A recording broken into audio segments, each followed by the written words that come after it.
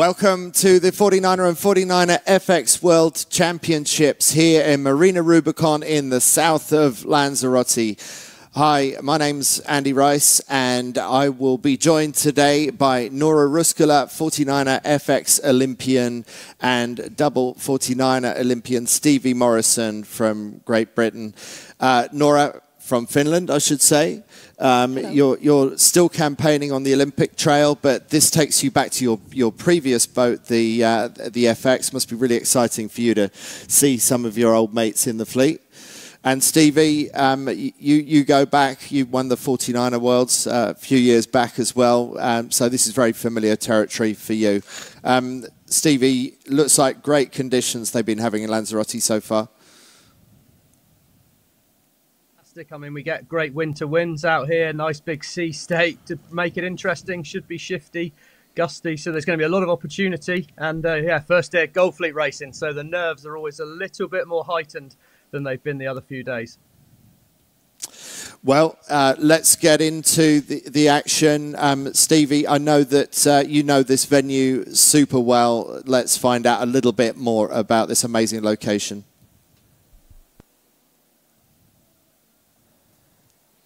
Oh, we're actually going to go to some uh, competitor interviews. So uh, let's find out a little bit about uh, some of the competitors racing here this week.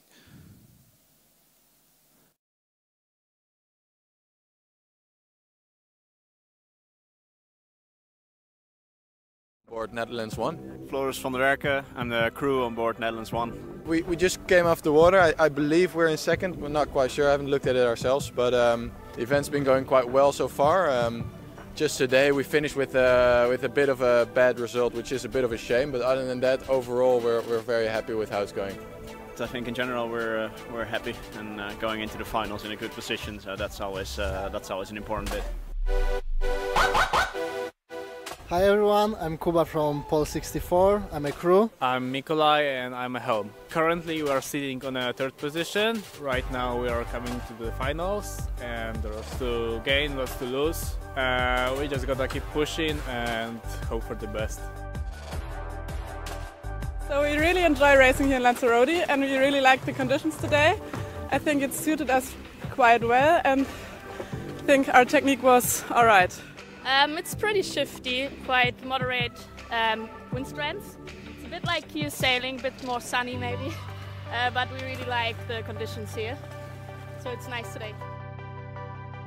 Yeah, so we just finished four races in quite challenging conditions, I would say. It was very up and down and shifty, and you could never really rest um, to actually get around the race course. But I'm very, very happy about how we sailed today. We we did a lot of mistakes, but also a lot of good comebacks. So we never really um, let ourselves down until the finish line. So yeah, we're quite happy. Yeah, I mean we love sailing here in Lanzarote. It's wavy, it's shifty. We haven't sailed in this condition so much here. It's uh, a bit special now, like always when it's the regatta. But we really enjoy it and just uh, looking forward for the rest of the week. Yeah, so we already qualified for the Olympics this summer in um, Marseille. So we're really excited. It's quite fortunate to be selected so early in the game, so that makes we can just focus everything on how to get best until the game. So that's our main focus. Noora Ruskola, you can relate to the emotions that people must have felt yesterday at the, just the end of the halfway stage of this competition. Four years ago, you were here in Lanzarote. You were trying to get to Tokyo to be at your second Olympic Games for Finland. You didn't quite make it. That's one of the toughest days that you can feel in an Olympic campaign, I would think. I would say so, definitely. It's you. You think about it. You have like trained for at least four years, or probably eight years, even more for this day to come. Like you're, but you're in your head. You're already like, yeah, I'm gonna qualify. But when that doesn't happen or does happen, it's like just feels like yeah, empty if if it doesn't happen. Especially for me, it happened like because I didn't qualify at that moment. So we're getting into Gold Fleet now, and we're going to see um, a, a, lot of tears of joy and a few tears of sorrow at the end of the week. You always do in any sporting contest, but yesterday was sort of um, end of part one, and, and for some it was it was pretty much the end of the road of uh, for their Olympic campaign. Not making it through into Gold Fleet was a really uh, critical moment, and uh, understandable that we saw so many tears of sorrow and a few of joy yesterday. Yeah, and uh, especially even though we're halfway through the event, uh, it changes because it it makes a difference. You can't if you end up in the silver fleet or gold fleet, you it can't you can't climb up anymore. Like if you're in the gold fleet, you're like, yes, okay, now I can focus on the rest of the event. But if you didn't make it to the gold fleet, it's basically well, if it's end of your trials or something, you can't climb up anymore. So there are lots of different scenarios, um, and we will talk you through those um, as we go. There, there we've got the uh, the World Championship standings in the, the men at the moment, and Erwan Fischer and Clément Pequin absolutely sailing out of their skin. The, the French are in a selection trial at the moment to see who's going to represent them at home waters for Paris 2024. And then winners of the last three World Championships, Bart Lambriex and Floris van der Werken, close behind in second place, and then a bit of a points gap to the top Polish. Uh, Mikkel Staniul and Jakub Sztorch, they're in a they're in a selection trial, and uh, the the British Grummett and Hawes in fourth place, absolutely jump out performance for them. And uh, Stevie, uh, these are uh, exciting moments in in any Olympic career, and really exciting, for example, to see the Uruguayans in sixth place from a from a small nation punching with with the big guns.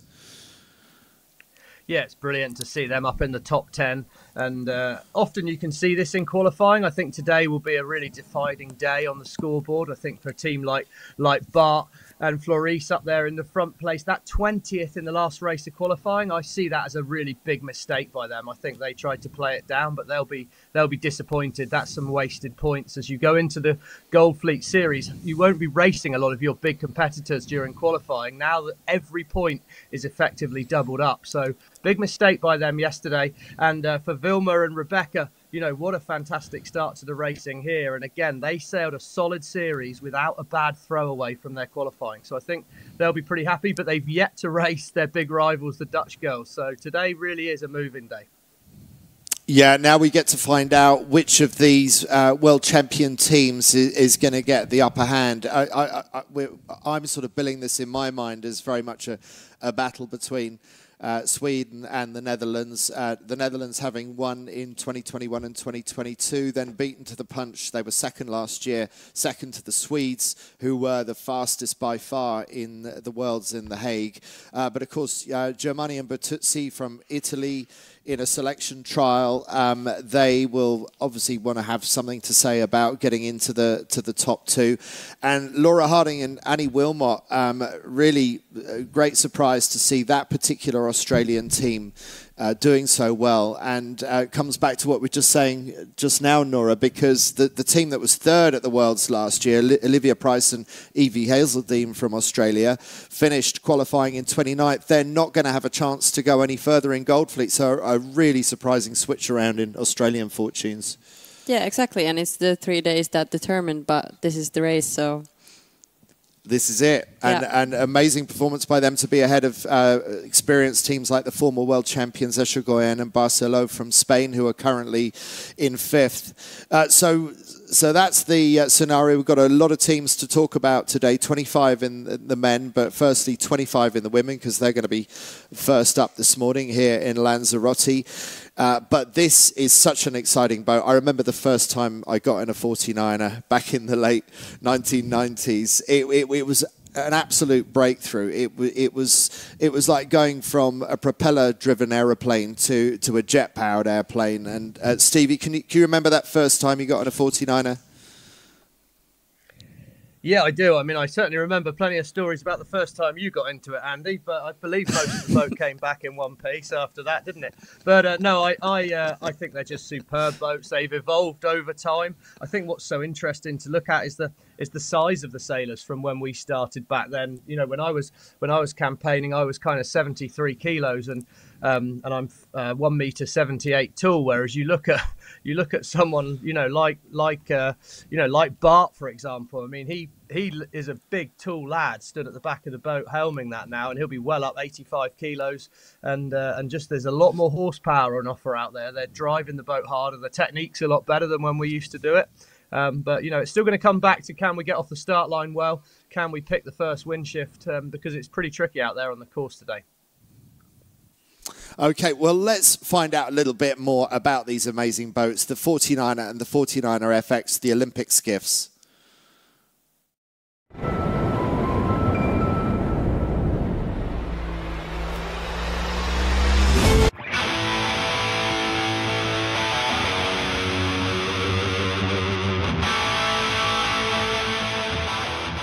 Specifically the 49er, I like it a lot. The, um, the boat speed and the tactics and the the whole fleet is super close. Um, so it really comes down to the, all the small de details, and that's a lot of fun. Yeah. Yeah. So uh, I, as I was growing up, I always wanted to say 49er. So yeah, this was my always my dream. The boat is the boat is fast. It's fun. It's more fun, obviously, in the big breeze and the waves. So yeah.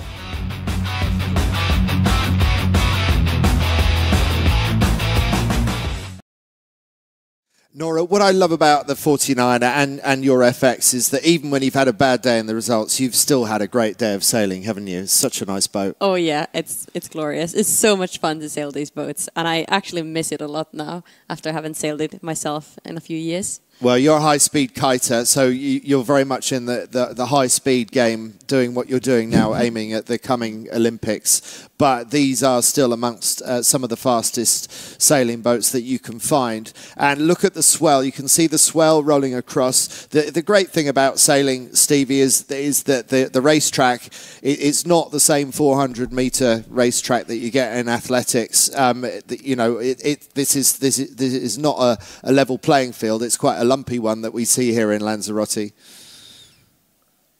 It's a really bumpy one, and that's a great view upwind. If you look to the right hand side of your screen there, you can see a range of mountains or hills, volcanoes. There's one to the top left, there's another volcano. And I think what we're going to learn through the day is does it tend to pay to go towards the right of our screen on those upwind legs? As we see the course here in front of us, it's a simple upwind, downwind course. And the boats, we can see it's gusty, it's shifty out there. So, whilst yes, there will be opportunities for different teams, everyone starts on the same start line. Everyone's got to go around the same mark. So, in that sense, it is equal opportunity. But no, Rosie, it's definitely not a case of uh, get in your lane, hear the gun go, and run as fast as you can in a straight line. It's a lot more complexity to that, and there's going to be a lot more uh, emotional roller coasters out there for the crews because ultimately, when it's this gusty, this shifty, there's going to be a lot of mistakes made and uh, you're going to be able to get some real good opportunities to overtake and pass boats ahead of you and lose those boats. Well, what an amazing view we have on the water. And Marina Rubicon, where we're sailing out of, also quite a beautiful place. And Noora had a walk around the harbour to, uh, to see what was going on in the pit lane earlier. 49er FX Bow Park, watching the ladies get ready for today's racing, uh, day four. And uh, quali- like the Gold Fleet racing today. How are you feeling, Paula, from the Spanish team? Um, I'm feeling very excited to go racing today. I think it's gonna be a very challenging day, like those we're having the past day. So we will see how it goes. We will give everything on the water. Oh, exciting! Okay, I'm really looking looking forward to see you go today and send it. Okay. Thank you. And then after that, we'll have the actually the British ladies, British girls here. Saskia and Freya, how are you doing today? How are you excited for today, today's racing? Yeah, well, it's Fleet racing today, so it's exciting to go out and hopefully we have a good day today. Is it going to be different today than from yesterday and the other days? Um, it might be a little bit lighter. Um, we might be a bit closer to the shore. Yesterday we sailed quite a long way out, so yeah, well, it, there's a bit more swell, we think, so it'll be interesting sea state. Okay, cool. Well, good luck for Thank today. And then we'll go and see. So the girls are getting ready for today. We still have a bit over an hour or two actually for the racing, so they have plenty of time putting on the last stickers and stuff, preparing for. Well, they already sailed for three days. Three three days, so it's not that different today. Here we have the Belgian girls. Hey, how are you feeling today? Are you excited and what's your strategy? Ooh, strategy. I don't know. It'll be a bit different than Gold Fleet today, so it'll be quite exciting to see how it goes. Yeah. We'll be ready to fight, I think. Yeah. Yeah, ready to fight? Like all in or? Yeah, I think so. I think we said we need to push a bit on the starts for sure in this type of wind, so we're excited to do that. Okay, we're gonna be looking after you guys. I'll see you. Okay, and that's for it. We're gonna go back to the studio and then watch the live racing. So we are just a few minutes away from the first race start, um, about eight or nine minutes until we kick off with the first of our 49er FX races, the, the Gold Fleet, just about to begin. Um, if we can have a just a look at that weather forecast again, let's see if we can bring up that graphic. And Stevie, I want to ask you, um, what, what, do you think? This is a little bit lighter today. No, no real light wind days, but uh, what's the opportunity here? Yeah, I think uh, I mean it is interesting. The forecast I've got is even windier for tomorrow, so tomorrow could be some real harem scarum stuff out there.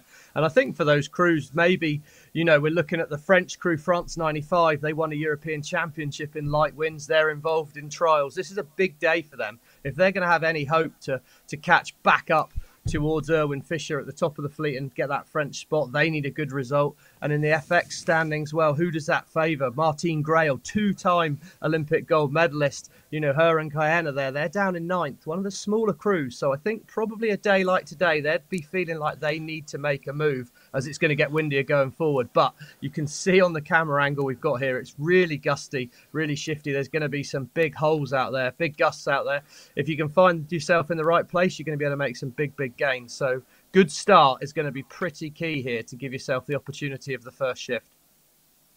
You say good start, but Noora, I'm wondering also um, with all those shifts, maybe if you get a bad start, there are still enough opportunities on this racecourse. I would again, I yeah, I would say that definitely a good start. You always need that to kind of play the fleet, but since looking at the race course and its offshore winds, I think there's a lot of opportunities to like still do well at the first top mark after a bad start.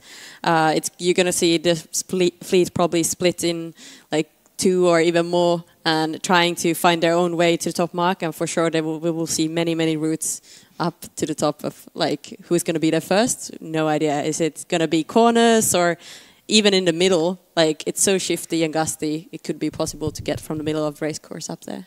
Uh, do you remember from your days in the FX, a lot of the girls that you raced against are still um, in the fleet, like the Brazilian double Olympic champions. Do, do, do, you remember anyone who has a particular style of starting, whether they choose the left-hand pin end or the committee boat, um, you know, patterns of play to watch out for? Yeah, I would say, well, for sure there's people that like to, let's say, the Norwegian girls would normally like to start from the pin in, and I think they still do that. But especially with the Brazilians, I say um, I think they could be a strong team today because I think they're really, really talented.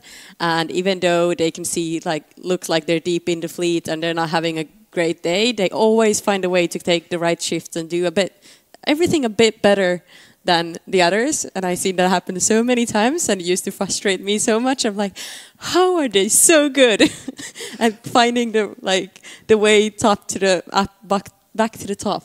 Of the fleet. They can be slow starters in championships, including in the Olympics, and somehow they yeah. keep on coming through. And um, I think it must be frustrating, the double Olympic champions, that, that, they don't have much of that sense of invincibility about them that they did a few years ago. It, it does seem to be the story of the Swedes, who we see in picture now. Sweden won against the Dutch, uh, Netherlands too. It's, uh, the last number of world championships have gone either to the Dutch or the Swedes. So I, I'm sure that's gnawing away at the the Brazilians, and, and uh, this is their opportunity for the Brazilians to show that they're still very much world class, isn't it, Noora? Yeah, yeah, exactly. And I will, yeah, I hope hope to see them at the top today. But we have there's some very very good sailors in there. Let's say the Swedish, as you said, the Dutch. I totally see them. I think actually Swedish, Dutch, and uh, Brazilians I would see in the top ones today with the shifty and gusty weather. Uh, Stevie, you've done some 49er FX coaching as well. Just remind me who, who you were working with and, and who you're familiar with in this fleet.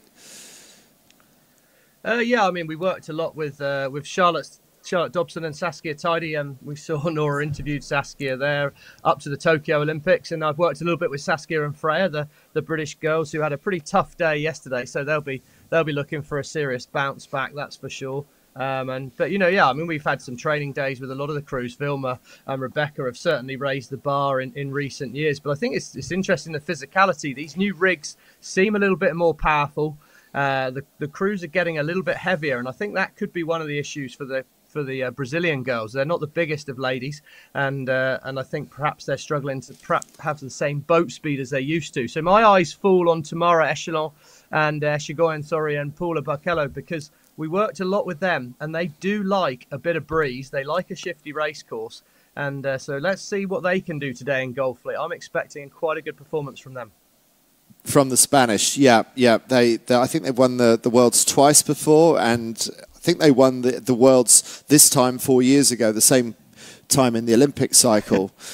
so, um, yeah, Stevie? Yeah, they always do, Ricey. They always seem to. They've won the Worlds in the Olympic year both times and yet to convert that into an Olympic medal.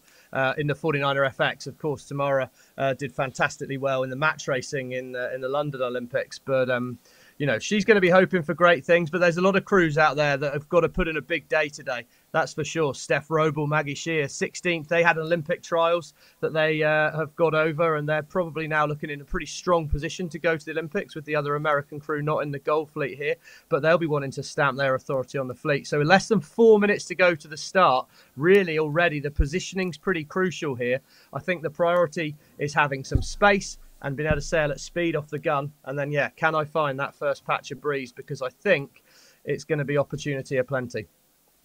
Nora, interesting also to see two Chinese teams, uh, probably not teams that you raced against. They're, they're, relatively recent arrivals on the scene, but Hu and Shan, who you can see middle left in, in that grid, they were leading the regatta for the first couple of days, and they're still lying in sixth overall. Really impressive to see the Chinese coming on so strong. Yeah, I think it's super impressive, and I heard uh, quite fast, so I think that helps a lot. And I I'm interested to see how it's going to go today with them. Like, how are they going to keep up the high level, stay in the top as they did in the first days? Now they fell a bit down, but I mean, they're still very close. Like, the points are so, so close that there's not really, you know, one or two boats are going to pass you in the racing and it's going to change the results, the ranking overall. Just under two minutes to the start, so that final lineup. And Stevie, looking at what you see there now, where would you be choosing on the start line? I think it's pretty open, to be perfectly honest, where I'd want to be. I think I would want to just have enough space to get out and tack if I needed to. So I think up the line, probably first race of the day, wouldn't be a bad thing to do, but we'd like to know the start line bias. The crews will have done their homework, I'm sure about that.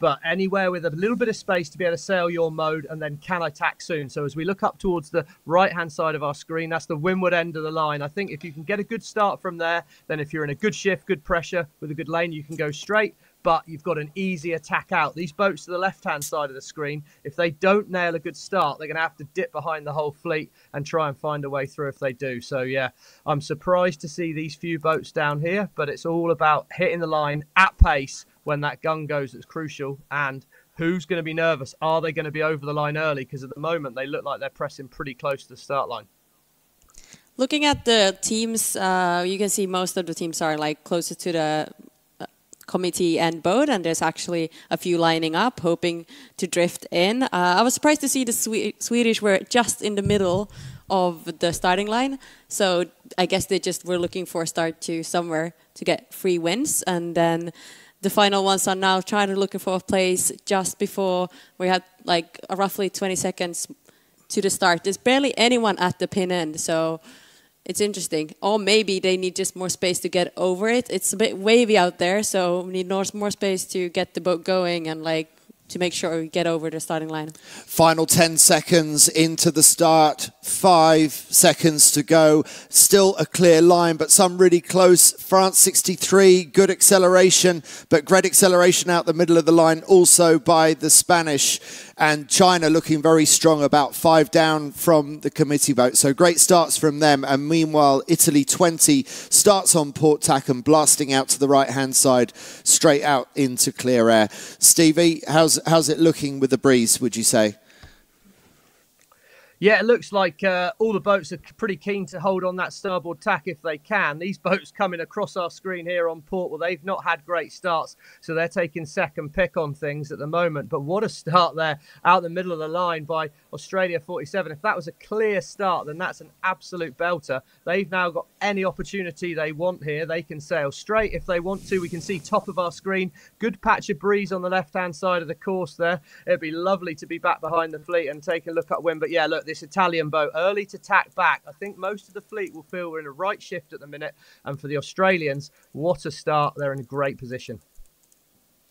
Yeah, I was really surprised to see the Italian team to take a port start behind everyone and just hit it to the right or Yeah, just for a short bit, and now they tacked back. But that's a pretty bold move, I'd say.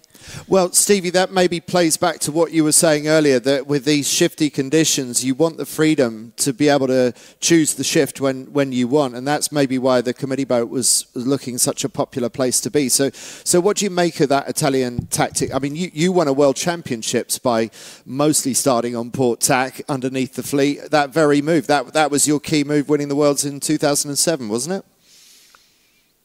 Well, yeah, that's because it paid to go right, Andy.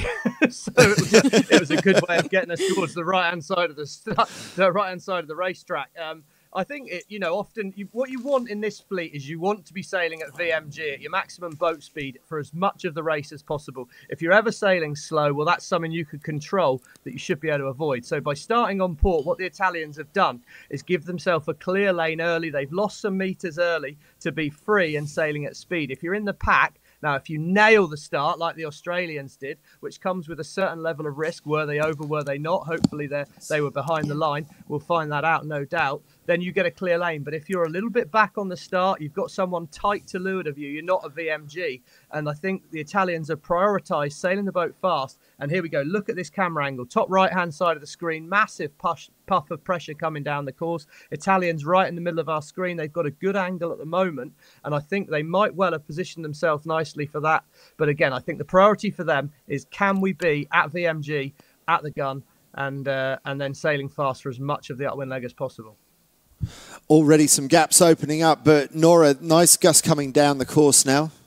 Yeah, it's looking good. And I'm actually looking at the tracking right now. It's really difficult to tell who's here uh, leading at the moment. But in the tracking, it says the Italian team that are currently third place, that they're overall, uh, they're currently leading this upwind. And uh, But it keeps on changing, like Rob Boulanger, the US girls, some German, Australians, as we saw, they had an incredible start. But I, if I would personally, if I look at this race, I think it's better to be in the like mid right, the left, bottom left. I'm not sure how well they're going to come from there.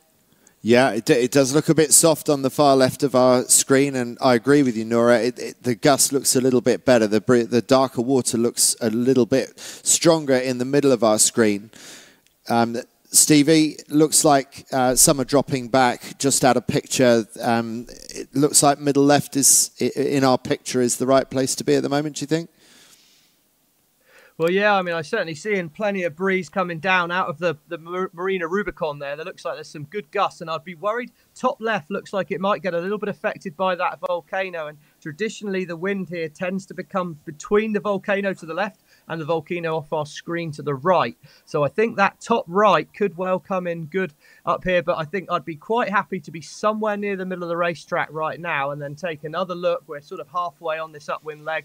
Now I'm going to make my final decision big decision about the approach as we get in the boats on the left hand side of the course seem to have got back onto a decent angle again now and they're looking stronger it's shifty day ricey patience patience patience it looks like the seeing here in the bottom of our uh, screen that the British girls uh, were pretty, like, I think they're a bit over ley line almost to the top mark, pushing it all the way to the left. Maybe they just want to get, like, the best breeze. You can see from the screen there's a lot of gusts here. So maybe just try to get the final advantage, but they're really pushing it all the way to the left, which is, like, going, as you said, we want to sail the VMG. I'm not sure if that's going to work today. It, that, that seems to be a little bit too early up on that ley line. Uh, effectively, if you've gone over ley line, you've, you've sailed extra distance that you didn't need to. But uh, Stevie, in a dynamic boat like the 49er FX, can you still make that work if you've sailed the extra distance um, beyond what you needed to?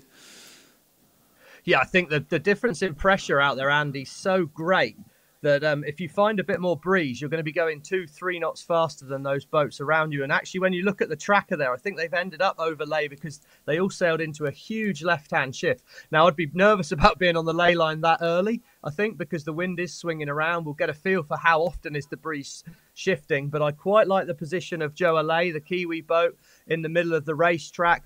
The Dutch girls, well, there's no surprise to see them quite well positioned. They're just that little bit down, more towards the middle of the course, so they've got the opportunity to get one or two more shifts. I think it's quite quick move in the breeze here, so getting to the ley line early is not going to be a particularly good thing. And a couple of days ago, actually on, on day one of the competition, uh, people were saying that uh, that they were aiming for breeze that they could see, but by the time they got there, it it wasn't um, it, it, wasn't what it appeared to be. So the, you sort of had to sail with the breeze that you had in the moment. So it's it's always surprising to me how different the behaviour of the breeze can be. And Nora, you've done a lot of sailing here and in Fuerteventura, just across the water. Um, it seems like even when they've trained as much as they have done here, this racecourse still always has surprises in store. I don't understand how that could be. Yeah, I think definitely when the wind comes from like offshore, it you just can't know. You know, you just have to position yourself to the fleet and be ready for everything. That's why going far up on the ley line early, I think, would be risky because you never know if it's going to shift and stuff like that. But even though, yeah, I mean, a bunch of the girls have been training here for months and now three winters in a row. So it's a familiar place for many of them. Of course, we have some new teams as well that probably haven't traveled here and stayed the winter in like Vilamoura or some other places in Europe and not come all the way to this island because once you come here it's a commitment to stay here a couple of months that's what the teams normally do yeah, it's a long way to get here, but it's well worth it when you do. Absolutely beautiful weather conditions, considering it's still a European winter. Germany 55 looks like they've just got across the front of the Belgian boat. Germany 55 won three races in light winds in the Europeans in Vilamoura just three or four months ago and looking good as they come out to this side. But Stevie, there's a bunch of boats up to windward of them and it looks like maybe Brazil is, is in the hunt here. Yeah, Brazil have positioned themselves well. It's going to be really tight. Gold Fleet Racing, it's always going to be tight into this top mark here. It's going to be absolutely crucial about the next shift as we see a lot of boats have made their decision. Now, Germany tack, they're up towards the ley line. We've got a couple of Spanish boats and the Brazilians. Expect them to spin the boat fairly soon as we get up towards this ley line. Who's going to find the first gust? And then it's all about the exit out of this top mark as well. Jo Aleh, the Kiwi boat, still well positioned, but it's really, really tight in there. The Australians, they're they're putting in heck of a performance here. A bit like Sydney Harbour, I guess. Few shifts to be found, and they're performing well. Who's judged it right as we come in towards this top mark? It looks like it's fairly actually light when you see the teams are now like really hunched over or like more squatted in a position. It's not that much breeze. I think we can see more gust and then they're like more straight on the trapeze, but wow, now actually the Spanish are doing, they're getting a good lane, and the Brazilians, I'm impressed. The French approached from the left side of the race course, and they pretty much did the whole ley line all the way, uh, Garnier Roux. So they found a nice lane. They could stay on their own lane and did a simple, basically a simple strategy, as that normally works. When you're in the top, it's easy. but the teams are so close. Like this is, it's it's hard. If you get a bit of like dirty air from someone, you're stuck. Like you really want to be careful with that. Interesting to see the first jibe setters amongst the first jibe setters going the opposite direction is Netherlands 2 somewhere just outside the top 10 and Sweden 1 yet to go round the mark so a really bad start for Vilma Bobeck and Rebecca Netzler, currently leading overall in this competition, but with a lot of catching up to do. Well, it's Grenier and Rio with the red gennaker that's currently leading for France, chased by Echegoyen and Barcelo on the starboard tack. On a day like today, you can see there's a lot of like stronger wings coming from behind. And once you're in the top uh, going downwind you obviously it's nice to be in the front. But then from it's a problematic because from the back the wind comes from behind. So everyone else will get the wind before you. Uh, so I think we will see a lot of speed differences in this race, especially now where you could see in the previous screen how the wind is approaching uh, stronger wind from behind. Um, so, Stevie, we've seen some going for the jibe set. Is, is that uh, uh, tactical reasons, or it, is it sometimes desperation because you're, you're further back? I think if you're at the back of the pack and you do it, it's often a desperation move. But I think what we saw on that first upwind was actually the race course is pretty open. No, no one side, the, the, leading boat came from the left, some boats in the top four or five came from the right, and there was only a matter of 15 seconds in it. So it's a pretty open course. We can see how gusty and shifty it is. So a lot depends on what the wind you've got at that top mark. I think it's often safer to go for the straight set because you're likely to be in clear wind, whereas for the for the Dutch girls. They've jibed through a lot of dirty wind, but if when they got there there was a right shift and a gust, then it was absolutely the right move. She's not known for uh, sitting on the fence. Odile. she uh, tends to make a brave decision. She tends to be aggressive, um, and and that's done her proud. So she will have backed herself, and I like seeing someone that's willing to back themselves. But yeah, no surprise to see the leader go straight as they'd come from the left, but it is an open racetrack, which is which is great news for the Swedish because they got a lot of work to do to work their way back up the fleet. That's very true. And yesterday, Bobeck and Netzler were very keen on the jibe set maneuver, even when they were third going around the windward mark for the final time yesterday afternoon. They went for the jibe set. I, I wondered whether it was the right call for them, but, but they made it work and they ended up just getting ahead of the young German team to win that race. Um, and uh, uh, Bobeck told me afterwards that the the jibe set had worked six out of eight times yesterday. Obviously, different day today. The patterns change, uh, but it but it has been a winning move. So um, yeah, interesting to see how much that's being used already. Now we can see that there was there's way more breeze down when the boats come down towards the bottom bottom mark. Uh, it looks actually pretty glorious, and you can also see the swell here on the screen that they can actually surf on the swell. You see the the French team now surf with the orange spinnaker. Uh, they're surfing as well, and I think they get a lot of advantage from that. It must be absolutely glorious. It, it, it's like um, King Neptune is shaking this blue rug, and and uh, if you can if you can just catch the, the right side of, of the ruffle of the rug, it, it gives you an extra few knots of speed. And, and then if you're the wrong side of it, well, on a 49er FX in these conditions, you still go fast enough to climb up the little hill and, and get down the other side. But you get these surges of acceleration and deceleration, which makes it much harder to judge on a port starboard cross whether you're actually going to get safely across. So um, there's, there's so much moving underneath these boats all the time. And that's the fun thing about sailing is you've got, it's so multidimensional. I think um, I think if I was after my Greek dogs, I'd be a bit more focused on Zephyrus today, though, uh, Andy, because I think the wind is going to be a little bit more important than the swell out there. Um, it's finding these patches of breeze is going to be fairly definitive, and and it'll be interesting when we look as the boats come back together. This bottom gate is absolutely crucial. Now, if you're in the lead, you're going to get a first look at it. You're going to get a chance to take a little breath have a look upwind and say, where's the next gust of breeze? But if you're in the pack, it's how do I get in and out of here as quick as possible because it's basically a parking lot at rush hour coming up here. And the camera angle at the minute looks to me like the jibe setters have done pretty well. Be interesting when they come back together, but they've got the right of way, those boats towards the right hand side of our screen. And the French, it doesn't look good for them at the minute. They look like those boats that jibe set have found more breeze. It does look, but when the French are approaching from the left side of the course, they're going to have advantage of mark space. If we're that close to the mark, though, I'm not sure. Yeah, now we can see the marks, the bottom marks on the right side of the screen. And yeah, as you said, Stevie, they're a bit late, actually. It, they, it just it took them way longer to get to the bottom mark. Uh, so the jibe setters did a good job here.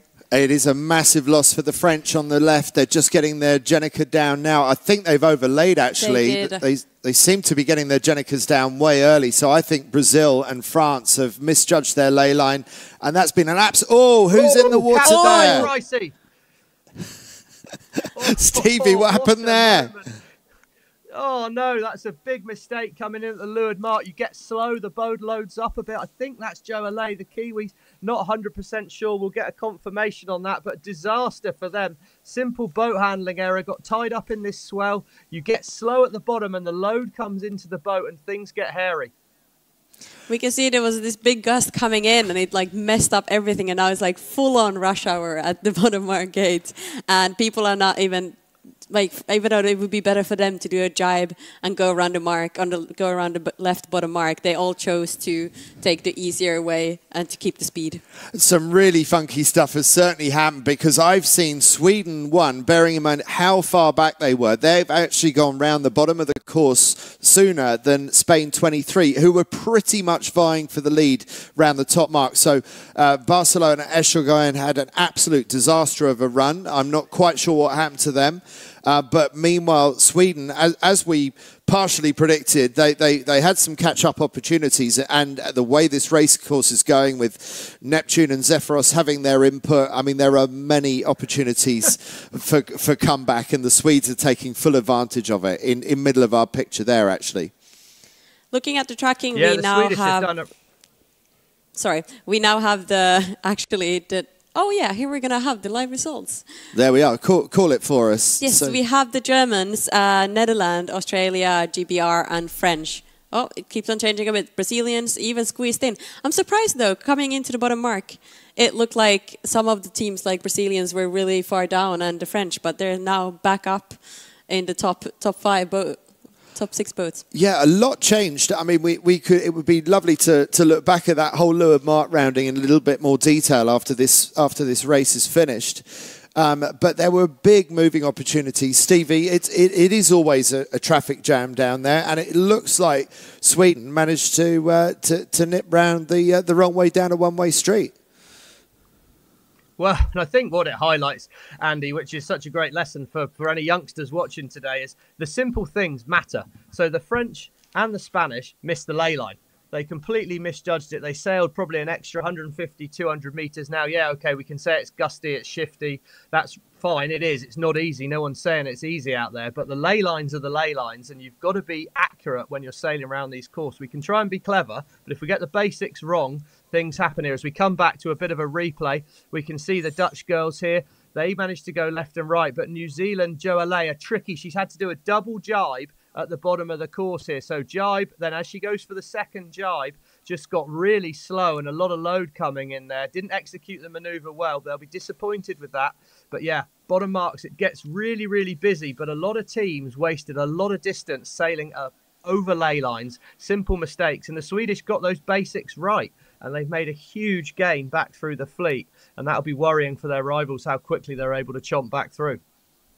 Yeah, looking back at the downwind we had, I would have definitely kept my eyes out and like looked back and what gusts are coming and not going too close to the ley lines because you never know what's happening and you want to, you know, keep more space and opportunities for yourself if there's a gust or a shift. So leave a little bit of ley line in the bank is what we're talking about, both going upwind and downwind. Um, but what I'm hearing about these kites, certainly in the 49er men, I don't know if it's the same for the FX women. The, these kites are flat; they're designed to go um, for speed, and that doesn't give you a lot of um, variability in, in in the angle. There there is a certain angle these kites like to be sailed at downwind, and if the gust hits or if a shift hits or, or both hit at the same time, then suddenly you're, you're, you're on an angle way below where your original ley line was. So it, it seems like um, we've got to leave a bit in the bank in, on this variable race course. Do you think that's the, the lesson we're learning? Yeah, that's the lesson, especially today with these uh, weather conditions. So, Stevie, we see the Australians doing very well front of picture, and it looks like they're coming back on the Dutch. I thought the Dutch were in a bit of a higher angle for a bit. Actually, the Dutch tack away now. Um, what uh, what do you make of the, the relative tactics of Australia and the Netherlands?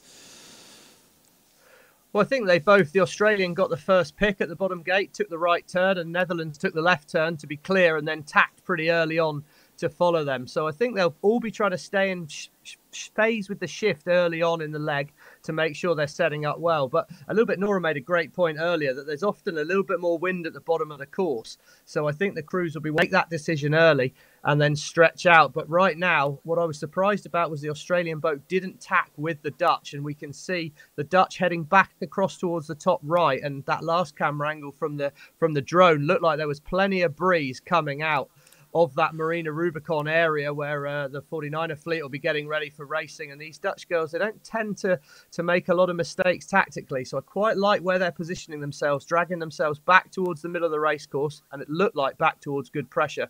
Australia, well, they're perhaps rolling the dice, but they picked it well on the first upwind leg.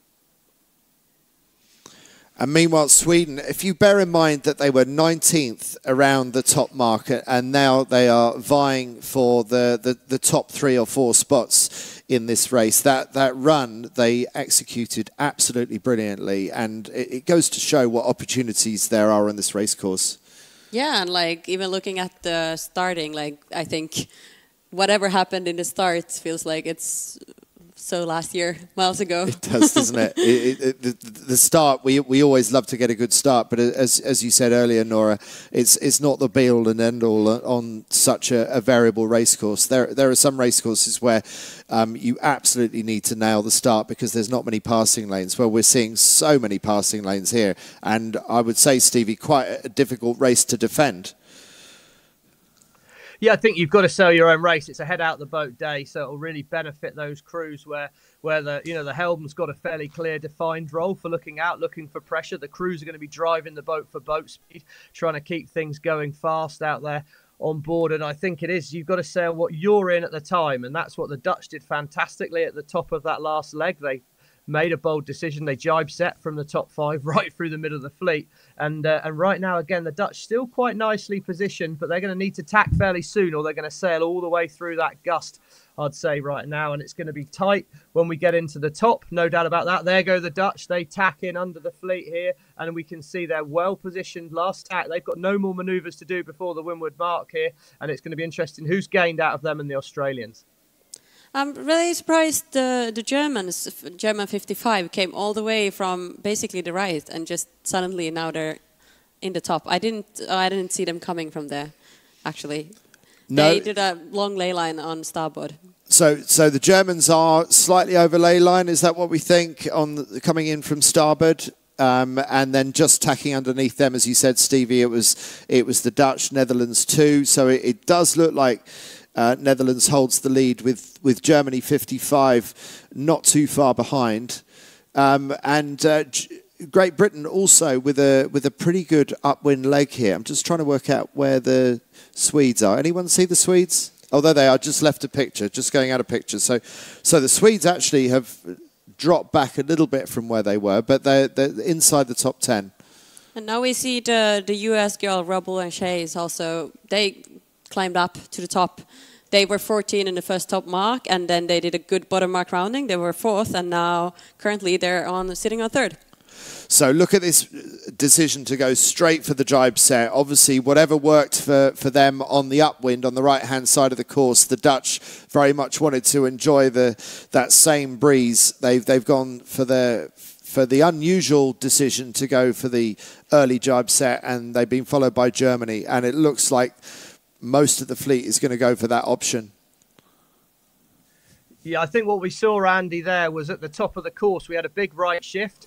And if you've got a big right shift coming in at the top of the mark, you want to jibe set and get early on it. So, again, it's just another example of Odile doing a good job of backing herself to sail what she's in at the time. She's done a fairly simple job of trying to stay on the lifted tack as much as possible and uh, and sail towards pressure. So yeah, whilst the jibe set can often be risky, it's shifty, really shifty conditions out here, and she's just put herself on well downwind. You want to be on the headed jibe, so she's put herself gone from a lift upwind jibe set straight into that good right hand pressure, and it'd be surprising to see her make a loss from here.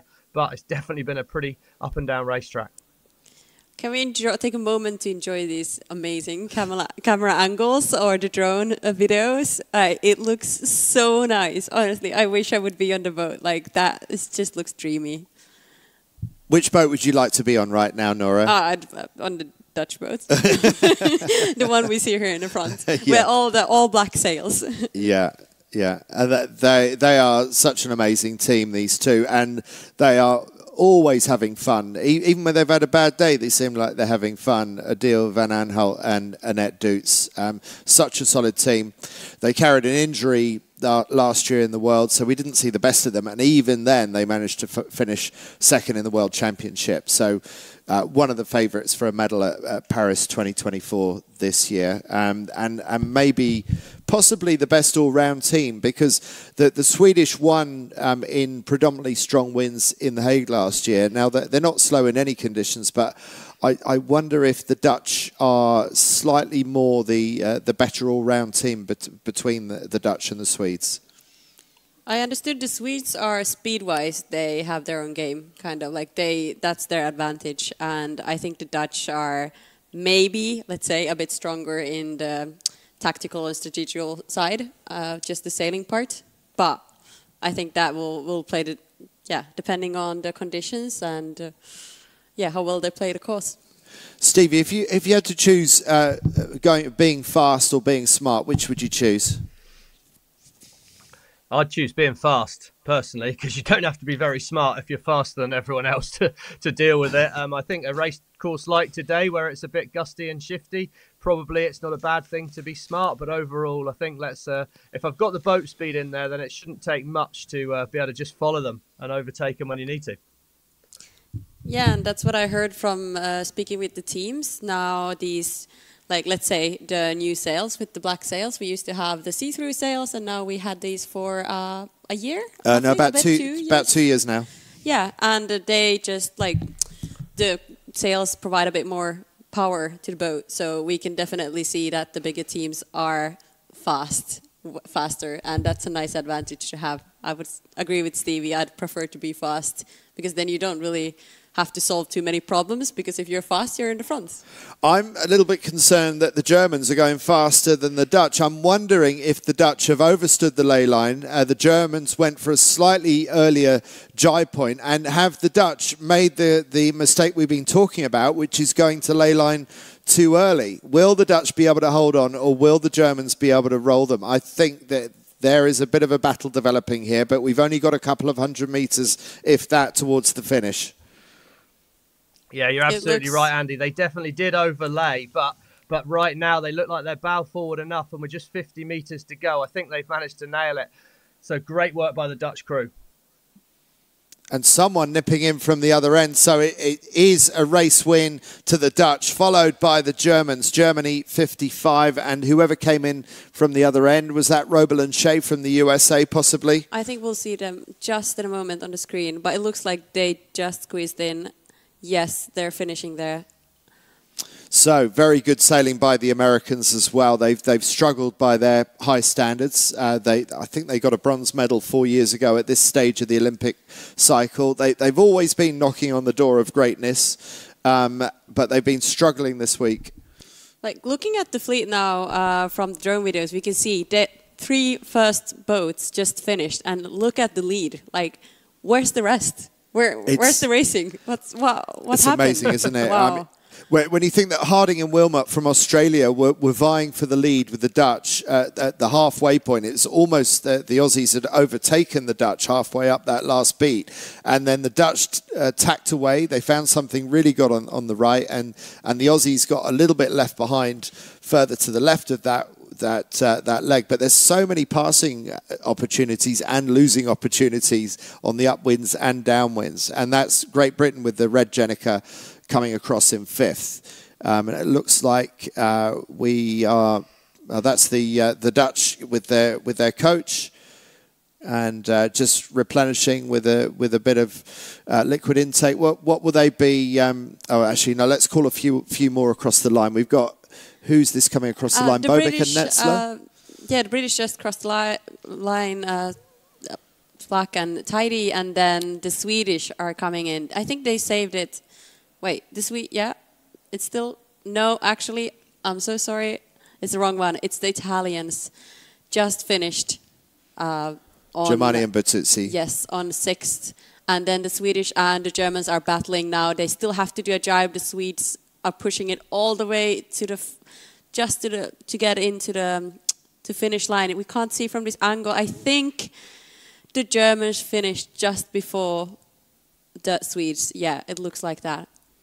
So the Swedes came back to, I think, maybe third or fourth at one point in the race, and, and then they've slipped back to possibly seventh by crossing crossing the finish line just now. And Brazil also doing really well earlier on in the race. And a bit of a surprise, Stevie, to see Brazil get up there and, and then let it slip again. We, I, I tend to tend to think that uh, they're not one of the faster sailors, but they're one of the smarter ones. But it seems like uh, they didn't quite make sense of that race.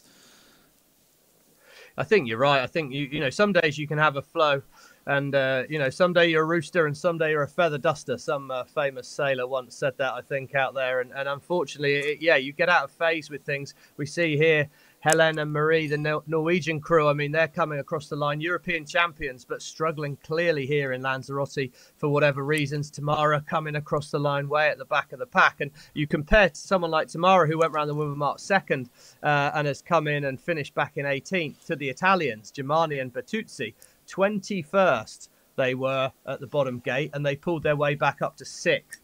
You know, so that's a 15 point gain for them, huge in the context of the regatta. Um, and, you know, for, for the race winners, well, they sailed a very consistent race, kept themselves in it the whole way round. I think what was nice, what would be nice if you were sat in the coach boat with the Dutch now, is the fact that they didn't do anything special. They kept themselves, they started relatively up the line which meant you had the opportunity to take the first shift when you wanted to. Stayed quite near the middle of the course, so with about a third of the upwind leg left to do, they could make a positive decision. Is the next gust coming from the right or the left? And we're going to attack that last third of the beat. And they just sailed solid, trusted their compass numbers, and uh, and did the simple things well. Yes, they were slightly over ley line on that last downwind, but my guess is they probably matched jibes with the Germans, so were maybe a little bit more in control than uh, than perhaps we thought saw and really good sailing for Marla Bergmann and Hanna Wille from Germany. Bear in mind that uh, despite getting, I think it was a silver medal uh, for Germany in the FX in in Rio, and and also getting a bronze in the 49er. Um, Germany, a great powerhouse of Olympic skiff racing, hasn't yet qualified a spot in either the men's or the women's skiff competition for Paris 2024. So, so while there's a trial going on to work out who's going to be top German, they've also got to try and actually grab the spot, which comes up. The last opportunity is in Hyères at Semaine Olympique Française at the end of April, when they those are the, the last few spots available, and Germany has yet to get one in men or women. Okay, so I understand we may be going to an interview on the water. Let's see if we can go across to them now. And hi, so we got Odile. A deal. can you hear us? Like them breathing. Not sure if Odile can hear us. Hi, Odile, can you hear me? It's Andy. Hi, Odile. Okay, not to worry, not to worry. So we were, hoping to get a, a, our race winners, Odile and Annette, on the line. Maybe we'll be able to get back to um, some of the interviews a little bit later on. Um, Noora. But I'd like to say, uh, especially as you, you, mentioned earlier, the Dutch, uh, I love it. They're always so happy and like ease, in ease somehow. I saw their coach and he just like, let, yeah, helped me out and just like really just happy and seeing, look, look yeah, saying hi to everyone and just have a good flow. Very, very different atmosphere going from uh, from team to team, Stevie, uh, and especially when you get to the Olympic Games as well. But let's just analyse this start. I, I, saw a really good start from Malta coming out the middle of the line. And anything you want to observe, Stevie? Well, no, I just think the Australians up here. I think that position something to look for for for the day. Really, that top third of the line on starboard tack, I think just gives you good opportunities there. A lot of the boats, I mean, the, you know, the level of the fleet's fantastic as we'd expect, really. But when you see this camera angle looking over the whole racetrack, we can see that there's you've got a lot of changing dynamics. If those gusts come down and you're not in a position to take advantage of that, it's going to make it hard. So I think where the Australians started was a really nice, safe position. They did a fantastic job with their trigger. But yeah, it ain't all over till the fat lady sings would be the other thing to note because when you see the boats that went round first, second, and third, they were absolutely nowhere when it came to the finish. So you've got to keep your head in the game. You've got to sail positively. You've got to sail aggressively. And uh, and the Australians did that. The Dutch did that. They put in a good performance. And then yeah, if you are in the back of the pack, like the German, Germani and Bertuzzi, the Italians were, there's opportunity to get through the fleet. But I'd still rather get to Windward Mark first and uh, and be making my choices from there. Noora, you've got some interesting stats in front of you. I'd be interested to know um, who who did well, who did badly, what, what Stevie and I would call the snakes and ladders of of the competition, and who managed to more or less be consistent. Wow. Okay, that's a yeah. You, as we saw, this a lot of people were climbing and falling, and like it, everything happened. Like the Kiwis, for example, capsized in the bottom mark, and that was brutal for them. Uh, but let's say I was actually looking at the Malta because they did a good start, as you said, but uh, they were around the 20, 20 22 positions, and then they finished 11th. So I was very surprised. I'm good to happy to see them around and have like more like new countries and different countries than the big power powerhouses we have. uh, but let's say I could say the most consistent was the Australians, Harding and Wilmot. They were 4 1 4 4 in all the laps or in the mark roundings. And Yeah. that's the most consistent of the whole race. If looking at everyone else had like 14 4, you know, 19 8, 21, like these crazy uh, positions just kept on changing, and no one had a good series like them. And, and the top three are, are really interesting, aren't they? So just uh, just give us the stats on the top three and, and, and where they started with the first mark rounding and where they ended up. So uh, the yeah yeah okay. So the Dutch were actually around. They were eighth on the first mark rounding, and after that they were second and first first. So that was pretty okay. Uh, the Germans came second. They started 11th on the first mark rounding, and then after that they were 3 2 2. Uh, the US girls, they were 14th in the first top mark, and after that they were also 4 3 3, so they just kept staying in the top. And then we have Harding and Wilmot, who were 4 in the top mark, in the first top mark, and then they had 1 4 4. So they kept their lane, uh, kept the same position.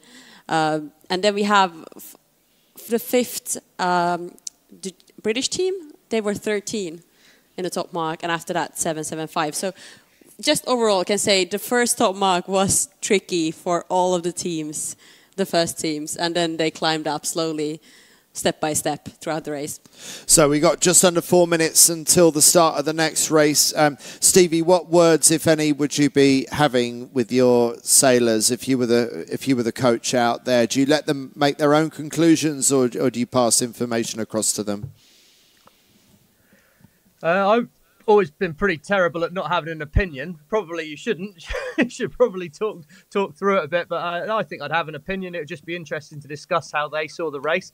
I think uh, you know if, if you're coaching someone that's won the race, it's maybe demonstrating some of the pitfalls of the boats that were leading, like the French girls and the Spanish, doing the simple things well with the ley lines, being accurate. And for those crews that were in the pack, it's perhaps clarifying the fact that it's not magic that's happening out there. Ultimately, the leaders are managing to get themselves on the lifted tack as much as possible, find the pressure when they can, and try and keep themselves with opportunities as far up the course as possible. Don't get don't get too stuck in the corner early. Um, so yeah, let's start a leg on a lifted tack would probably be my uh, main point of advice. Start the leg on a lifted tack. Okay, um, that that means getting getting the first shift right. So so most people are going to start on starboard because that that gives you the right of way. But we saw the Italians start on port underneath the fleet. Uh, Noora, what what are, what are your thoughts? Uh, my thought was, as uh, a sailor, uh, I would say it's always fun to like. Of course, every sailor wants different uh, feedback from their coaches, but overall, we normally like, as Stevie said, just keeping it like simple, giving us like something to work on. You know, focus on. Let's say being on a lifting tack in the first uh, first leg, and that's why I'm like, okay, well, it keeps it makes your like head seem, everything a bit more simple because in your head as an athlete, you're going through all these things of like where you want to start, what's the how was the last race, what do we want to focus on the next one, and just trying to like guide guide through that helps a lot. And meanwhile, we see that big stack up at the committee boat end at the bottom of our picture. Seems like that's going to be the popular place for people to try and start. And that comes back to what Stevie said earlier in the build up to the first race is if you start at this end, you probably have a higher chance of being able to tack out and, and get into phase with those shifts. So that's probably why we're seeing such a, a stack up at this end. Stevie, looking at bottom left, I see Denmark 10 is down there to windward of start line, um, to windward of the ley line for the start. I- i- Is, that a cause for concern, or do, do you think with a minute to go that things shake out? Uh, Uh, I think you know they'll they'll be making a judgment call of that. Definitely a cause for concern because you've suddenly lost control of your environment. So unless they know that actually they're inside the ley line when the boats rotate a little bit. I think with the 49ers, the boat handling's got so good in the pre-start. They're all holding really high and close to the wind. We can see how close they are to the start line. They can all hold the boat really well. But yeah, your positioning really at two minutes is going to be quite definitive. So where we are now, we're just 44 seconds or so until the start. It's absolutely important that you're clear and interesting to see down at the bottom end here. Lara and Amelie Riou, the French there, they led at the top mark last time and they're keen to be off the pin. What they're going to do from that position is they will be at full speed. That's for sure. They're going to have a clear lane, but wow, they need it to be good on the left by starting this far down the line.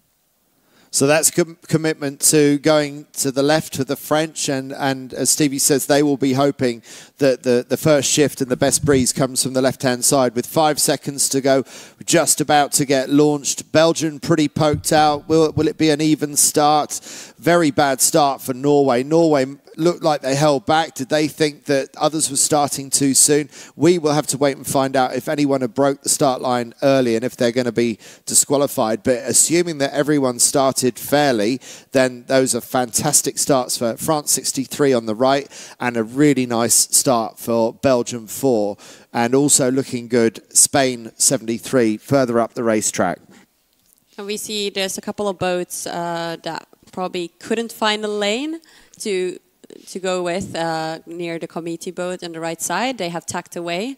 Uh, let's see if that works. That worked from the for the Australian team in the previous race, so it will be interesting to see. You have always like you know the second choice of like if you can't keep your lane, at least you can tack away.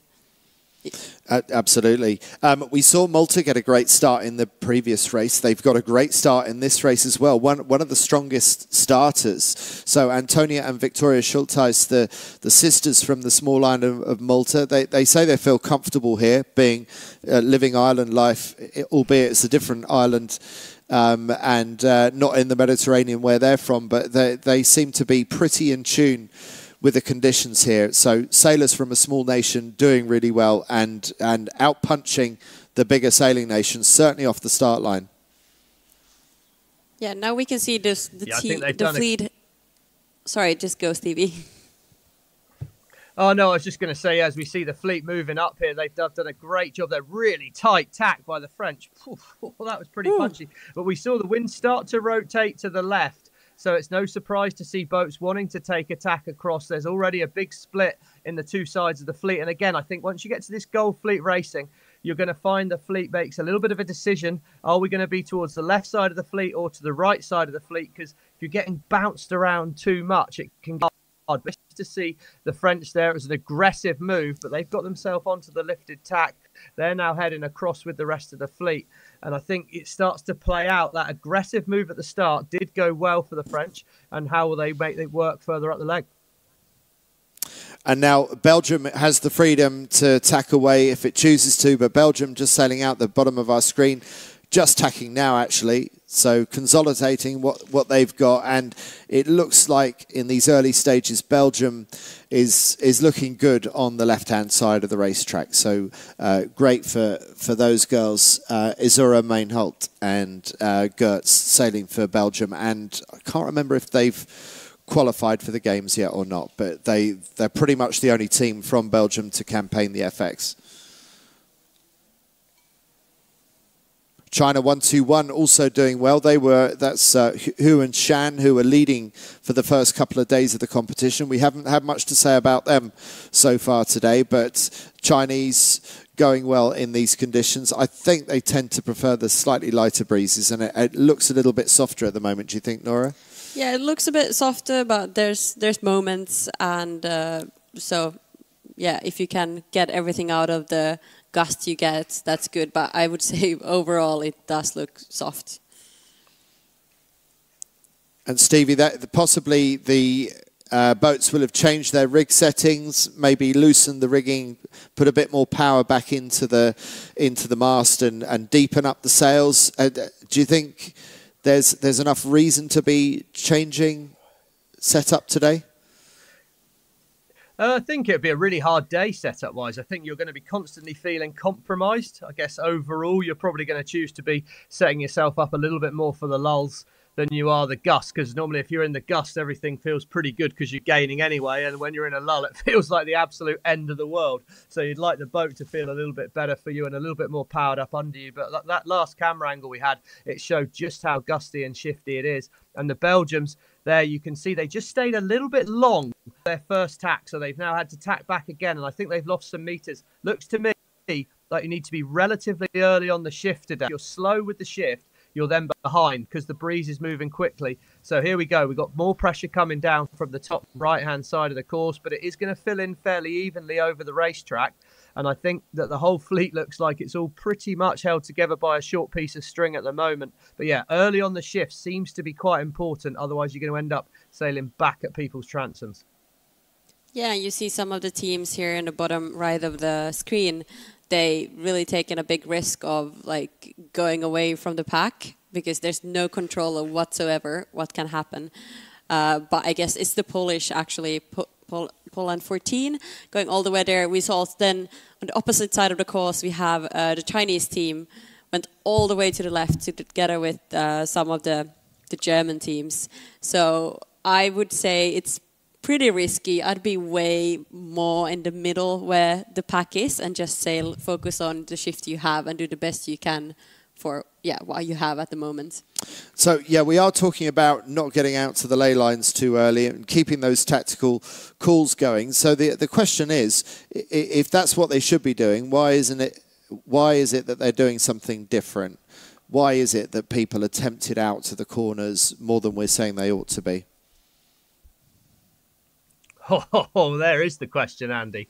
Why is that? Well, I think because often you're compromised and, and you're trying to minimize. Every time they tack the boat, they're going to lose quite a lot of distance in these conditions. And especially if you end up having to do that in a lull, that's going to be a huge loss. So, firstly, can we maneuver while we're in pressure? And, and they're always, you've always got that way up of, you know, how many maneuvers am I doing here versus trying to keep it a bit more simple and, and get going. But yeah, I mean, I think ultimately people get desperate. This is a world championship. This matters. It's nerves on the line here. And they think they see something. They hope. They hope. You know, uh, I think it was Ken Read for North Sails got the great line of, you know, hope is not a good strategy. And I, and I think some people do get drawn into that. As soon as you're back in the pack, it's all very well to say you've got to sail on the lifted tack but if sailing on the lifted tack means sailing in dirty breeze, well, that's a lot less appealing. So for these boats on the front row, we can see here New Zealand. We can see the Dutch again, some German crews, and the uh, you know are, are, up in that front position. Grael and Kunze back up there as well. They're able to make those decisions that we're talking about, all these basics that we talk about. But as soon as you're in the boats towards the left-hand side of our screen, compromise. So then, yeah, you're clutching at straws a little bit, and clutching at straws is never great. Uh, yeah, as you said, it's the World Championships, and today is the well, the first day of the Gold Fleet racing. So I think depending on your trials, so what these worlds mean to you, uh, how well you're doing currently overall, you want to go into maybe a different kind of strategy. Some might be, you know, taking it more safe and conservative today if they're happy where they are and try and go with that. And some are like, okay, let's do risky things. Let's bang the right side, see if we find something from there, some wind, and go from there. So we never know what's going through in their head because everyone have their own, you know, background and goals. Yeah, I, I, I think I feel like it's still too early in the competition to be starting to gamble. But there, there, I guess there's a point in every race and uh, and every championship where things do get desperate enough that gambling becomes the sensible decision because it's it's pretty much the the last throw of the dice. But but surely at just the just past the halfway stage of this competition. The, these sailors, even the ones down 20th to 25th in the overall standings, have to be thinking um, of sailing sensibly and letting other people lose their heads. Now we can see on the screen, we see the French team. They've been pretty much staying on this same port tack for a very long time. They kept it simple. And it, they actually have nailed. It looks like it looks like they're in twice as much breeze as anybody else yeah. from that. It looks like everyone else is sitting in the boat, absolutely parked up. So, um, what, what did you make of that, Stevie? Well, yeah, I think I think uh, you, you, know you made a really good point. Is is you've got to keep yourself in the race. I mean, what we saw from that first race is this absolutely the race is not over until the fat lady sings, and and the final whistle is a long way away here. Of course, they've now led at the top mark twice in a row. Hopefully, they're going to be able to do a better job of keeping that together. But that is a massive lead, and they yeah Incredible. they they made a confident decision at the start. They've got a clear strategy. They like what they saw on the left seem punchy to me to be that brave, but they've got it absolutely right. So hats off to them. Great job. But if you're back in the pack, it's all about minimizing meters because again, a lead like that's fantastic. And if they get go on to take the race win, then that's brilliant. But how much risk did they dial in to get that race win? Whereas uh, what I would be wanting on a day like today is consistency. Chip away. Let's not get a big score if we can, because there's a lot of golf left in this hole. Plenty more racing to be done over the weekend. And we see so many boats front of picture breaking our golden rule of sailing over the ley line, but they don't care because they're in breeze as they tack around the mark. And the boats on the right hand side or the left, as we see them on, on this screen, well, they're picking up some breeze now. But you look at the boats in the middle of picture and they're really struggling to find any kind of breeze. So that the patches of breeze are very localized. And, and Stevie, I, I don't know, like you, whether, whether the French at the front of this fleet have been lucky or, or whether that was by design. But what I did like about what they did was they, they saw a shift, they wanted to tack, and they were prepared to duck a couple of transoms to do that. Right, so you nailed it there. Yeah, they were so aggressive with that first decision, and, and it just looks like they've got a they've got a strategy. Let's tack when the when the boat heads, and let's be aggressive about it. Let's be early on the shift, and then they've taken further up the course. They've thought, right, we've got a third of the leg to go. Let's make a big move out towards the left. They did that. They're just sailing positively and they're sailing their own race as we see a lot of the boats back in the pack now. The wind's clearly come back in from the right now as we can see everyone jibe setting. That could make it hard for the French because the breeze they went round in was for a straight set, but hopefully a big enough lead for them as we see the Sweden and the Swedish and the Dutch are back in the pack. What are they going to be able to do from here? But they're already all jibe setting, and we can see just how shifty it is. Well, we got a great shot there with the Dutch on the far left who did a beautiful jibe set, so close to the windward mark. And then top right a picture, way in the far distance, you can see that red gennaker. So that is the French. And so, yes, they did do a straight set, but they jibed relatively soon afterwards. And the rest of the fleet that did the straight jibe set are more or less falling into line behind the French leaders. So uh, it still looks, well, uh, actually, I, I don't know if that is correct. Maybe Great Britain has moved into the lead. So it, I may be looking at the wrong red gennaker because I think both of the, it could be the French are the other red gennaker. So we've got two red gennakers, and possibly it's um, uh, two two sailors that you've coached, Black and Tidey, that might be in the lead now, Stevie. Well, they've done. Yeah, it looks certainly on the tracker. That's what it's showing as. And again, that's one of the advantages if you do do come round and the breeze is just about to change. You've got that pick of it. Freya's not afraid to make a positive decision herself, so so that will have been a nice move if they have it. And sometimes being that far out in front can give you a hard, tricky decision to make. But I think, you know, they'll be happy on board the French boat to stick to their strategy if they can get themselves back across it. But yeah, it just highlights how this race is never over. So keep yourself in it. Don't play all your chips too soon because if you can stay tight, there's a lot of opportunity to make some gains.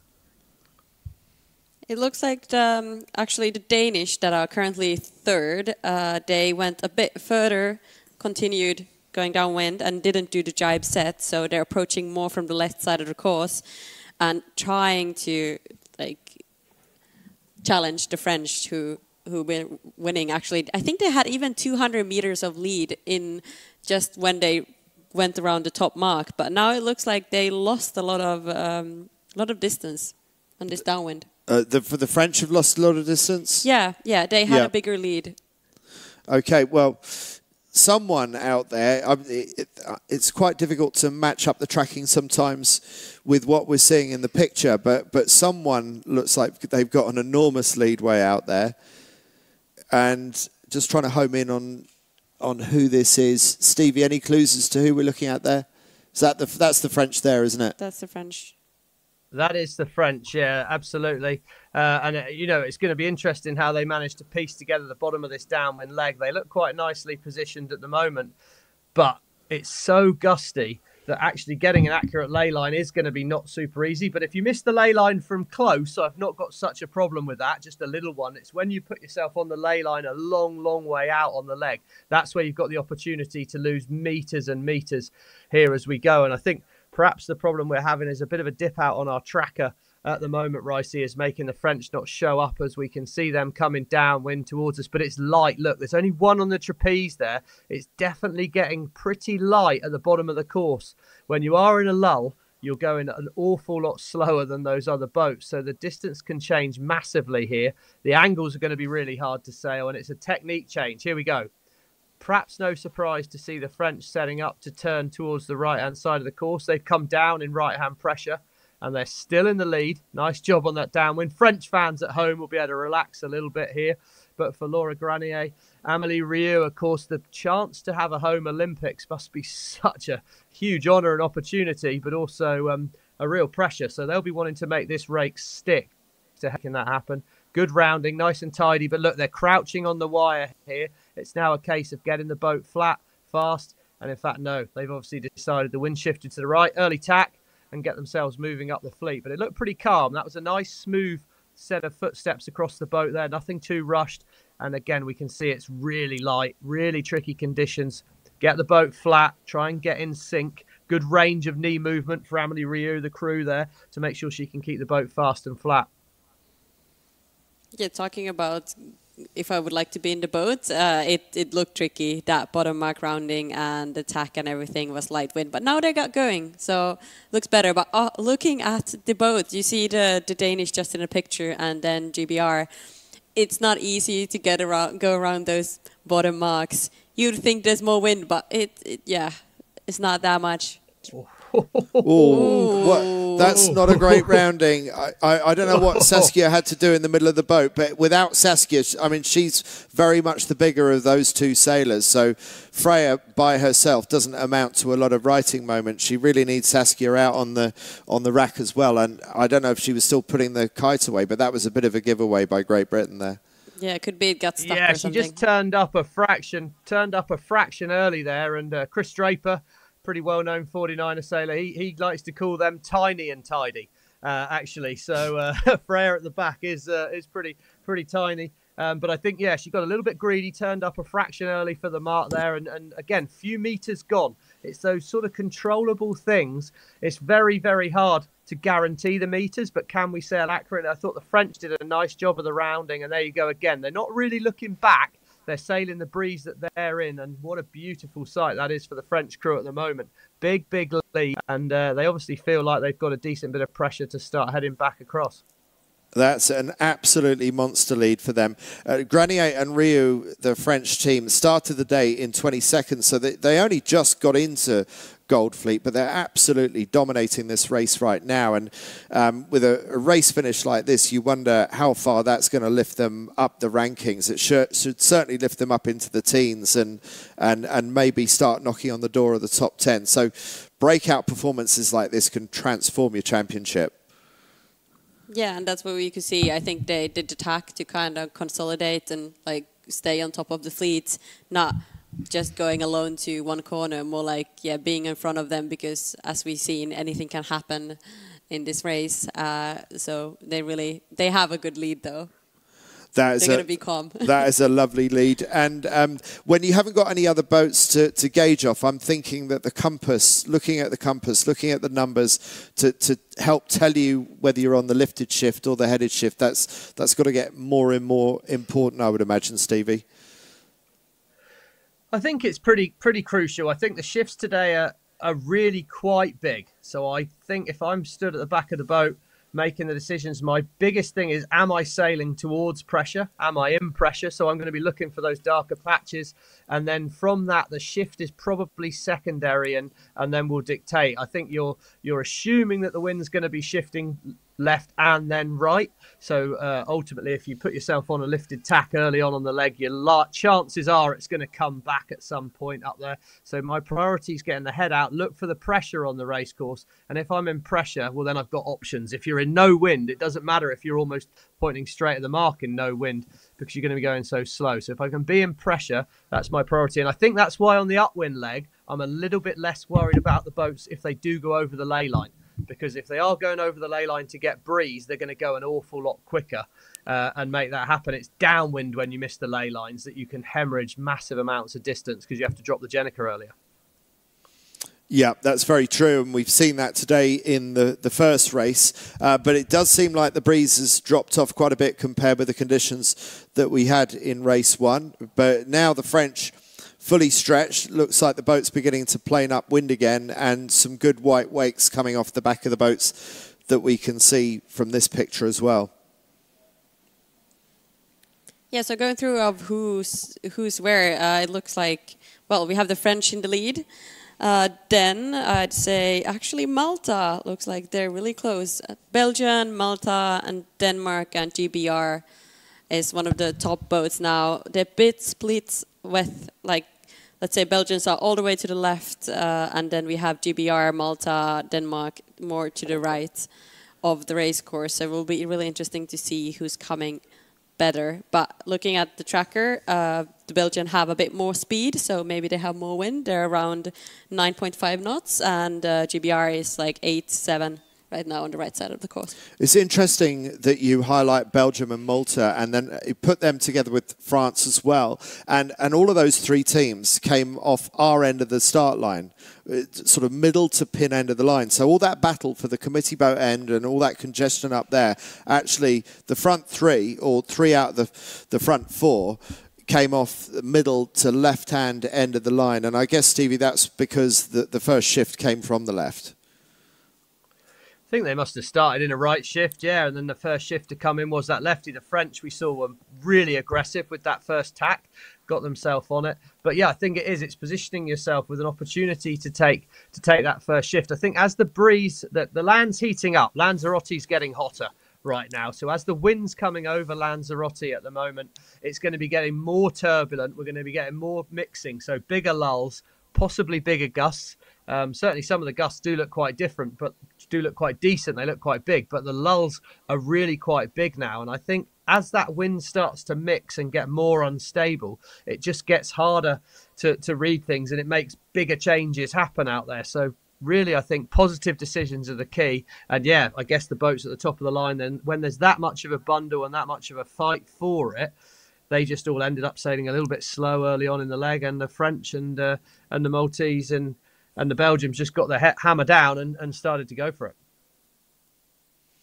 Um, Noora, what what are you seeing in terms of who's made gains since the beginning of the race? We we saw massive gains and losses in race one. Is it is it more stable and consistent in this one?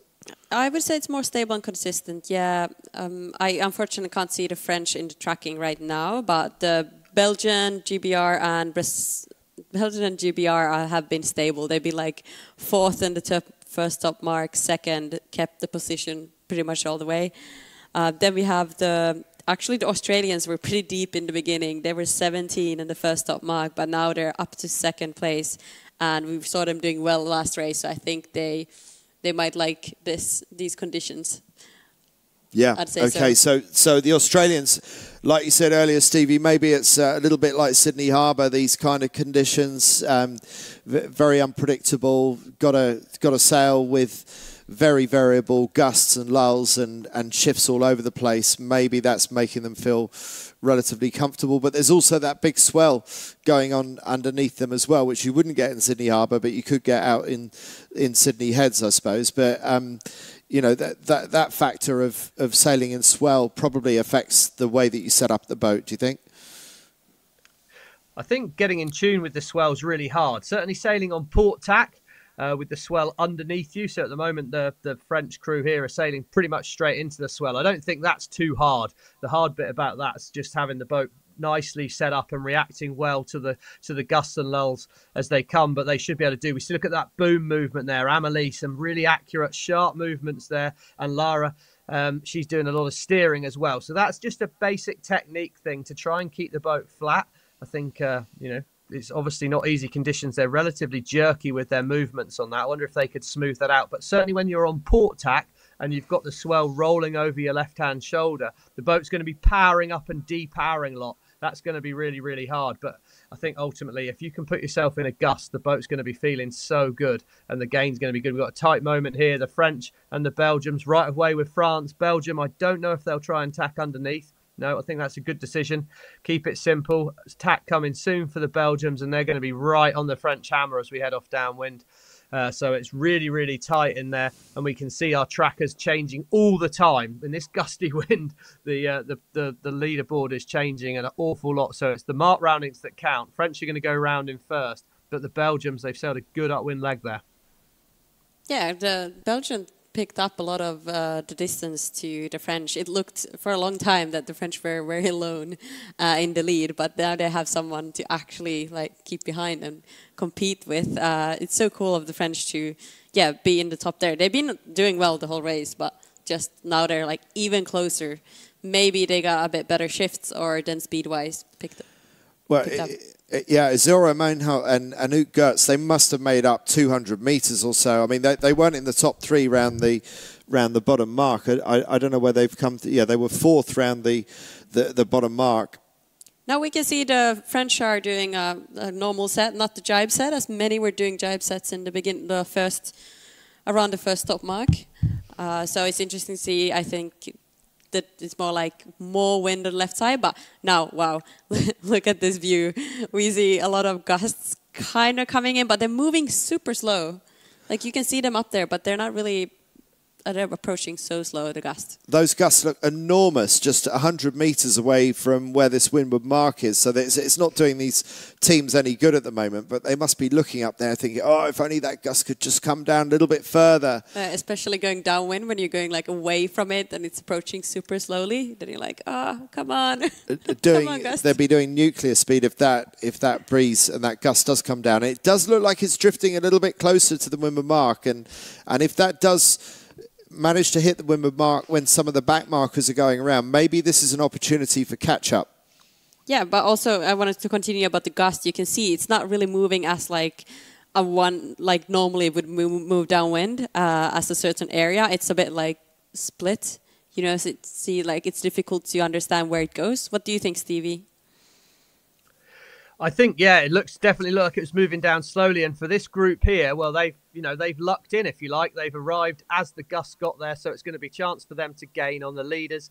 Definite jibe set on the race course right now, and the leaders I think probably did the right thing that they were in. But as you said, Noora, that what's really hard if you are in the lead the breeze is going to come back from you. If you go around the windward mark in a good gust of wind, then it's fantastic to be in the lead because you often get to stretch away. But in that situation, it was light when the leaders went round, and this jibe set's only really just presented itself. So I like what the Italians did. They were aggressive, they saw it coming, and they probably took a little loss jibing early um, before it had actually got there but we'll see how it plays out further down the racecourse. As you can see now, it's no decision. The wind shifted well to the right. There's good pressure, no problem with a jibe set for all these boats, and in some ways they're a little bit limited in terms of what they can do.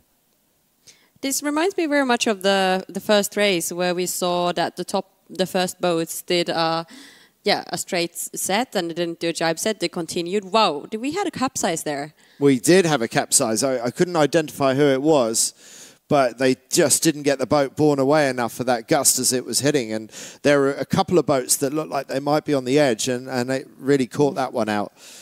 Yeah, but to continue about the downwind, like uh, you had the first boats doing a straight uh, lift or a hoist going left, and then the boats behind approaching and doing a jibe set going to the right side. I think this is going to make very interest the whole race super interesting because I think they can actually like pressure the top boats because they're going to come in now, as you see, with a really, really nice speed. And they're going around 16 knots downwind, which is incredible compared to, I see Denmark on the left side is doing 11 knots and GBR right side is doing 15, 16. So that, that gust has really filled in across the course now. They're going so much faster than they were just two or three minutes ago. And Belgium, with the red Gennaker in the middle of screen, looking pretty strong. We we know that they rounded the the last windward mark in second place, and they're still looking good now. But I I'm not quite sure where the French team is that was leading. Um, so we'll have to try and work out where, where the French are and have the Belgians manage to overtake them. But um, this is a great opportunity, as Stevie was saying earlier, to, to overtake. Oh, but there are the French coming down towards the finish. And so the French have stretched away from Wow. Belgium again. And, and whilst they were caught by, by Belgium, the French have absolutely managed to nail this race. Wow, so incredible of them. I'm amazed. They kept the lead the whole way, and now we lost them for a moment, and now we see them, yeah, because they've been clearly leading so much that we couldn't even see them on the screen. So congratulations uh, to Lara Granier and Amelie Riou. Amazing performance by them and not afraid to make some brave, brave decisions. They won that race by starting furthest left towards the pin um, and coming off the, the line with speed, but taking some transoms to tack on to the uh, to port tack early. Now you see this red gennaker to the left of our screen. I think that's Great Britain looking stretched. The way that they're stretched, Stevie, looks like they've overstood the ley line. They do look a little bit pushed out to this side of the course. They're going to be fast at the bottom. I think what I like about their position now is if they're not too over overlaid, then that group up there will potentially slow themselves down. It's all going to depend on how much it is. But if you have got no more manoeuvres to do, that's well positioned. Here we go, Martine Grael. She's done good work down here as well. The Brazilian. That's a little bit more what we're used to seeing. But yeah, look at the distances that have changed. When you think how close Belgium and France were at the top of the mark, it shows you quite how frightening these downwind legs are. To be frank, it's really scary. The distance changing. And they've done a nice job there. Uh, Maenhaut and Geurts on board the Belgian boat. They look like they're going to get this second place. Solid result for them. Amelie Riou and Lara Granier. Wow, that was two firsts at the Windward Mark. But of course, what a day it would have been if they'd have had two firsts at this stage. But anyway, they'll be positive for the next race. Nice work by the Belgium girls. Lovely tidy jibe there. But yeah, it's so hard at the bottom of this course to judge things accurately. But that just means real opportunity. Oh, well, we've ju- we've just heard actually that the boat that we thought um, we'd seen crossing the line, it wasn't the French. Apparently, Belgium, we've just been told, did win that race. Um, so I, I think we need to check on that. I, I, I think we need some verification on that. I felt we'd seen visual confirmation on, on the screen that, that France had won, um, but uh, we, we need to check on that. Oh, look how tight it is at the finish there, Ricey. Oh, the Germans, New Zealand. Oh my word, it's a blanket finish. We're going to want to get some uh, some comeback stuff there. The Swedish come across slightly out the back of the pack. A tricky race for them, but wow, that got so so tight at the pin end of the finish line there.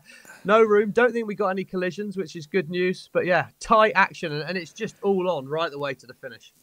And so, just those two or three seconds at the finish, that could be the difference between winning or losing this championship. Those kind of moments, so many boats all at once, all across the line. And Stevie, this is not the Tour de France, is it? You don't get the same time across the line when, when the whole of the No. Tour de France peloton is overlapped.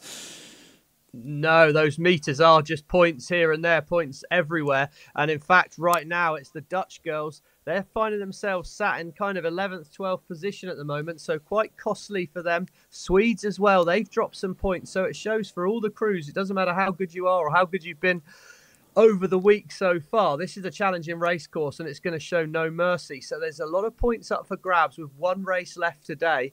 You'll be starting to be tired, brain a bit frazzled. Are you feeling confident as to how you're reading the race course, or is your confidence a bit down with your decision making? So, big few minutes for the coaches here to get them reset and looking forward for the next race. Wow, what a race uh, for the French! Uh, what a race for the Belgians! And and uh, let's uh, let's see if we can get some confirmation, one way or the other, whether it was France or Belgium that won that race. We're hearing that it's Belgium, but what happened to the French? They seem to disappear off the the race course. Um, I can only think that they were pulled out of the race because they've been over the line or something. I, I don't know what's happened to the French. Yeah, but they normally don't pull out. You even though you would be over, you wouldn't be pulled out from the race. Yeah. So it's it's interesting to see what happened. But uh, anyway, like great race for the Belgians. If and if not, they won, but like Uh, second at least. Cer- certainly, certainly well up there. And also looking at the stats, like uh, Brazilians, what? Where did they come from? They they got either now they were after Belgians and they were 16th on the first top mark and then they just climbed up 10th, 6th, and second. That's more like the Brazilians we expect to see, isn't it? Okay, so I understand that we may get an interview with the Belgians, uh, Maenhaut and Geurts. Um, so let's see if we can speak to these Belgians very shortly. And, and here we have Isaura and Anouk. Go with me. Just grabbing a drink. Oh, they can hear me. Isaura, can you hear me? It's Andy Rice here. Can you hear me? Just checking that you can hear me from Andy Rice. It says the host Is right? is connected or enabled to connect. No, I don't, I don't, I don't, I don't think we can get them. So, um, yes, if our interviewer can tell us if we can, if we can get some feedback from Rafa, who's who's um, working out there with our team, if we can find out what happened down that final leg between Belgium and France, that would be really useful intel. And um, so, if there's anyone else we can get some news from from the water, that would be great to get. But the girls looked super happy, so I think they're pretty. Right. So body language says that they were the winners. You think, yeah, Noora? I would say so. Okay. I'm ready to. They were just opening their gels, like fueling up for the next race. That that's why we need you here. You can you can read body language in, in, in ways that I certainly can't. So there we have it. So Granier and Riou finish in second place behind Belgium. So so what a, a great last couple of legs the Belgians sailed to to come and win that race and really good racing by Grael and Kunze and Stevie can be assured that that was a good final run into the finish by the British. They they managed not to overstand that ley line. They get fourth. Echegoyen and Barcelo from Spain in fifth, Germani and Bertuzzi from Italy in sixth, Schiel and Felker in seventh for Germany, uh, the Schultheis sisters from Malta in eighth, Harding and Wilmot in ninth, and I think that was Norway that I saw in tenth. So um, it's uh, one more race to go for the 49er FX women, and then it will be a switch over to the 49er men later on this afternoon. So I'm not sure who the top performer of the day has been so far, but as Stevie has pointed out, winners of the start has certainly been those French, Granier and Riou. So, Stevie, based on what they've done so far, what do you think the French will do for this next start? Well, you'd be pretty surprised to not see them be down towards that pin end of the line and, and making a positive move out towards the left. I think I think uh, you know you are getting some big right hand shifts come through. Um, and so I still think it's a pretty open racetrack and it will depend on the timing. But for sure, the French are sailing aggressively and positively, which I like. Uh, it doesn't seem a day to be caught two in the middle of the course and two sat back as we see the start here. And you see just how congested the top of the line was. Pretty blanket start by a lot of the boats. Sweden, good start out the middle. Brazil, Australia, up. And the French were actually a couple of metres back here, Andy, but they're right on this left hand side of the fleet. So it was a positive decision. And it was their next decision right here where they were the first to attack, dived out across. It was pretty punchy. But again, just that positive mindset, attacking the shift, being aggressive, and uh, and then that gives you opportunities further up the track. And that beautiful view of Lanzarote there. This is where we are, way down at the in the Atlantic. Same latitude as the Sahara, and why this place is such an amazing place to come year round. Um, Noora, you spend a lot of time here, so uh, you you know the conditions here so well, and I, I can see why you choose to spend a good part of the winter here. Yeah, this is a place where it's incredible. Like we're still in Europe, but uh, just like it's just in, every day is sunny, so beautiful. The water is like perfect, like blue turquoise. It's just incredible to be here and makes the training so so much nicer actually. Yeah, and you, you come from Finland. What what would the weather be like in Finland right now? Oh, in Finland it's like midwinter. you couldn't sail there necessarily. All depends. Mostly it's just snowy and cold, which is perfect for winter sports, but not for not for sailing. Just coming back to this this replay, this is the moment where Belgium must have felt they had a, a sniff of the lead. Now we didn't manage to see how the Belgians got past the French, but maybe it was that straight set. Maybe the maybe the French carrying on a little bit too long. Stevie, what's your take on it? I just think that those first two boats came round in left shift, so for them the right thing to do was a straight set. But then we saw the breeze coming in, and I think it just was a, the French were a little bit of a sitting duck. They they could have led the jibe, but they would have been going against the shift. Hindsight's uh, hindsight's a beautiful thing if you can have it uh, if you can have it in real time. And of course we're sat here looking back but i think it was really hard for the french because they went round. I think they made the right decision as did the belgians to straight set. But but then clearly the wind filled in down and it would have been a fairly easy decision for the belgians to lead the jibe back towards that shift. So i suspect all that happened was that simple as that the right shift came in belgians could lead the jibe and and they were then on the long tack over the top. It looks like the biggest gains were made maybe like in the downwind and the bottom mark roundings. Would you say that, Stevie?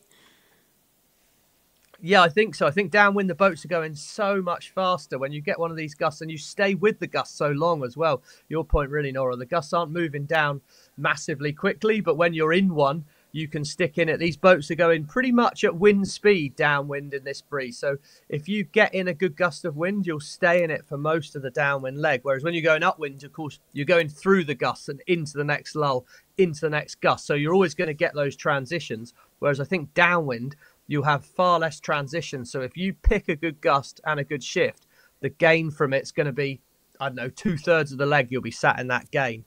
Um, it's a much longer burn, and of, likewise, if you're in a bad position, it's just going to hurt a lot longer.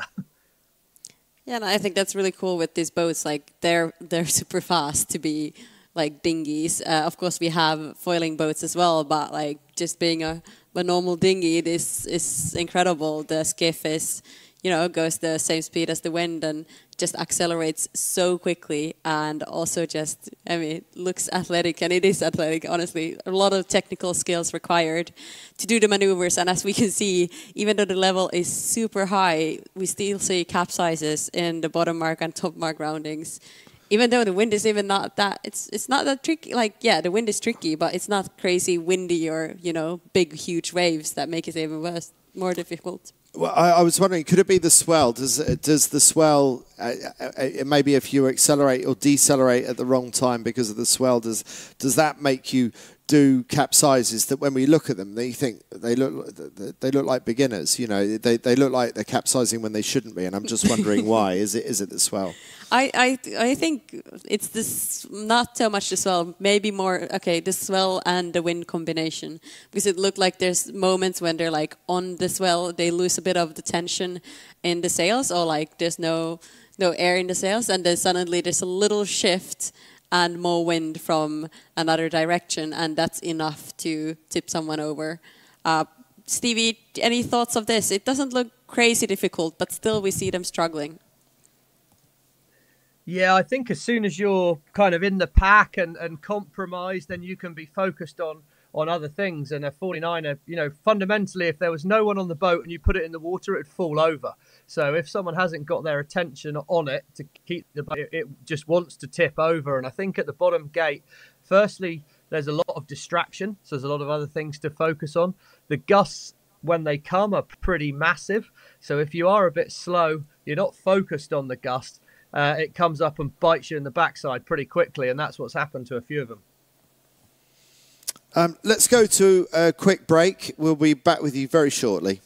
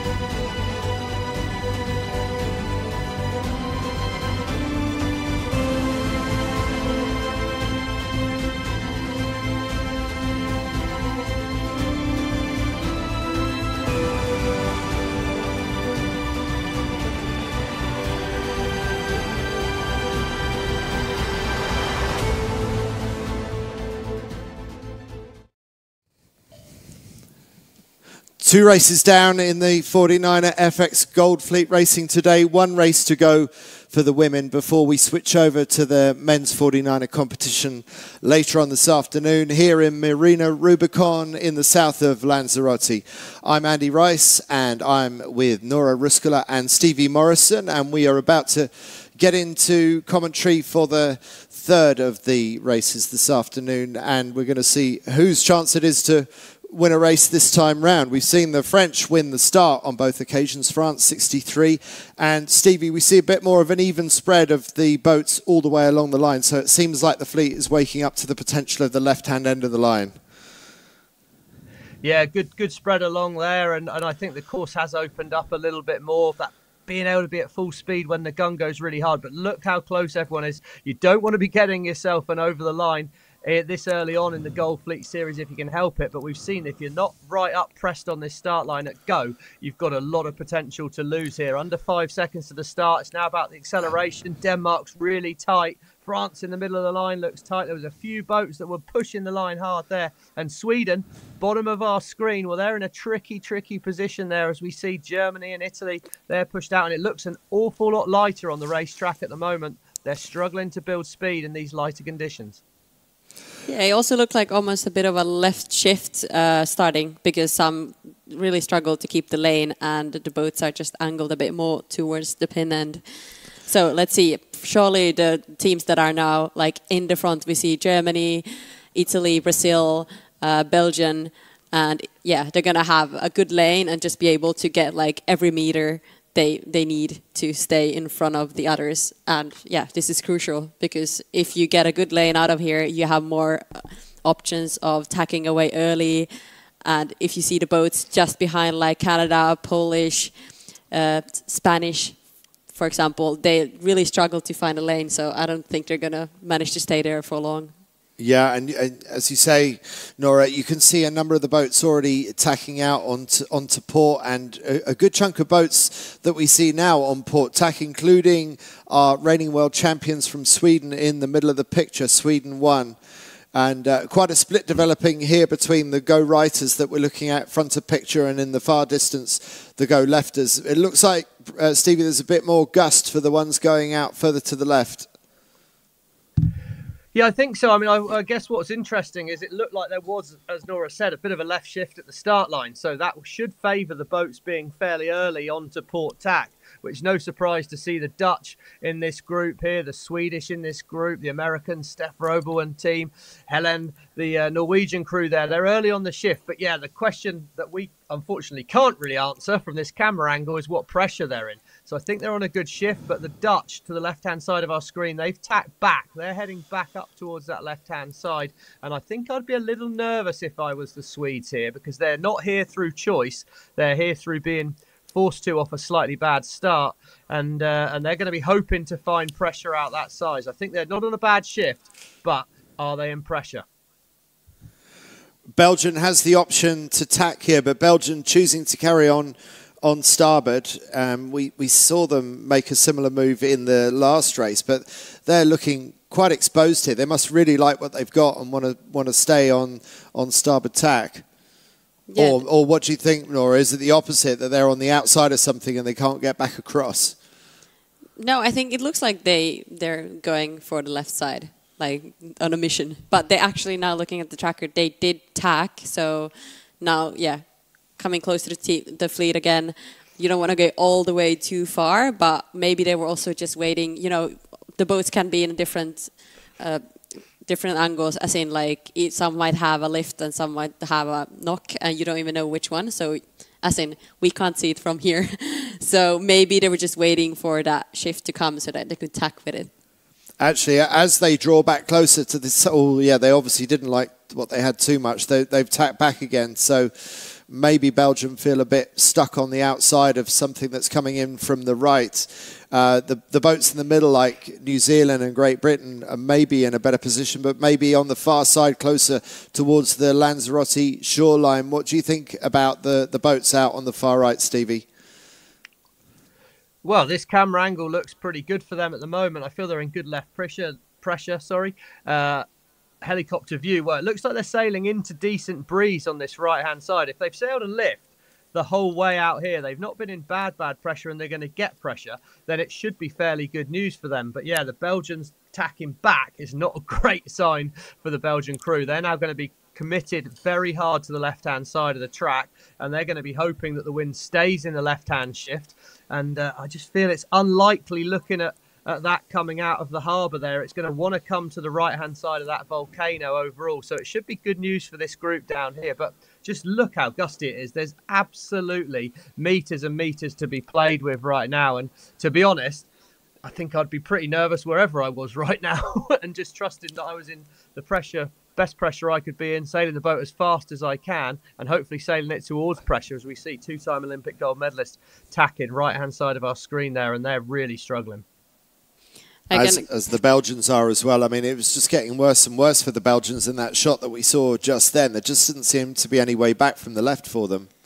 No, and once you're there, you're committed. So you just have to, like Stevie said, like wish for the best almost. Like do everything you can do on your side of the course and control that fleet if you can. But otherwise, it's just, you see, it's incredible. The fleet has split in two, in half, and looks like the right side is the way to go right now. They got a good lift and they're just going like with nice speed up towards the top marks. It really just depends on if they're going to be able to come back from there. Yes, I mean they they need a header actually to, to, ideally where they are now. I would have thought, and it looks like as we say that that might be happening. So maybe things are playing into the hands of, of the boats uh, top right of, of picture on the tracking. Um, so ESP seventy three amongst those uh, that are now tacking on to close to the starboard lay line. So maybe it will be that bunch that comes out ahead. But it's interesting to see that Netherlands too is is part of the pack. Um, further bottom left because they were one of the boats earlier on, Stevie, that you highlighted going out to the right. So at some point, Netherlands must have made a break further over to the left again. Well, I think so far today the leaders have come in from the left, and that's going to be in the back of their mind of like, oh, this is a big decision here. So I expect Odile was thinking, okay, I've sailed a bit of a lift. I don't want to get too greedy. Let's get back across. But ultimately, if, if you can be sailing good numbers, uh, don't be distracted by some of these boats to the right hand side there. I think that's the 49er men's fleet coming out for the racing, but it's really got light and funky. The Dutch, look at that, they're absolutely Oof. parked in the water big, big transition, massive left shift on the Dutch there. So that's not going to be a bad thing. But the fact they've got no breeze is a big problem. So uh, coming back to your point, Andy, that the people on the right will want a righty, probably, but I'd be more desperate to have pressure. I think I just want pressure. And even if I'm going to sail a bit of extra distance, if I can actually sail that in pressure, it's good as we see the Dutch powering up. That swell starting to have effect. It's really, really getting funky. So this next bit of beat, a lot could change very, very quickly. But I think the right has been the place to be. They've just stayed on the lifted tack. So it's looking a little bit better for the Dutch on the left of screen now. They're into some breeze. They're back on the trapeze. And maybe, as you said a couple of minutes ago, Stevie, that the left has tended to be the place to be towards the top of the race course. Maybe that's why the Dutch chose to, to go that way. And it does seem like despite those painful moments a minute or so ago when the Dutch tacked, that things are coming good for Netherlands too, yet again. I would also say, like, even though it looks like oh scary or the right side is better, it definitely does depend on the final gust and the shift just before the top mark, and it's like a gamble. You don't know where it's going to come from, 100%, and you just hope it's it's for your benefit, depending Yeah. on which side you're on, right Yeah. or left. We saw the gamble of the gust in, in the previous race. And just to remind you that this is day four of the 49er and 49er FX World Championships. We're in Olympic year. This is the second most important event of the season, right after the Olympic Games themselves this July. Uh, with the Olympic regatta taking place in Marseille in the south of France. And there's a number of teams out here racing to try and qualify their nation, um, but, but also to qualify themselves for the, uh, for the spot. But these, this boat we're looking at now, Odile and Annette from the Netherlands, they're confirmed to go to the Olympic Games uh, representing the Netherlands, and they are one of the hot prospects for a gold medal this summer. Yeah, as we can see with the sail numbers, they're number two, so they got second at the previous Worlds, and the Swedes were the first. Uh, they won the previous Worlds, but also coming to the sail numbers, all the top ten have uh, the results they had from the previous Worlds. So one, two, three, four, five, and then the double-digit numbers are gold leaders, and then the triple-digit numbers are the ones that have not made it to the gold fleet yet. At That's very useful to know that. So, so here we have a single digit going round the first markets, Netherlands 2, followed by a triple digit, Germany 772. So that's a really good performance by Germany 772, who I just have to remind myself who they are. Um, About the top mark rounding, it looked like nothing was happening. You know, they were just standing on the boat. Like there, I think there was just a moment of no wind. Uh, I think now there's a bit more breeze, so you can see the top marks are like the roundings are way nicer after the, the Dutch were standing still, and they lost a bit there uh, to the Germans. Did you find about the Germans? Yes, I did. We haven't mentioned them all day, actually, and um, it is Sophie Steinlein and Jill Parland who are around 15th overall, um, and we haven't seen them featured in in the racing so far today, but having a really good race against the Dutch. Uh, with a bit of a stretch back to the next bunch of boats. I would think they're a bit like nervous at this point. Like you're, wow, in Gold Fleet Racing doing second right now. Okay, okay, what's Ooh, happening oh, here, Stevie, what's going on here? This is a disaster. Oh, they've just sailed They're off the front of a puff of breeze. These two boats, they've got really, really slow and caught up in no wind. And this is just going to be so hard helicopter gusts. I think they both came round. They had a bit less breeze, but the decisions are going to be really, really tough. Again, big left hand shift. So the straight set was the right call when they made it. But the problem is that can change really, really quickly. And the boats behind have the advantage. They get to see what you're sailing in. Odile here, being very confident still on board that Dutch boat. But I'm surprised that she hasn't jived. I'd expect her to jive back across fairly soon to try and block off anything she can with the rest of the fleet. But yeah, the wind's got super gusty out there, and they just got into a big, big light spot, parked up. And the boats behind, well, look at that. They're seeing a roadblock ahead and they're moving down really, really quick. It's going to get messy for the Dutch from here, I think. And like you said, Stevie, they haven't really done anything wrong. They they worked with the best that they had available to them, and that this is all amplified with asymmetric spinnakers like you have with the 49er. You- can only really sail in in one direction with a with an asymmetric spinnaker. So if someone gets the gust behind you, it's very difficult to respond. But having said that, Noora, it looks like it's coming back in their favour. Yeah, actually, Stevie, you had something to say. I did. I just think I think what what they could have done, Andy, in that situation was sometimes you've got to cut your losses. So we'll see how this plays out. They're now back in good pressure again, and it could well turn out to be the right decision. But sometimes on a day like this, you've got to say, okay, I was first. I've lost a bit of distance. The right thing to do. What's the next right move? Well, maybe. And look at this camera angle, and that's why Odile's out there, and I'm sat here talking about it because I make bad decisions nowadays. But she's made a brave decision to do that. She's cut across and she stayed out. But yeah, sometimes on a day like today, you've got to cut your losses and be brave. So yes, it's not your fault that you lose distance, but you've got to know when to make it. But right now, these two, the Odile here and the German crew, have made a strong decision. And uh, and they've managed to sort of hold on to things. I thought it was going to get pretty hard for them, but yeah, patience has paid off in the end. Yeah, you gotta keep your head cool. But wow, I think there was so much happening that downwind. Uh, so it's exciting. I'm really like keen to see what else is gonna happen this downwind. Like how the the bottom mark normally a rounding is going to be a bit yeah crazy as we've seen in the previous two races. It's Uh, so patchy and gusty, yeah. isn't it? So, so there are going to be so many other opportunities for gains or losses for the for the remaining part of this final 49er FX Gold Fleet race today. But it looks like the Dutch Netherlands too are hanging on by the skin of their teeth. But now a gust for Germany 772 that possibly has launched them into the lead ahead of the Dutch. So uh, is this the moment for the Germans, Sophie Steinlein and Jill Parland, to take the lead ahead of the uh, the double world champions from the Netherlands? They have a good position, as in like when they approach the the mark, depending on which mark round they're deciding to go around, uh, they might get a good like stay ahead of the Dutch or just be next to them. I think these two are going to be battling for sure. Can't see from now we see in the screen.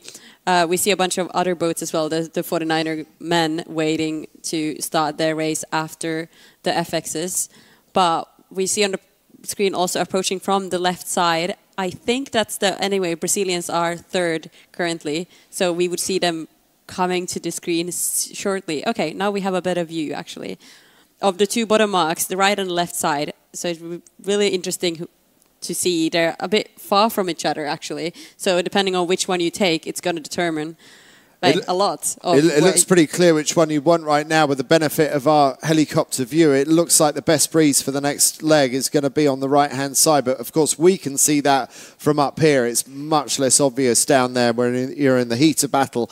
And we got three boats, possibly four boats, all vying for the lead. And this is actually really tightening up. And it looks like Brazil now have taken the lead. Finally, we see the reigning Olympic champions take the lead in a race, and things are really tightening up as the Dutch go round the opposite side. And I have to say, Stevie, I fancy where the Dutch are headed towards. They're on a really big lifted tack on port tack as some of the others are coming down on starboard, struggling to hold their kite. Suddenly, the, the breeze is up, the gust is in. But, Stevie, which side of this course do you want? Well, yeah, I think you're right, Andy. I think uh, the obvious choice there was the was the left turn. The Dutch were well set, but they've just sailed into that right breeze there, looking absolutely parked. They've stopped again on board the Dutch boat, and you can just see how bandy the wind's got. It is really, really gusty and shifty out there. So a few meters lost technique-wise for the Dutch. They didn't read that wind, and they're still not up and sailing properly. So whilst I think sailing towards that on the right was good, they've just hit an absolute hole in the wind, parked up, and the Germans are nearly straight up and over the top. But yeah, And you think- was- found was the that a loss- early? Was that a loss of technique, or was that just pure bad luck for the Dutch again? It just feels like the breeze is is not playing their way. But w- was it more than that? Noora, what's what's your thought? Uh, yeah, I just wanted to mention that the this it's the other German team actually. The Germans that were next to the Dutch, uh, Stein and Poland, they uh, are still next to the Dutch, and then we have the German 55 that we can see now on top of the the Dutch. So Ah, they changed. We we mixed up the German teams. Right, there's a lot of Germans out there. Um, but yes, as you say, it's Marla Bergmann and Hanna Wille, the, the Germans that are fighting with the Dutch. Oh, but there's, I don't know what Germany 55 are doing. Looks like they're taking a spin. So there must have been an incident further back. And uh, if they are taking that spin now, it seems a little bit late in the day if that was something that happened back at the Leeward Gate. A bit of a strange move there. Yeah, the results. The results. The rules say you should take the penalty turn right after the event, or right after what has happened, and this is this is a bit long after. It, it looks like they're, they're putting one in the bank in case someone protests them, Stevie. But you, you, you could, well, I, I'm speculating because I, I don't know where that incident occurred, but I'm assuming it must have been close contact with another boat, which would have had to have been at the, the leeward mark. But uh, that's let the Dutch off the hook to some extent. At least the Dutch are the best of the boats on the right again, Stevie. Yeah, again, like we said, you if we can win your side, that's going to not be a bad start. We can see there is breeze up on that Lanzarote shoreline, but how quickly is it moving down is the question. Feels like it's not a bad right shift at the moment, so that should be good news for the for the uh, boats here. But here we go, tight moment at the bottom of the course, and I guess there was a protest from the Spanish boat on the Germans asking for room at the mark. So I think that's why the Germans will have taken their penalty. They'll argue that they were trying to get clear of the gate for the safety of the fleet to take their penalty safely. Uh, I'm not entirely sure that they'd get away with that, but it would have been a pretty subjective one as we see now. Wind shifted back to the left. Martine Grael, two time gold medalist. Well, she's on a good shift there, well lined up with the Danish crew as well. They seem to be sailing in a good angle, and the Dutch, well, does a good job again of cutting her losses Odile when she makes a bit of an error. And you said about whether or not it was luck. Well, I think is it luck? I don't know that it is luck. The wind is shifty and gusty. If you're sailing the boat right on the edge, maybe that's a bad decision. Maybe you should be sailing with a little bit margin in the bank to catch up, but that's definitely not Odile style. She is all or nothing. She drives the boat hard all the time, and that leaves you open to to having a few little moments like that. But she's got herself back up and running back in phase with the shifts, back in phase with the fleet. And again, if she can come out of today, looking at the overall points right now, she's showing as being on 37 points collectively. And if we remember the Swedish were the biggest challengers at the beginning of the day, they're now on 51 points. So that's a huge day at the office for the Dutch if things stay as it is right now. Yeah, a huge day, a good day for the Dutch, and, and a difficult day for the Swedes. Um, Noora, what, what, are you making of the race at this stage? Actually, I, I wanted to speak about the Danish. Um, they're they were the final. They qualified at the previous Worlds to for Olympic spots, and now also by making the gold fleet, they have basically qualified their internal. Oh, they secured the spot within their country. So that's incredible, and they're doing so well right now. It's crazy. That's the uh, the Danish sisters uh, Johan and Andrea Schmidt, and uh, as you just said, Noora, they were the only Danes to get into Gold Fleet, and by doing that, by getting into Gold Fleet and the rest of the, the Danish FX sailors not managing that, that has effectively sealed um, the, the Schmidt sisters' uh, bid for Paris 2024. They know they're going to the Games, which must have been an absolutely amazing feeling for them yesterday. And now they're in the thick of Gold Fleet racing at the, the sharp end of, of race three of, of Gold Fleet.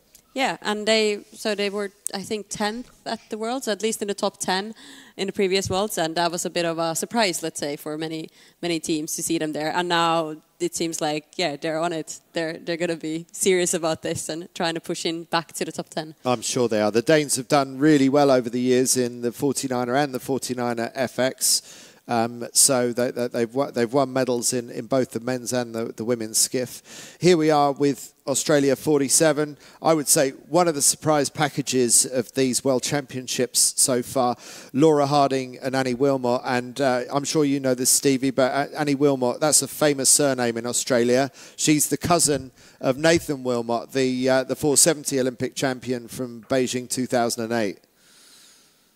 Yeah, Nathan worked. Uh, lucky enough to have Nathan coach me for a little while. Certainly uh, one of the one of the top sailors uh, in in the world scene, really, and uh, and he knows his way around a racetrack. So that Wilmot family's done a lot of winning. I'm sure she's uh, she's not going to be short of feedback, knowing what Nathan's like. He's uh, not one to keep his opinions to himself, but generally speaking, pretty good feedback. And yeah, I think they've sailed superbly so far. But big moment in their regatta right now. They're punching out towards this left-hand side. Of course, that did very well for the Dutch on the last uh, upwind leg that we saw. But the Aussies here they'll be wanting a good race to finish the day with because they've had a very good day out there so far. Really got themselves in the hunt for a medal in this first day of finals racing. But with that much exposure on the left hand side of the course, you'd be pretty hopeful that you've seen breeze out there to get you back across. Also, looking at the the picture right now of the camera angle, you can see how, for example, they the angles are crazy with boats. You see the Norwegians and Brazilians are keeping, they're in a nice lane, they have a nice gusts but the boats behind them just can't keep up with them. I don't know, is it the camera angle that's lying, but it looks like they're just in totally different breezes, and it's like where I'm just confused of where they're going. You know, it's almost like it's just so shifty and gusty that you can't tell it's it's all over the place, isn't it? But uh, we're we're seeing some of the more expected teams up here now. Some some of the older, more experienced teams, Martine Grael and Kahena Kunze, the double Olympic champions from Brazil, now in the lead, um, and the Dutch still hanging in there. Look like they're possibly second or third. Uh, with Denmark 10, the, the Schmidt sisters, one, one of the, uh, the, the lesser expected teams up there, but having a, a really good race right now. It's also uh, the Brazilians really? are current. Yeah, Steve, you go. I was just saying, yeah, it's really tight at the top of the course here as we're coming in. It's final moments as they approach this windward mark, and you can see the whole pack's built up. It's going to all be about where is the pressure on the exit from this top mark as we're some way further back in the pack here. We see the Swedes, they're struggling a little bit. They've dug their way up to seventh at the moment but they're showing as being a few meters back and they're well out towards this port lay line. So they're hoping for Breeze to come in. Top of our screen, that's the group including two times gold medalist Martina Grael, Kahena Kunze, and then uh, Odile is up in that group as well, the Dutch crew. She's done a fantastic job so far today. Uh, and they'll be looking where's the breeze going to be on the exit from this mark because we've seen how much happens on this downwind and right now it doesn't actually look all that windy which to me says hang on because we're about to get another big gust on the downwind. that seems to be the pattern, doesn't it? Just when you think the breeze is disappearing for the day, down swoops another gust, uh, gust from the volcanoes of Lanzarote in the distance. Looking at the Brazilians, uh, they were actually 10th in the top mark, and after that, they've just been winning. So all day had this trend of like starting a bit slow, a bit behind, back in the fleet, and then just like climbing up slowly. It's, it's, going to be interesting to see who was top performer out of the day, actually. And I wonder, well, it's probably going to be Netherlands. I, am I'm, I'm putting my money on the Netherlands as maybe having the, had the best day today.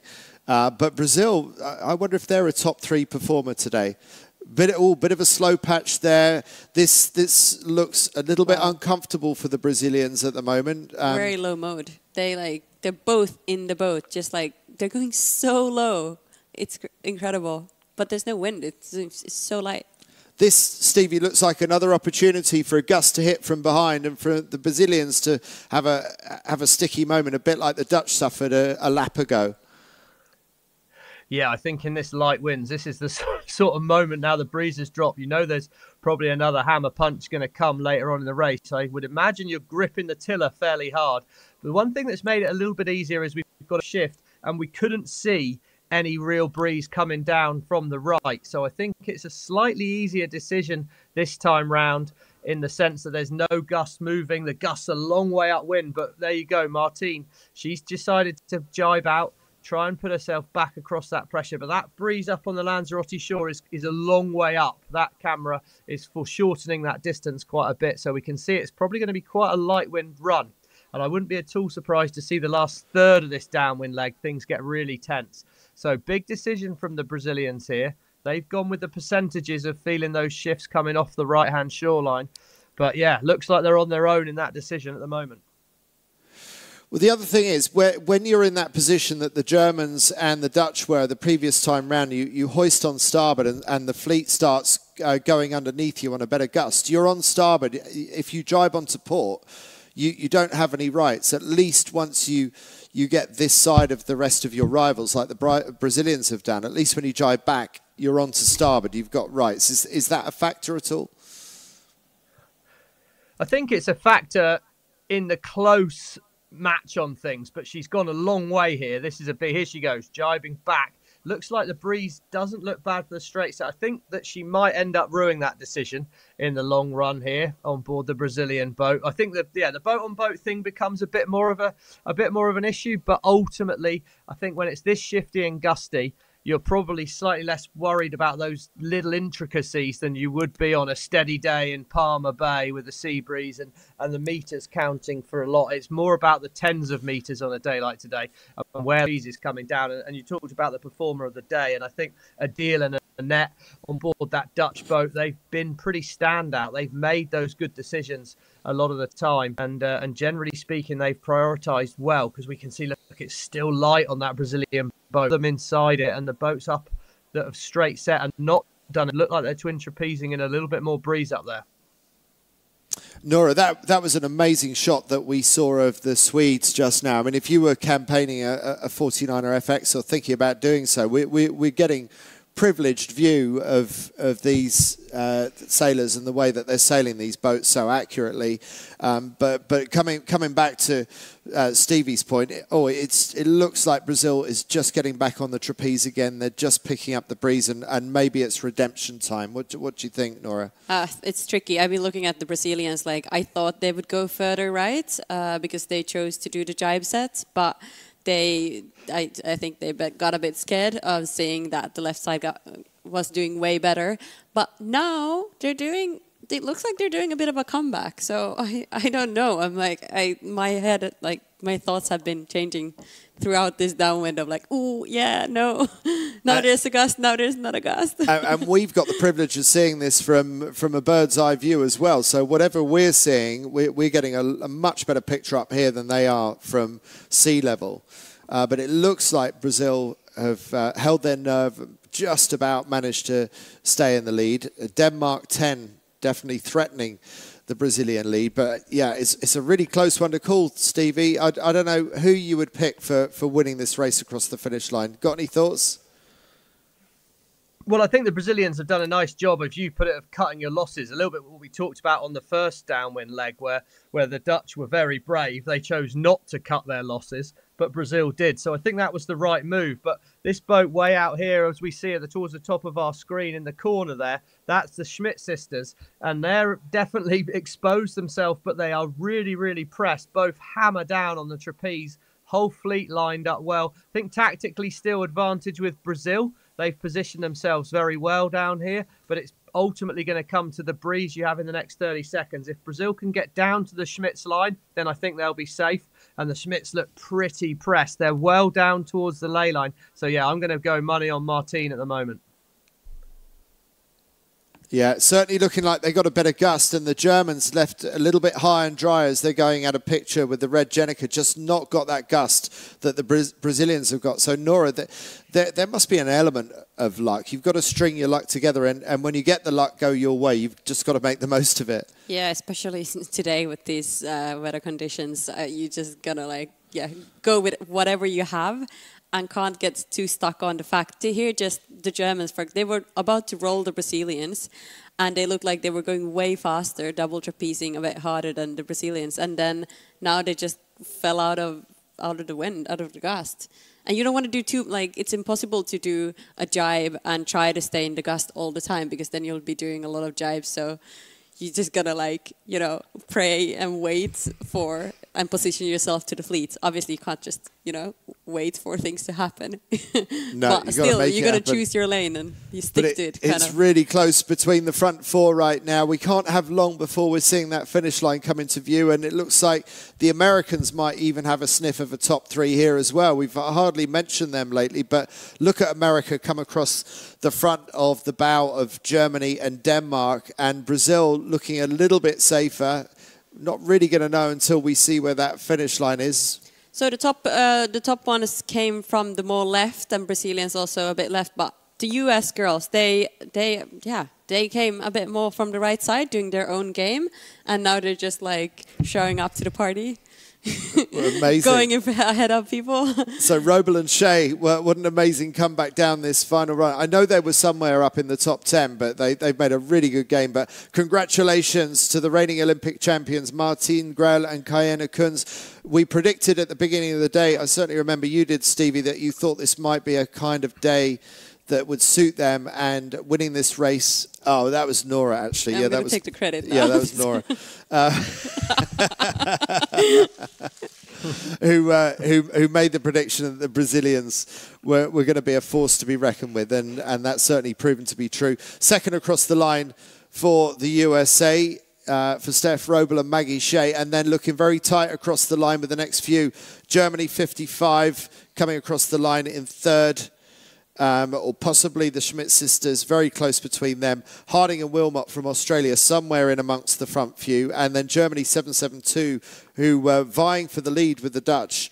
Uh, back in uh, the early stages of the race, also up amongst them. I'm, I'm not sure how. They got a bit stuck though on the downwind, the Germany and uh, the Dutch, or they were doing so well in the race in the beginning. Well, And, and the Dutch, I mean, we, we can see them on the left of picture there. There's Sweden still coming across the line with the blue gennaker, so not a great finish for Sweden. So Dutch have stayed ahead of Sweden, but I think the Dutch will be disappointed with that last part of the race. They, they, were, they were well up there, and it all seemed to fall apart for them towards the end.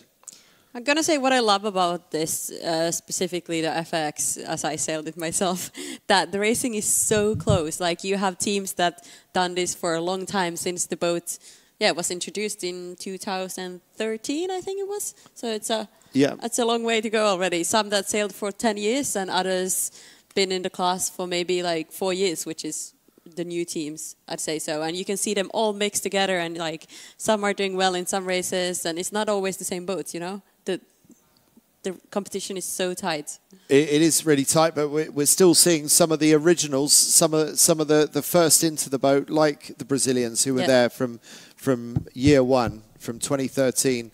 Still doing really well. Here's the here's the replay of the start, and the Swedes already look buried. The Swedes, as you said, Stevie earlier, they had to tack out because they weren't able to to hold their spot as they launched off the start line. So they were sort of forced out to the right along with a bunch of other boats. Really good start by Germany, 22, um, middle left of the line. And early on, the Norwegians and the Dutch behind the, the Swedish mainsail looking good. There are the Dutch going round in the lead, chased by Germans, uh, Germany 772. But look, they get left high and dry here. Nothing they could have done about it. Um, and then the other fleet, the rest of the fleet come down on a better gust behind them. But the Dutch recover. They don't lose their nerve. They manage to get going again, as do Germany 772. And here's the battle between these two as they're um, back up to full speed again. And then a bit of place changing at the bottom as Brazil moves into the lead. This is the first time that Brazil takes the lead with the Dutch going round the far side. And you can see this incident between the Spanish and Germany 22, sorry, Germany 55, uh, which later leads to Germany 55 having to take a, a 360 penalty spin, believing that they might have infringed the Spanish. And back up the final windward leg. Still very difficult to, to defend, but Brazil, from leading around the bottom mark, manages to hold on to lead around the top, goes around in a bit of a soft patch, and we'll see them do a couple of early jibes to try and consolidate. Looks like Germany 55, the boat that took that penalty, is back in the hunt for overtaking Brazil, but it doesn't stay that way. And meanwhile, on the far side, the Blue gennaker of Denmark 10 also looking like a contender for, for winning this race. Here come Brazil across the finish line. They managed to hold on.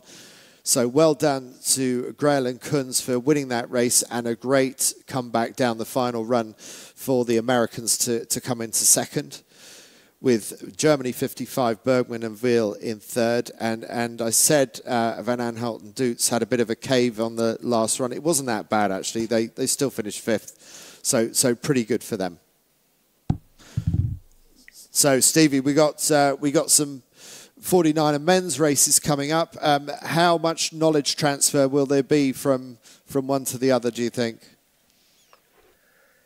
I think the teams will make sure they, they get across what they can, but I think uh, you know from what we saw of the racing there, Martine and Kahena on the screen in front of us right now, it you know it, it's pretty harem scarum, snakes and ladders style racing. You know, there's there's a lot out there. I'm not sure there's too many golden rules uh, to be found. I think trying to get on the shifts as early as you can, sail towards pressure, and you won't be able to get an awful lot more information than that. Um, you, you, know, I think the girls' fleet, the, the you know the ladies that have put in a put in a fantastic shift out there, but they'll be pretty glad to have a day like today over and done with because there's plenty of opportunity for things to go fairly pear shaped fairly quickly, and I imagine yeah there'll be that little bit of knowledge transferred, but then possibly a final sign off of rather you than me because it definitely feels like it's getting a little bit trickier out there. Um, it's getting bigger holes in it, bigger gusts in it, so there's more ups and downs to be had. And uh, I think there'll be a few few tense crews on board those 49er male teams as they get ready for racing.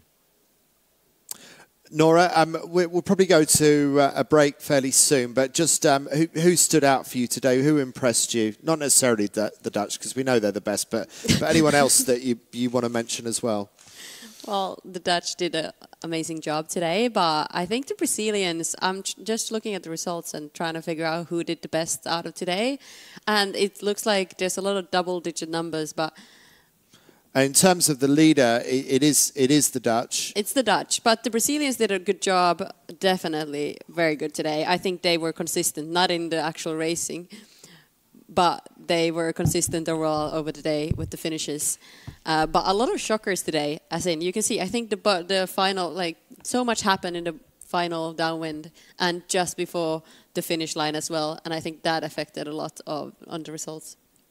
Stevie, um, you said that we're in for a bit more breeze from the forecast that you've seen tomorrow. Um, there's an 11 point gap now between the Dutch in first place and the, the Swedes, who are now down to second. That will probably be good news for Sweden in their bid to fight back against the Dutch. That extra breeze, do you think?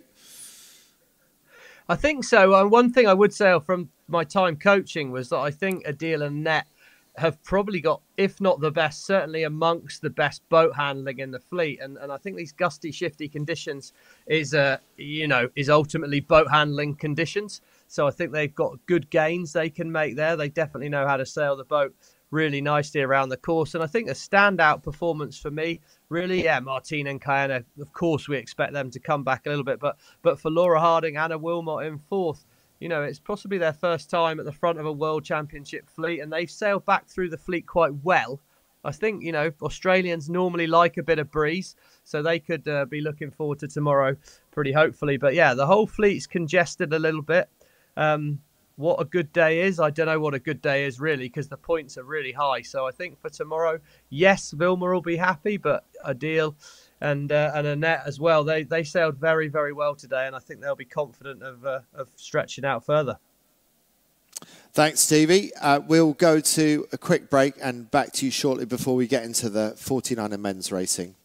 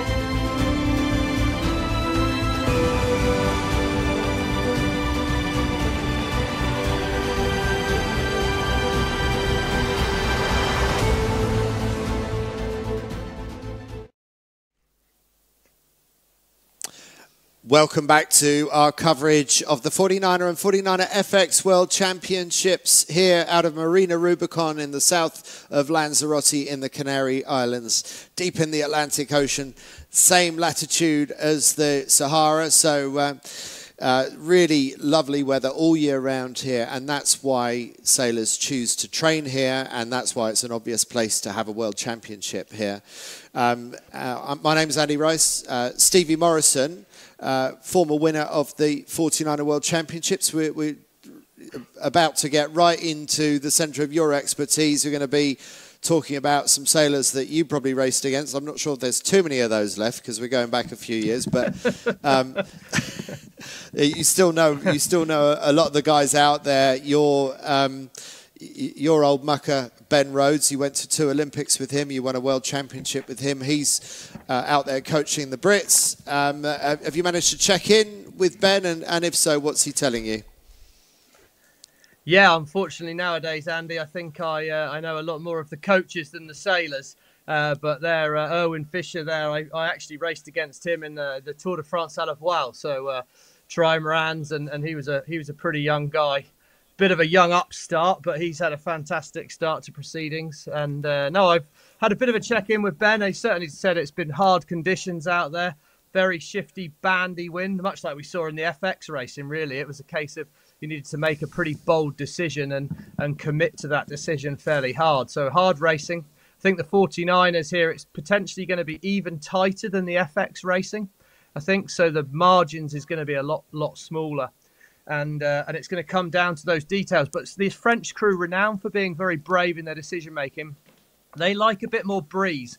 You can have a little look there at the size of Clement.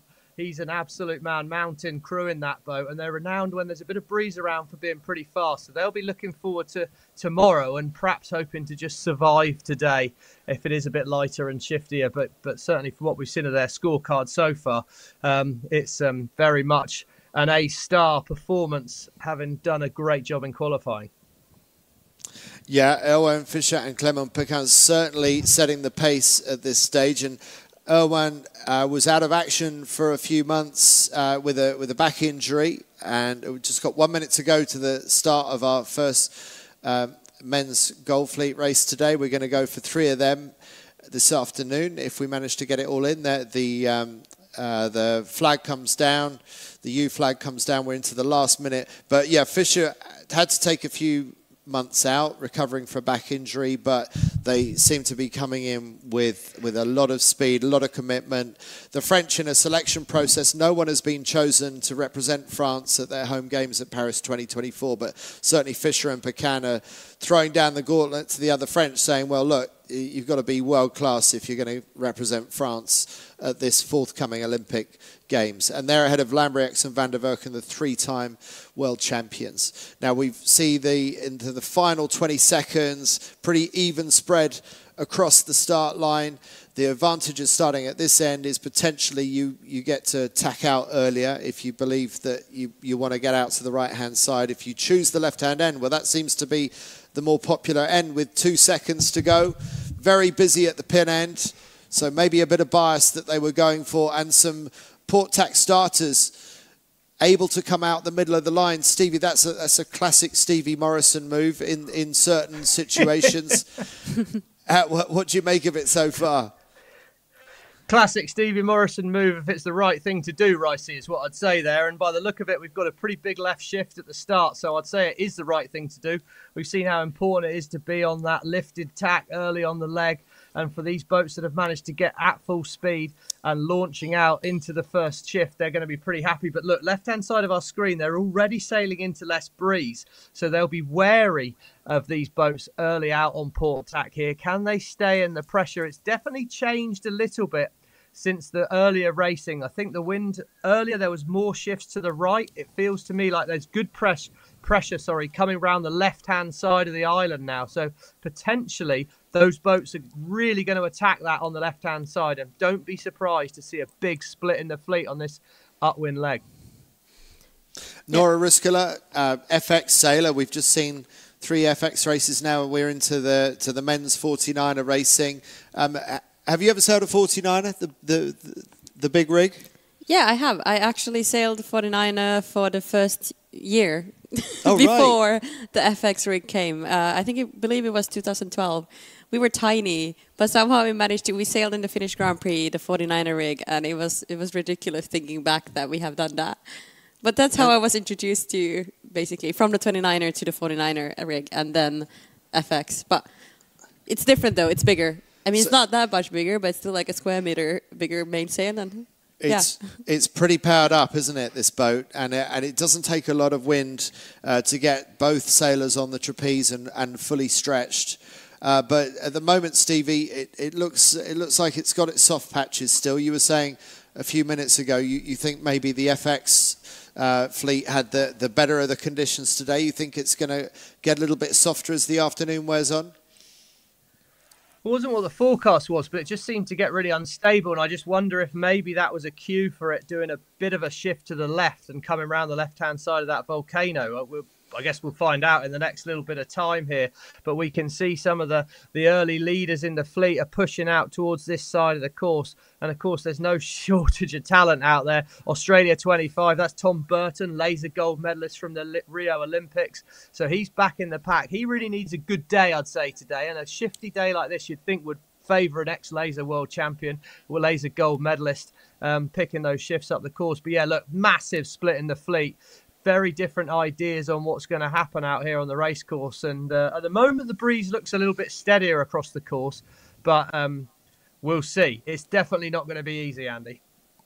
Stevie, what's your take on the yeah people uh, sailors that change classes from like laser to the 49er and uh, what do you think of that is it similar do you think it works I think, yeah, I think, um, I mean, I think they do a fantastic job of it. We actually had Robert Scheidt uh, came into the 49er class for a little bit, so it's definitely not an not an easy transition.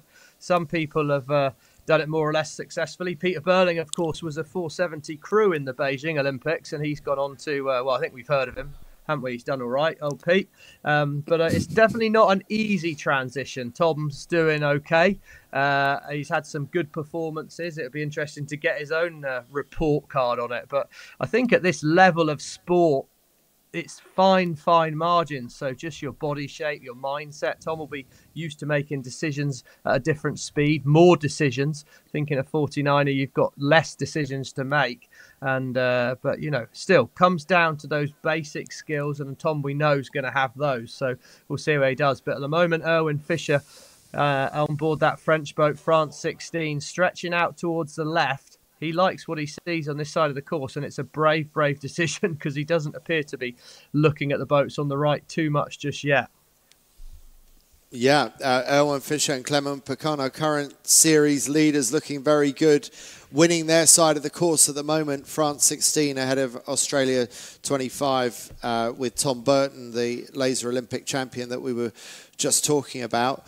Um, I, I, oh, there goes Tom Burton, and as soon as they go, so so the French tack as well. So now's the moment of truth as as they're on converging courses. James Peters and Finn Sterrett uh, from Great Britain also tacking, um, and uh, Peters and Sterrett in 11th overall at the moment. They will be hoping for better, and um, they're certainly capable of better. So a day like today could be a big moving day. We've already seen that with the 49er FX. There's huge opportunities in this Gold Fleet racing to make big leaps up the leaderboard. We've seen the Brazilian Olympic champions do really well today and haul themselves back into podium contention. And there's a lot of sailors out here on the 49er course hoping to do the same. I, I think you're a little bit soft on the uh, laser sailors, actually, Stevie. I, I don't think we've really seen a jump out transition from a laser sailor into 49er skiff racing. Um, uh, Robert Scheidt wasn't able to do it. Absolute legend in the, in the laser. Maybe he didn't give it long enough. Maybe he was getting too old by the time he had made the transition. Um, and Tom Burton, absolutely amazing sailor. Any anyone that wins an Olympic gold medal in the laser has to be. But it's a very different type of sailing. You say there are fewer decisions to make in the 49er, and that's because of manoeuvre loss, tack loss, and um, the ability uh, of the laser, uh, by contrast, you can tack pretty much whenever you want. It means that every decision that you make, you have to make stick. It has to be made at the right time, and it, it, every decision has more importance hanging on it. Would you agree with that, Stevie? Oh, I, I so agree with that, Andy. I think that's the thing. I, I you know, I, I used to sail boats like Fireballs, which many of our listeners might not have heard of, but but a national class in, in the UK and, and Australia, some places around the world. And and I always thought I was quite good at that, but I was really good at that in the sense that when I tacked in the wrong place, I knew I'd got it wrong straight away and could tack back. And and I think the difference when you come to this Olympic level racing is not that anyone's hugely better or or worse. It's just that if you do make a mistake, you are absolutely hammered for it. So yeah, a tack loss in a laser. Um, is is way way less than it is in these boats, and, and you end up having less decisions to make. So when you make them, they've got to count, uh, and they've got to count a lot. And I've got to say that where these boats, Tom, the French, James Peters, I think they missed that big left shift at the start. So the fact they found themselves on the left hand side of the course, I wouldn't think to be great news at the moment. It'll be interesting where they come back in with the rest of the fleet. They are sailing in clear breeze. That's a real positive. But I'm interested that they missed that shift at the beginning. And I think they could well be behind things. I think potentially it's the leaders are coming from the right hand side of the course. The tracker is showing at the moment of Julian Julian D'Ortoli and Noe Delpech. Well, they are actually a couple of sailors that I know.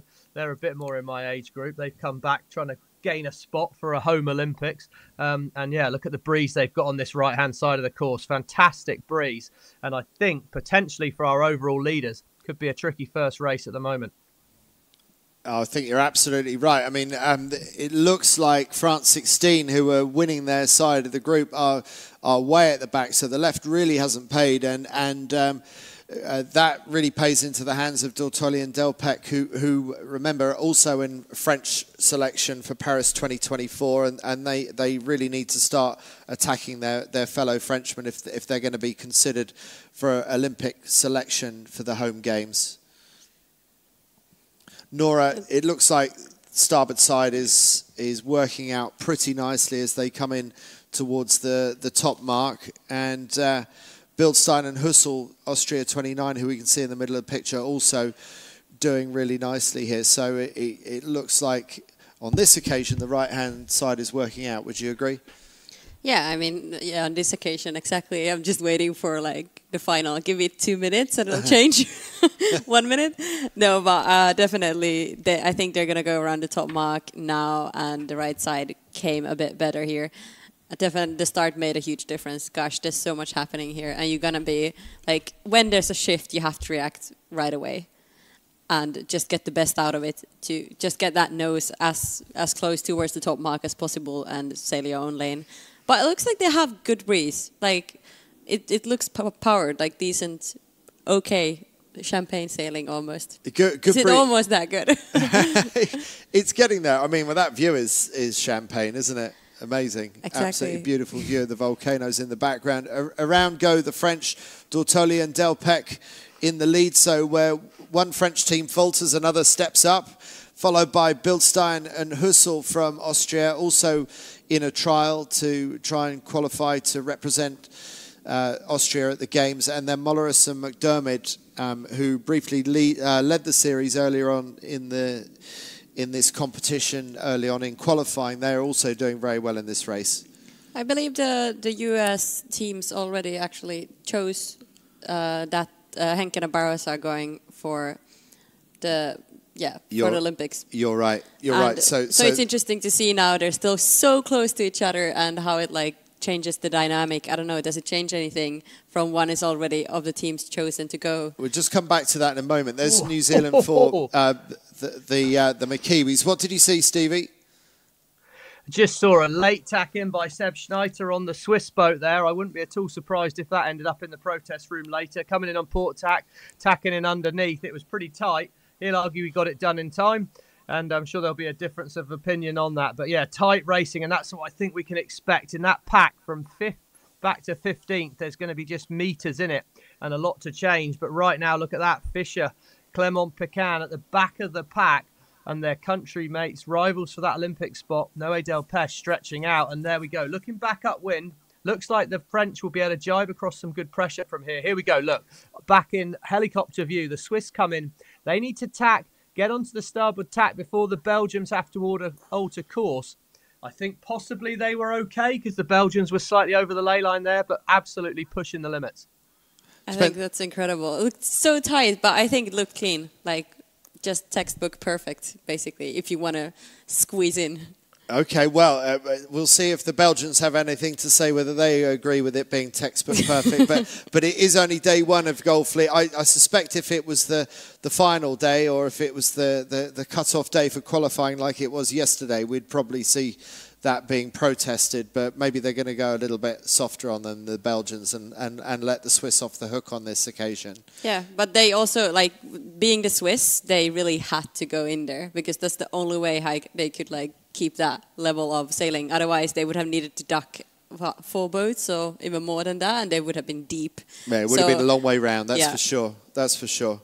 So, so here's our front pack of four and then a bit of a gap back to the next. But as we saw with the F49er FX racing, it looks like the pack from behind have got a slightly better gust that's carrying them deeper. A double jibe there oh. for the for the the boat in third place. I guess they went to jibe and saw the Americans and thought, oh no, we can't actually do that. So that was an expensive double jibe executed there. Yeah, you don't normally see that, uh, this part of the course because it costs so much. Maybe they, they must have missed the Americans or something. Yeah, they must I mean, have sometimes been in their blind spot or something. Sales, yeah, you can't just see. Like even though you try your best and to to look around and know who's where. Of course, there's times when you just lose someone. and and Stevie, that is a big thing. You know, there, there is a there's a lot of blind spots with asymmetric racing. Um, really, you, you, can't see much to leeward at times, so it, it's quite possible that they just the, the, the Polish didn't realise the Americans were down there. Do you reckon? I think so. I mean, it's uh, you'd have a bit of an idea of it, and maybe they felt they could have got across in front. I don't know what they were what they were thinking exactly, but yeah, there's plenty of blind blind spots. You've got to keep the picture of what's happening around you constantly in your head, and, and it's nothing more so than when you get to the bottom of the course. We're approaching gate the gate at the bottom of the racetrack now. We know how tight and congested that can be, but it's when you're coming downwind and there's other boats going upwind, that's when things start to happen really, really quickly. But now look at this. Perfect conditions here, absolutely flat to the knots on the wire pressing with this big swell behind you. So there'll be some interesting technique here as you accelerate down the wave, trimming the sails on, trying to get the boat going fast, and then coming up the other side of the wave. We can see the Austrians there look like they could swing a little bit harder on the trapeze potentially, but they're about to get a bit more breeze and they will roll forward on the French. And it's going to be now about the decision. Which way do you take at the bottom? Do you turn left or do you turn right? And we um, we really can't say that even after we've watched three races with the 49er FX. It's really really hard to to make that call, isn't it? it I, am still none the wiser. I mean, looking at the the fleet going going downwind right now, I, it just feels like it's okay. It's been crazy, but it's a bit more simple now. Like the wind is steady. I I would say it's like looks like it's a bit more even when it's been Oh, possibly, possibly. possibly. I, I, think I think you're just about to call the commentator's curse on the breeze there, Noora. No. Just as it was getting looking like it was going to get steadier, it's all going to go funky again because that's been oh, how it's been all day today. That would be exciting, though. it is. We love it, and I love this view. I oh mean, my! Fantastic drone shot view of watching the Americans charging downwind, and uh, these these are a privileged moments to be able to see this so close up. It's absolutely incredible to see and have that drone view so close. I mean, you bet you saw the sailors. They're looking back and they're like, "Oh, what is what is this thing here following us?" I think that, and they were probably looking for the lay line as well. There, we're getting towards the lay line time. So for the helm, there, you're looking through the boom. You'll have a fixed mark on your boom that you use as a reference to try and line things up for this lay line in here. As we see Julien has decided to take the right hand turn. It doesn't look a lot of breeze out that side at the moment, so it's interesting to see what he's done. I think I'd be trying to get myself on the lifted tack out of here. We saw, of course, the left hand side of the racetrack got hammered on that first upwind leg, a lot of places loft. But what was key was getting that lift early. We saw the big left shift at the start, and it was those boats on the shift that really did well. Maybe a little bit more even at the bottom of the course here, and we can see what it is for sure is quite light Isn't it light? It, it looks really soft going around this gate mark, but you can see the darker gusts further up the racecourse, and maybe the back markers will carry that breeze down with them and, and close the gap. And meanwhile, the French have tacked on to port, so they're, they're coming back to consolidate and try and defend their lead. And good gain by McHardie and McKenzie, the McKiwis from New Zealand, um, now up to second place. They were fourth in last year's World Championship.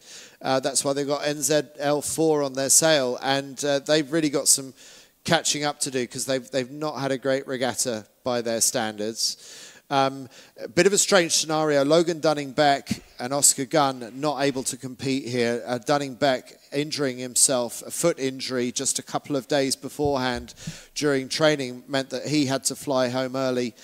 Uh, to go back to New Zealand. This was going to be a, a trials event uh, to decide who was going to represent New Zealand at the Olympic Games, and I'm, I'm not sure what uh, what the scenario is now um, because Dunning Beck and Gunn not able to, to compete here. So does that mean that they're out of the trials or uh, does that effectively hand it to New Zealand for um, McHardie and McKenzie? I'm not quite sure, but devastating for them and also for Shimei Fantela who um, got uh, it sounds like he's he's uh, got some fairly debilitating illness as well so the Croatian sailor had to fly home without competing in these worlds. But Šime and Mihovil, his brother Fantela, I think they're already confirmed for representing Croatia at the Olympics. So uh, as long as uh, I, I, texted him the other day and wished him well, and he said, well, you know, the second half of the year matters more than the first half of the year. So if he has to miss the Worlds, he can cope with that as long as he, he's back in time for the Games. Yeah, and I think what we see here, as you come back to the screen, it was a good decision at the bottom of the course by uh, by uh, the French crew there because they found themselves in a lot of breeze, and those boats that left out of that bottom gate have really run into some light breeze there. Look at this, we're really on board with the US crew. US seem to be loving the drone, and look at the two Hellman crew working together, bending those knees. Jib looks a little bit loose, probably sheet that in a bit, boys. But um, yeah, right now, look, they're just working hard there, bending the knees, trying to keep that boat absolutely flat. But with it being so gusty, they want to be low enough on the trapeze to be able to move forward. And I think physically for the crews in these conditions, thankfully not something I ever had to do. Really, really hard work, working in that forward triangle, hard, hard work on the legs. But you're trying to keep the sails optimized, maximum power, and work your legs around it. And there we go. As soon as you do find the breeze, Julien D'Ortoli there, bit of Asian experience out on the trapeze with this French crew, and they've absolutely picked this race course together so far. They're nailing it. Good breeze, good pressure, moving nicely up the middle of the course. So they'll love what they see in race one here.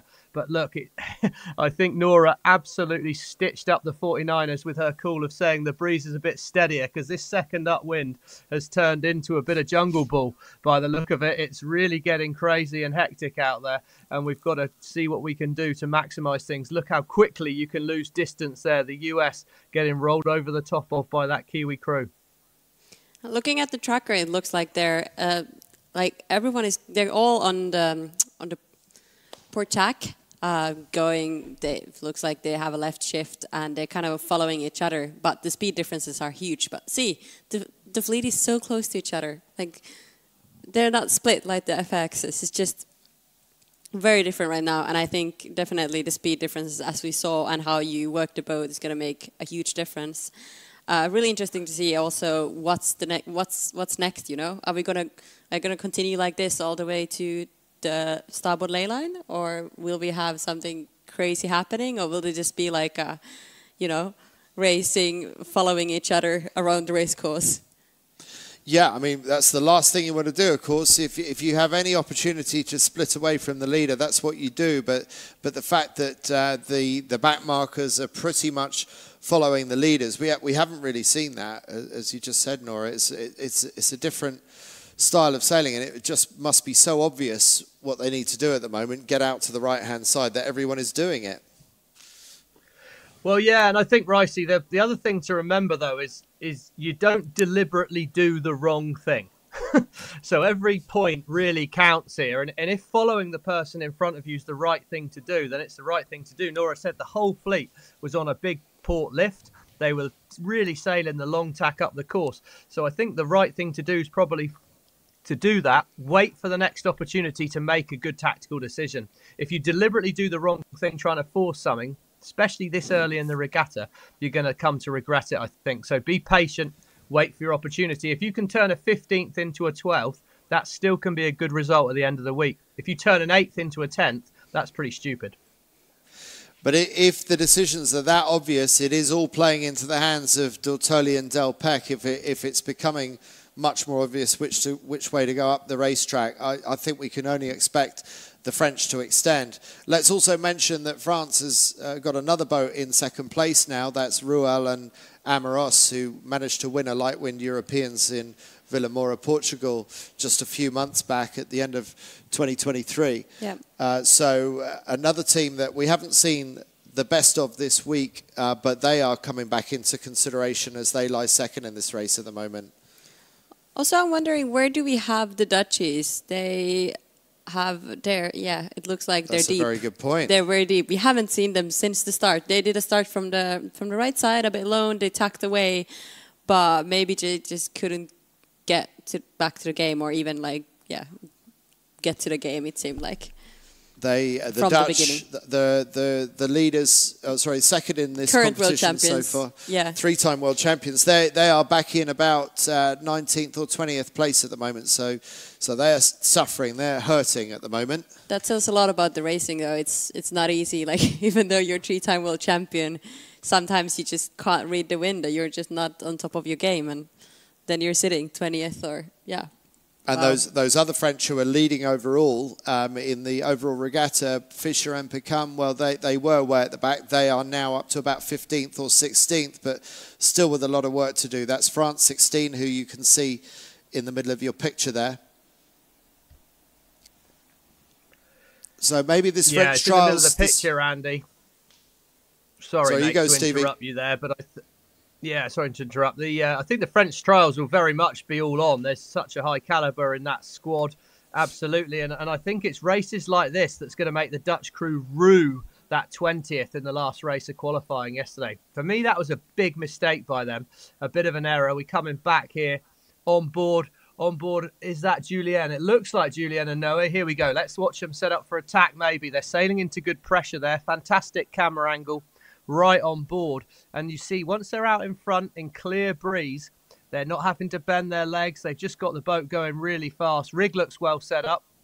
Mainsail looks nicely powered up there. And look how flat they sail the boat. Again, absolute lesson for people watching this. Julien just with his head slightly up on the tiller there, keeping his eyes forward. Noe looking around. Constant communications between the crew there.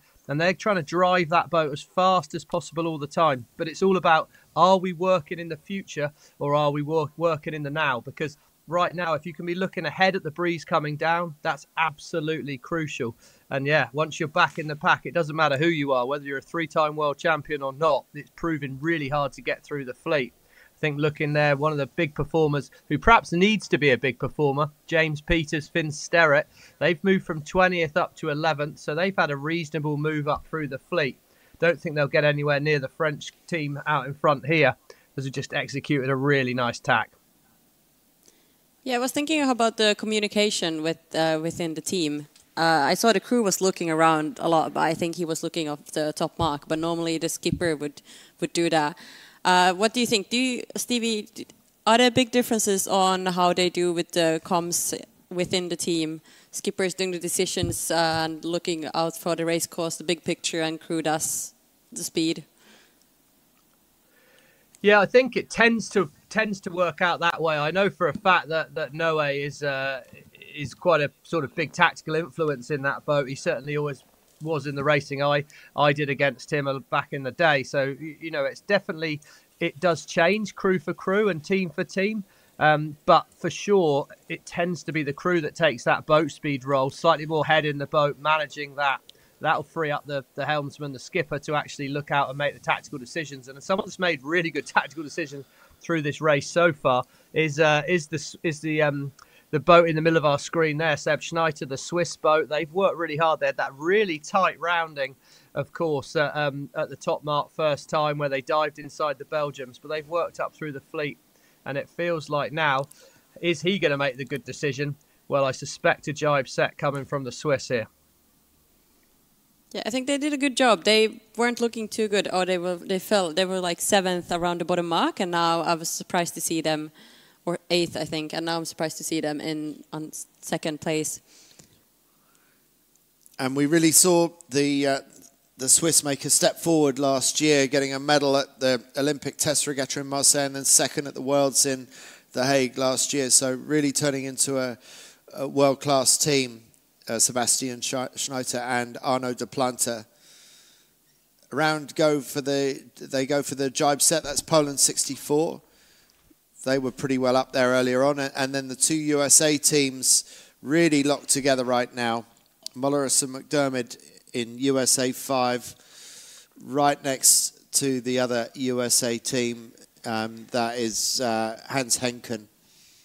Coming into the the final uh, downwind leg, it's interesting to see that we had a bit of a split within the first first five teams. Like some are going just normal hoist and some are doing the jibe hoist. So I think that will change things up a bit.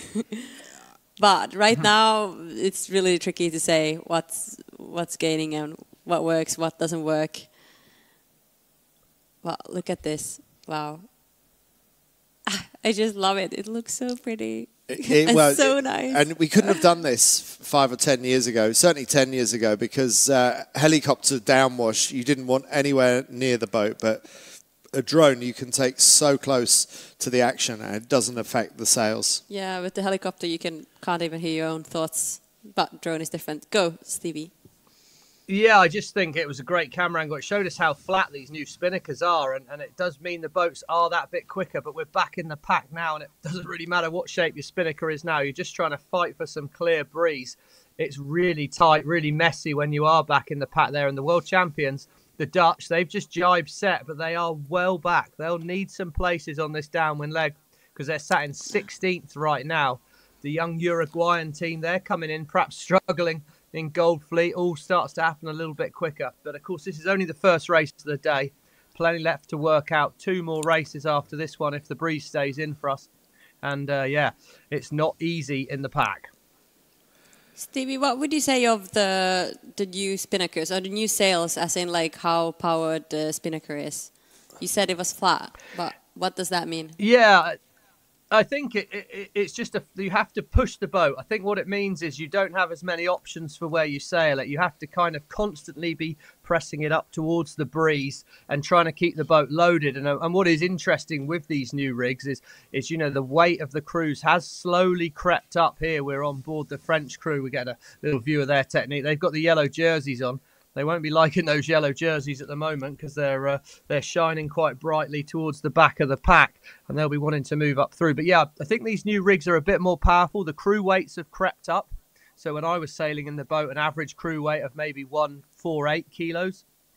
Then when I did the London Olympics, it had maybe got up to nearer 158, something like that. And nowadays, I think the average two-person crew weight is about 165 kilos.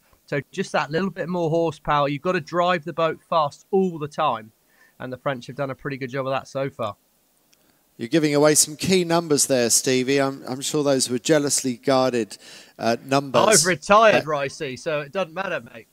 no, it's great. I love it. I, I absolutely love it. I mean, everyone was always trying to guess what, what the, the leading team uh, were weighing at the time, and Pete Burling and Blair Tuke really shifted the, the trend, I think. We didn't used to think of the 49er as, as having big helms, but he, he's a tall guy that was able to get around the boat really smoothly. And, and, and you see that trend of tall helm and slightly shorter crew is a, a lot more common these days than, than in the early days of 49er racing.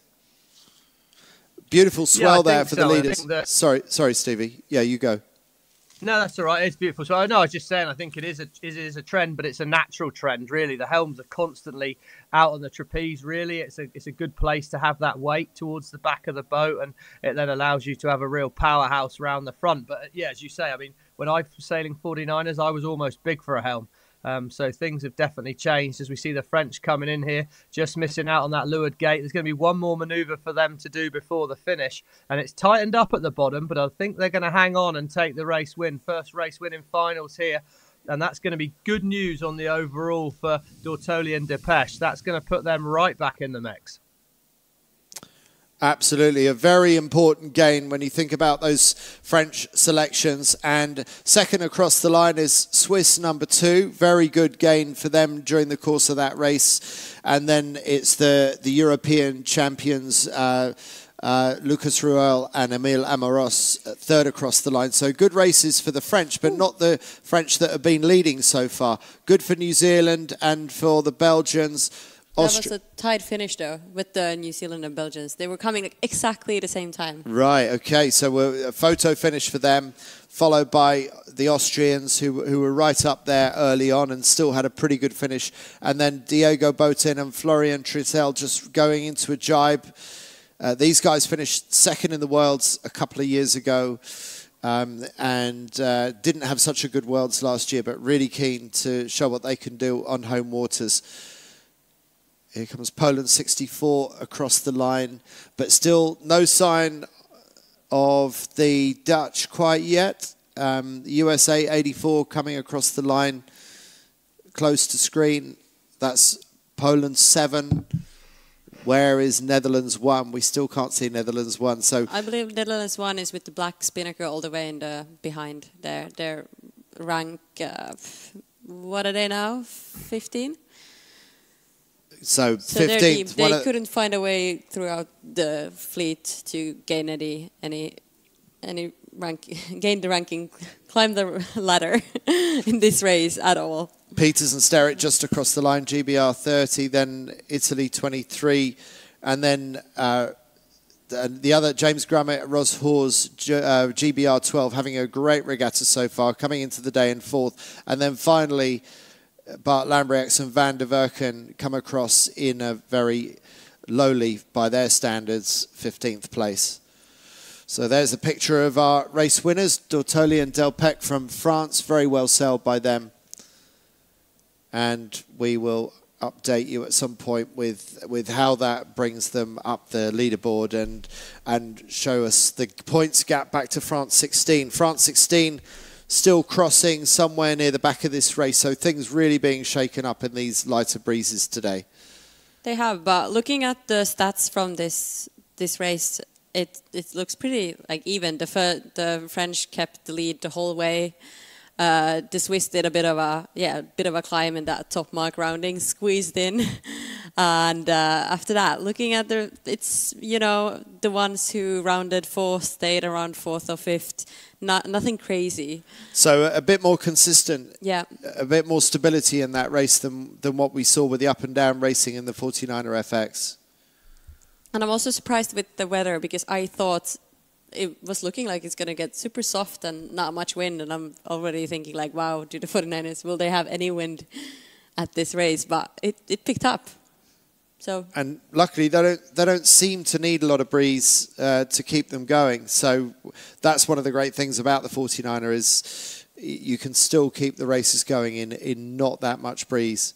So Fischer and Pequin they were 18th across the finish line. So pretty disastrous for them, but it, but it makes things interesting with the French trials, with uh, D'Ortoli and Delpech possibly up into the top five with, with that race win.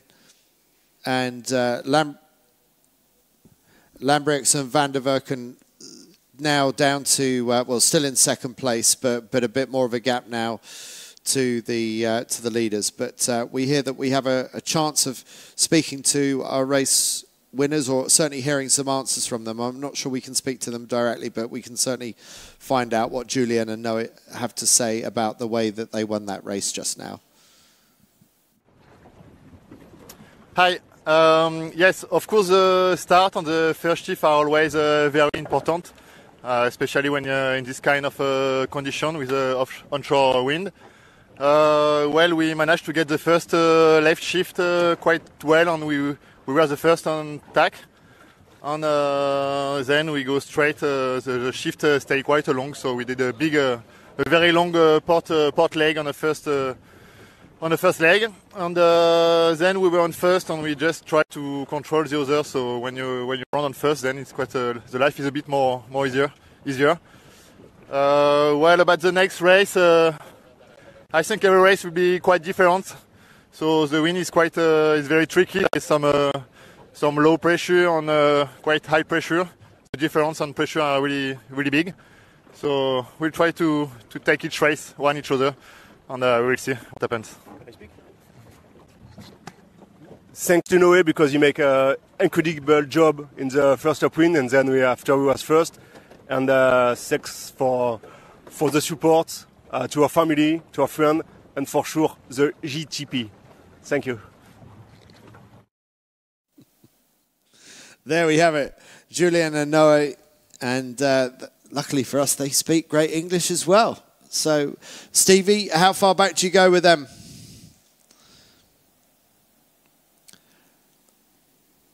No, I can't hear Stevie at the moment. We'll see if we can get him.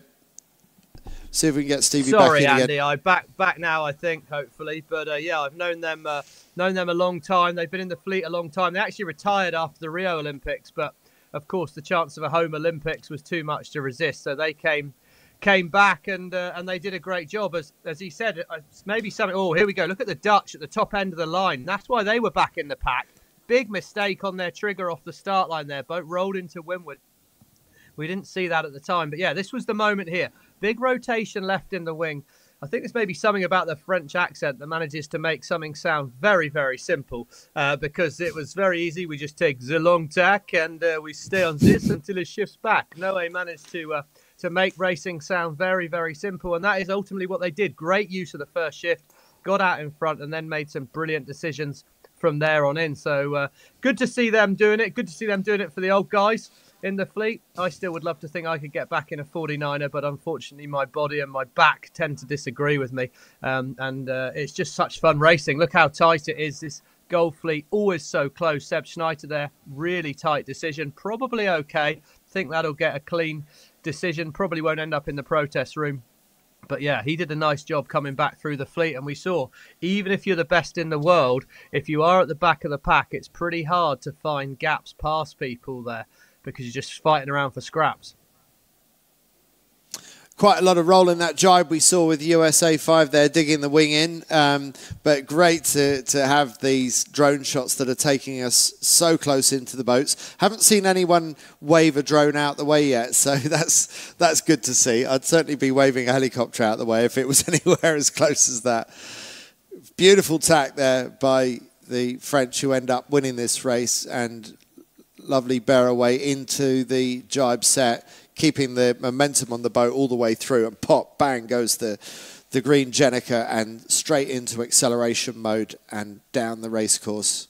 Yeah, this like the sailing of the guy. It just makes it look everything so simple. You know, they the kite just flies up, and suddenly they're on the trapeze, and gosh, like so much technique and training and uh, yeah, fitness that goes into these boats to make it look easy is incredible. Beautiful footwork, isn't it? And the the way they move from side to side across the boat.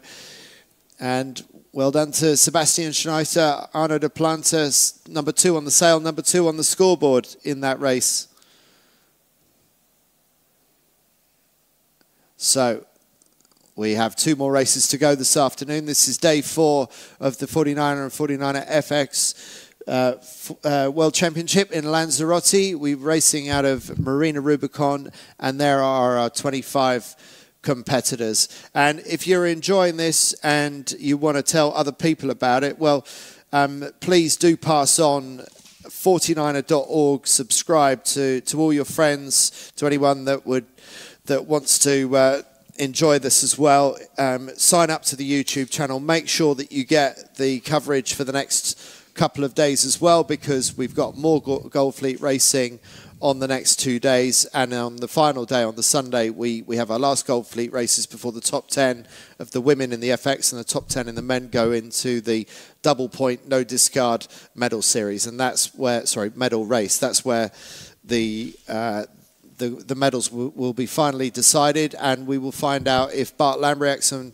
Floris van der Werken can win a fourth consecutive world title for the Netherlands, or, or maybe the French, or, or maybe any one of these other teams can go ahead and uh, take the the world title, the last world championship title available before the Paris 2024 games. So we've got five minutes. Let's go to a quick break and we will be back to you shortly.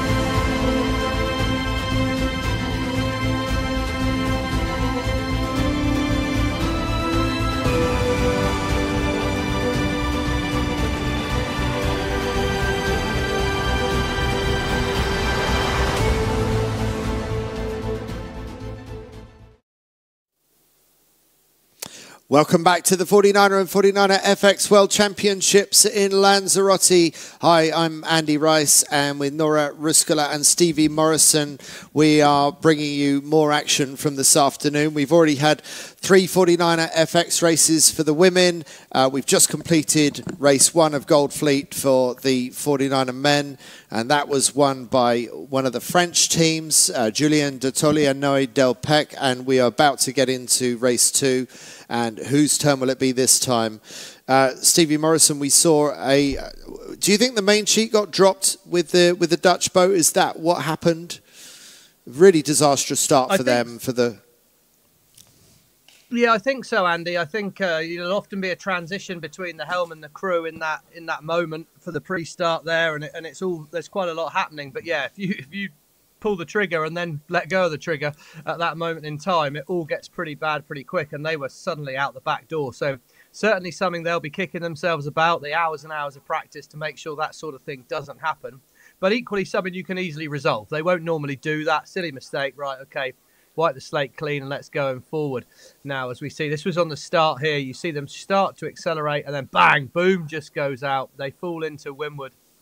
And there, the rest of the fleet are sailing off, and they're sailing away from where they want to be going. So it was a costly error, but something they can definitely rectify. But look how tight this pre-race positioning is in the 49er fleet. I think that pre-race boat handling means that it is all a lot, lot tighter. And we saw how important the start was both Fischer and Pequin here and Lambriex and Werken didn't get good starts. And it doesn't matter how good you are, if you don't get off the start line and in a position to take the first shift, you're struggling. Well, the exciting thing for us is that that has closed up the gap um, on the leaderboard. We haven't got runaway leaders the way that it was looking a day or so ago. And here they are off the start line. Great start for Ireland 99 out of the middle of the track and also for Uruguay 14 who've started off the pin end. So, so great for them. And then you look to the right and there's a couple of teams, USA 84 and New Zealand 4, that have decided to start on Port Tack. And that all looks a little bit ragged to me. Noora, I'm, I'm quite surprised that that doesn't look like an Olympic class start we've just seen there. I don't know what you're referring to, but yeah, I did see Uh, our, our Dutch team struggling again, being a bit behind. But um, otherwise, I think it was an okay start. Um, well, I, I just mean that already there, there you don't see a clear line of boats all fighting neck and neck for, for front Andy. row. There's Andy, Yeah, yeah, I just Stevie. think I think it's a great point you've made, and I think the the point, the reason that you say that is there was a big wind shift just before the start. I think so. Suddenly the line went from being relatively square to quite pin end bias really quickly, and then people are basically having to react on the hoof real fast, and I think that's why it does all look a little bit a little bit scrappy in terms of the handling. They're all having to accelerate in a high mode because they're struggling to hold a lane at that pin end. And then they all desperately want to get onto port tack. They want to get onto that lifted tack as soon as possible. And we saw the French there were uh, were early to manage to do that. These two down at the bottom here, the Dutch and and the and the French that were leading overall, they're they're on port tack early, but from a long way back in the fleet. So they were struggling early on in the race. But yeah, I think you're right. It did look a bit scrappy, but that's what happens. It's shifty, gusty wind. The dynamics changing. The racetrack is changing all the time. And when it changes with about five seconds to go, things tend to get a bit ragged. Now it really looks like the ones that could keep their clear lane are doing so good right now. Like Uruguay kept their lane, Ireland lost it a bit. They're falling falling into the Belgian here in front of us, but we have like clear leaders here from Uruguay for the le- left side of the fleet, and then on the right side of the fleet are the wait Dutch were there. I can't. Is it the French that are? They look like they're in the lead overall. Yes, the French is they kept their right they're going committed going to the right let's see how far are they to go and push it all the way to the corner now or uh, come back to the left especially there's a bit more bit more boats going to the left so that could be a bit risky but they're already all in the right side so They absolutely are, aren't they, Noora? I mean, they they have all the options to, to tack across onto starboard if they want to, but they're choosing not to take it. So, Erwan Fischer and Clément Pequin choosing to stick to their guns. And Stevie, you, you said they're not afraid of making some bold decisions. That's what we're seeing right now. Sorry, mate. That's uh, yeah. I think the French, you know, they've made some pretty big decisions, and they need a good re- result here. But they are they are renowned for doing that, for taking a confident decision and looking for good races. I mean, if you look at their scorecard, they've got a lot of got a lot of race wins, but they have had the odds slip up. But um, I think ultimately a big decision and then committing to it is often a good way of going about things. But right now it looks like fairly good pressure on the left as we see the Irish and the Uruguayans. I would expect the Uruguayans to tack pretty soon. They're fairly exposed out here. But Belgium up the middle looks like he's got a good angle, and I'm not sure how it's going to look for the French on that top of our screen at the moment. They look pretty light and headed. Yeah, Belgium does look like the strongest right now, don't they? Not only in the middle of the pack, they, they look like they've tacked onto port into what's about to be a decent lifting gust on port tack. So let's see how Belgium manages to profit from what they're getting in the middle of the race course right now. Denmark 66 coming out this way. And uh, this is Frederik Rask and Jakob Precht Jensen. They didn't start the uh, the Danish trials so well. They needed to make a good comeback here. Um, they're lying in about 14th place in this competition so far, and yeah, we expect a bit more of Rask and Jensen. So they're not sailing up to full standard by uh, by by their by their typical high standards. Let's see if they can do something better during the, the final two and a half days of this competition. But Belgium, as we as we were just talking about earlier, Noora, they look like they're doing pretty well coming out of the, the middle of the course on Port Tack. They definitely look like they're leading the the pack. Let's say the fleet. Uh, it's not as split as it was in the previous race, where you saw clearly like uh, boats on the right and on the left. Now it looks more congested, if I want to say from this point of view, uh, and also it looks like they have a bit of a lift on on this port port tack. So that's good. It's actually it looks so so good for the Belgians. It Like, does. I would love to be in that position right now. You feel you have the control of the fleet. Let's say so. And it- it'd be interesting to see how Netherlands one do uh, fare against France 16. France 16 went all the way out to the right. Netherlands one tacked off earlier. I don't think they're doing particularly great either, but maybe they've limited the damage a bit more than the French. It'll be interesting to see how The- those two come out against each other. Yeah, it looks like the Dutch they were doing so well, and now now they're actually a bit behind and in the middle. But I mean, we it's hard to tell from this this angle. But I, I I'm not sure what happened there. Did they get a bit stuck? Sometimes it can be that you you just don't want to tack away because there's no shift, and then if you yeah They they tacked away uh, when they weren't forced away. They they chose to tack onto starboard, and when they went back into the middle of the course, didn't seem to be with particularly strong breeze. Um, so I, I wonder if they suffered for boat speed for for a couple of minutes there. But Belgium, they they look like it's going a little bit softer for them. uh, Bottom right of our screen now, Stevie. What do you make of Belgium's position now? Are they they still safe? Ah, I'm not sure you're ever safe out here, that's for sure. But they they look like they're bow forward enough versus the boat in the top left hand side of the screen. There, we don't know who that is. I think it might be the French boat actually that's pushed out up there. But I think they're quite well positioned. It's going to depend a little bit on lay line. That's a good camera angle. It looks like they're right on the edge of the gust up there at the top of the Belgian boat. Um, they're just hanging in it. It's going to depend literally where they are on lay line. There's the French right hand side of our screen. So they're in good breeze now, but the wind is staying fairly well to the left. So I think Belgium should be fine, but I'd be pretty keen to be sailing a fast mode and roll forward on everyone while I had that left pressure. There we are from the other angle, and so that's what it looks like from the Belgian perspective. It looks like Poland 7 is pushing forwards a little bit on Belgium, maybe slightly better pace from the Polish boat. And there um, in the middle is the French. The French just tacking onto starboard. So France 16, who have really enjoyed being on the right-hand side of this, still not doing too badly. It doesn't look like the French are going to lead round this first mark, but France 16 not doing too badly coming from the right. Also, it looks like they're pretty like they have a lot of space now. Like each boat have their own lane, just like focusing on basically boat speed. I'd say. I don't know, Stevie. What do you think would go through your head right now? Yeah, I think the, the, the decisions are made for those first few boats. They're pretty much into lay line from here.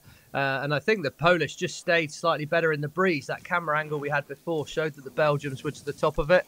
There go. Belgium decide to tack before the Polish. Slightly surprising decision there. Maybe a big miss of the lay line by the Polish if the Belgians are right here.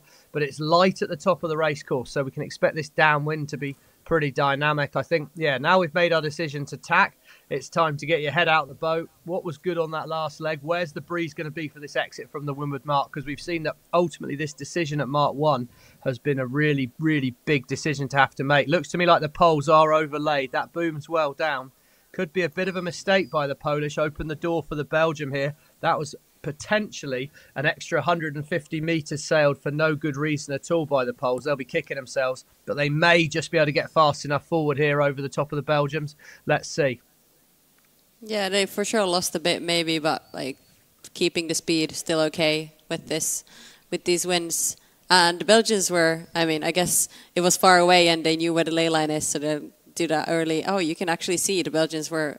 Wait, they also kept some some space to the lay line. Yeah, so yeah, a big that's a big miss by Poland really uh, to to give so much distance away to Belgium, but still very much in the hunt for leading this race, and it's going to be a jibe set from Poland. Oof, not, that- a, not a great one. Yeah, no, wow. What I wonder what happened there. D- Definitely, that Yeah, was a just full looked a little, little bit slow into the turn there, I think, Noora. They didn't really commit to it. I wonder how the communication was on board there.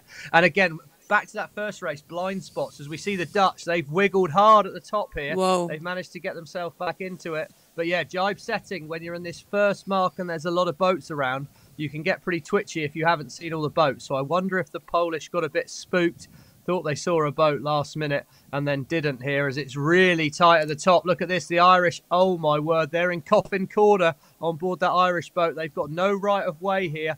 This is, could be a long couple Oh, of minutes for this young Irish crew. Can they find a gap to tack back in? Maybe just, yes. Oh, well worked. But it's tight. They lost a lot there. Yeah, I mean, uh, when the boat slows down, you lose steerage because the rudders on these boats only work when you're actually moving forward. So you can't steer the boat unless you've actually got a bit of forward momentum. Beautiful shot of the Belgians there, looking like they're in good breeze as they're charging downwind. But uh, yeah, it, they have a good breeze. But looking like the fleet behind them, all the boats, they're going even lower than them. That means that there has there's some new wind to the boats from behind. As we saw in the, all the races today, it's when you approach, when you go downwind, you kind of want to, you get the breeze from behind, so you're in advantage when you're in the behind and you have more options. As the one in the lead are actually, it's a bit scary to be there. Look, look who is bringing up the rear, Stevie. Can you believe it? Wow. Winners of the previous race now back in last position. What does that tell us about 49er Gold Fleet Racing?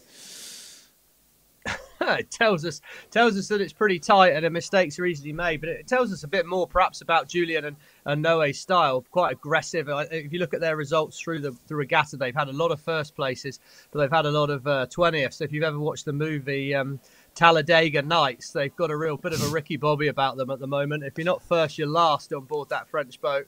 Um, but yeah, they're choosing to to sort of sail the boat aggressively, and uh, and and that, when that goes well, it's great, and when it doesn't, it gets pretty painful. And I think as we see now, we see in the middle of the pack, you've got Lambriex and Werken and Fischer and Pequin seventh and eighth, and that's really potentially a real world title battle here. They're in the middle of the pack.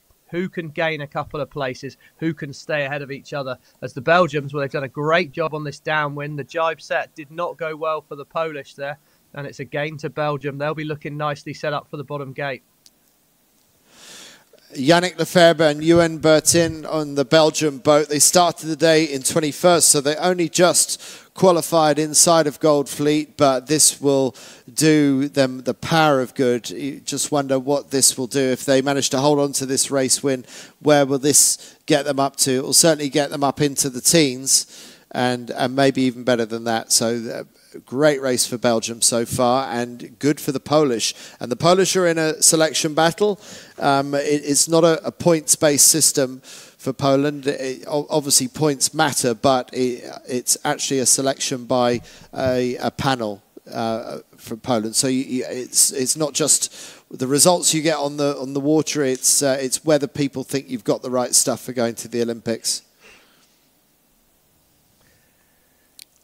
Well, that's a fairly where's- hard decision to make, I'd say, Ricey. I'd quite like that to be to be based on results rather than their thing here. But we see the Belgians, Yannick, he's hoping to qualify the nation for the Olympics, Yannick Lefebvre. He was actually sailing when I was sailing as well. So he's done a really long stint in the class. And, and word on the street is that this will be his last World Championships. Obviously, he'll be hoping to qualify for the Games to, to make it one last swan song representing his country at the Olympics. But right now, he's doing no harm in that challenge, leading the fleet here as we see the gust. And look at the size of that swell. That swell really is looking a lot bigger. And I think that's causing a few mistakes especially downwind with the boat handling. Heel angle is absolutely crucial into these manoeuvres. You need the boat flat or even with a little click of windward heel before you set up for a jibe. And we're seeing the boats there, they're getting a little bit stuck into the manoeuvres, catching wings. And uh, yeah, that's not something you'd want to see from a coaching perspective. So a lot of tidying up to be done, but I think we'll put it down to the swell. Okay, we're approaching now the bottom mark, the first first bottom mark of this race, and uh, I think this will, yeah, make it. You really see a difference of uh, yeah. We have the two two marks to round between and or choose between, and which one will will be the one that's has a bigger advantage of. It's I mean it looks pretty like 50-50 right now. Well, the Belgians like the left. That's what we're looking at now, followed by Italy. And first out of the right-hand side, it's the British team, Grummett and Hawes. And uh, these guys are, are really showing a, a new side to themselves. They've they've been up in the top four. They started the day in fourth. Um, but the Olympic selection for Great Britain's already gone to James Peters and Finn Sterrett a little bit further back in this race. But Grummett and Hawes putting a, a real marker down for uh, of their intent for the Los Angeles 2028 campaign uh, four years from now. Yeah, Belgian they seem to 24 have. They've sailed a sailed a great start to things, haven't they? In, in their young career to sailing together, they're both a couple of human levers. Really, they're both pretty tall lads. James is really in that mould of a, a tall helm uh, at the back of the boat there, and I think you know. James Peters very deservedly got the Olympic spot, but it was selected a long way out, and that's a strategy that the British have chosen this time. They've selected them a year in advance, which uh, you know hopefully will give James the the option to to work on things specifically. But they're definitely struggling for form at the minute, back in 14th and 15th in this race, and James Grummett showing us in the lead, and and I guess just that freedom and confidence of being a new team. Nuno, lots to work on, but plenty to enjoy those gains as you get better. And it looked to me like early gain at that bottom gate was to the people that turned left. They were the first boat on the lift. Belgium, Yannick sailed on a bit of a header to start with out of the bottom gate. And so, yeah, James Grummett, Ross Hawes, they're up to first at the moment, working their way through the fleet nicely. We've seen some of the, we are actually talking about like how some of the, some of the, especially the 49er teams have taken a couple of years off. Do you know, Stevie, which teams didn't the British team at least take a couple of years off as well, and the Dutch? Yeah, I know that the I know that certainly James Peters and, and Finn after they you know they were beaten to selection by by Dylan Fletcher and, and Stu Bithell who of course got the gold medal in Tokyo, um, and and so James and Finn took some time off. They've been sailing the 49er for a long time. James was in it and Finn was in it back when I was sailing it, so they're uh, they've done a lot of 49er sailing, and I guess you need to be mentally fresh. It's a big commitment this Olympic sailing. It's a lot of time, a lot of effort.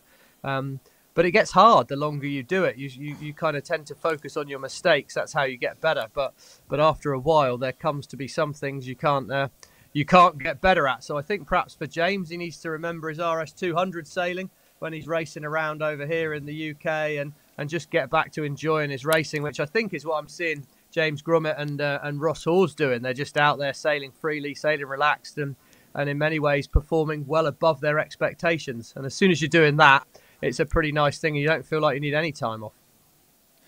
Enjoying your racing when when this is your job and, and this is how you earn a living and you have to keep on showing up with with world class performances, I, I can see how the enjoyment can start to slip away. So, Stevie, what what is the what's the medicine for that? How how do you keep on going and keep on enjoying it when actually you'd rather take a break? Well, yeah, that's the million dollar question, isn't it, Andy? I think you have to, you have to, you, know, you hear people talk about the process and, and making sure you've got specific areas to work on. I think uh, it's making sure you have those. I think at some point you need to actually feel like you're getting better at things and be positive and see, you know, look at your super strengths, look at the areas you're good at and pat yourself on the back because ultimately you can spend a lot of time criticizing yourself and saying where you're not good enough. And then secondly, that camera angle there does it justice, I see, Andy. You're out in Lanzarote, you're sailing a boat, and you're pretending to all your mates at home that that's your job. So, you know, sometimes a little dose of realism needs to stick in that we're some of the luckiest people in the world to get to do that. Uh, and, and let's enjoy it while we can, because very soon you'll be like Stevie Morris and Andy Rice sat on a sofa, only able to talk about it. Every bad decision out here is just a first world problem, isn't it? It's only ever a exactly. first world problem. now, meanwhile, James Grummett and Ross Hawes, they just tack on to port. They've got lots of space around them. I think, is that the Dutch boat that we see in the distance just beyond them? Correct. So they're in seventh place, Noora. So um, it's, uh, it's pretty wide open racetrack right now, isn't it, up the front of this? It is. We, uh, we can't see on the on the tracking. We can see that they're yeah seventh, but on the on the picture here, it looks like they're the third currently. We can't see the other boats, but this you can see beautifully the split here. They're all the way. They're pretty far to the right, and then the Brits went all the way to the left here. Then you have the who's the team that like furthest right? It looks like Switzerland? Oh no, sorry, the one in the the middle the French. above Yeah, oh, the it's the British. French- that's the French, on yeah, the yeah. furthest right. Yeah. They're so far away. I'm like, are we way over lay line, or does it just look like that? But they're really close to the land, actually. Now we can see here on the tracking. Yeah, the French have gone far. Uh, looks good right now, but as we know, the wind shifts. Not as crazy as it was in the morning. Way more stable now. So it could work for them, and they could just, yeah, maintain the lead.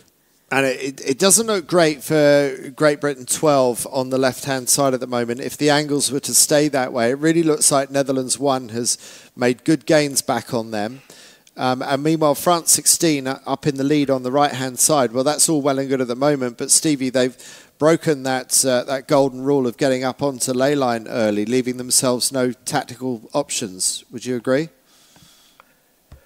Well, they've got no tactical options, but if they're up there and the pressure, they've seen wind and they're going to stay in the breeze, then it won't matter for them. So ultimately, it's now in the hands of, uh, what was he called? Zephyrus, we talked about earlier, wasn't it? It's in the wind god's hands right now. And can we find pressure up there? So if the French, have, I think what they've done ultimately is they got a reasonable left shift at the bottom of the course. And we can see there the British, they're sailing in pressure coming down from the right. So that is good news for the French crew because it looks solid off the shore for me. So yes, no tactical options, but that means the French can just put their head down, think about nothing else other than going fast, and I think they could be quite well positioned up there. But you know, Dutch middle of our screen, they're well positioned as well in nice breeze. They're sailing across a great finger of pressure at the moment, and it could be a decent jump out for these first few boats. So yeah, French have got no more cards to play. They need to hope that the hand stays in their favour, but if it does, they'll be fine. I like where the Dutch are. I think they've given themselves options. They're probably going to definitely be in the top two. If it comes left, it's going to be good news for Grummett. If it goes right, it's going to be good news for Fischer. But if it goes either way, then I think the Dutch will still be in there. Yeah, the Dutch have definitely climbed up the leaderboard uh, since from the beginning of the race today. They were seventh and ninth in the two past uh, mark roundings, and currently, yeah, looks like they're first right now. So Now we're not Well talking about the, we're not talking about Belgium anymore, are we? I mean, No, considering that Belgium were, were leading ar- around the uh, the left-hand gate mark at the bottom of the course, and they seem to have fallen completely out of contention. While there's some others coming up into consideration up the the front of the fleet, and I, I think Peters and Sterrett. For example, have had a pretty good comeback. The other British team, GBR 30. So, so there's a lot of place changing going on behind the front pack. yeah, the Belgians are currently going towards the right, but they're behind a lot of boats that are on top of them windward. So they they will struggle to get out from there. They're a bit of in a locked position. So they're down, down to about it was somewhere in the late teens, the, the Belgians. So that's been a massive fall from grace uh, for Belgium after leading this race in the early stages. It's shocking how quickly that's happened. Yeah. Meanwhile, um, what do you make of the positioning of Netherlands one here? They seem to be having a, a good beat here, Stevie. Th- They've sailed it. They've sailed a really nice upwind leg. It- It was good to be a little bit to the right of the pack early on on the leg. I think that's where the Belgians lost out. They got left early, and and I think they ran into a bit less breeze. The the the, the Dutch really have come straight up the middle of the course. Uh, would be if you were to put a line pretty much as straight as you could hope for, and they've just kept themselves with options and in good pressure. Now, of course, you've got to get those opportunities, but they've certainly taken big advantage of them. Same with Diego Botín, right hand side of our screen there. Him and Florian Trittel, they're up to sixth. They were 15th at the bottom gate. Sailing a nice wind shift up the middle of the course here.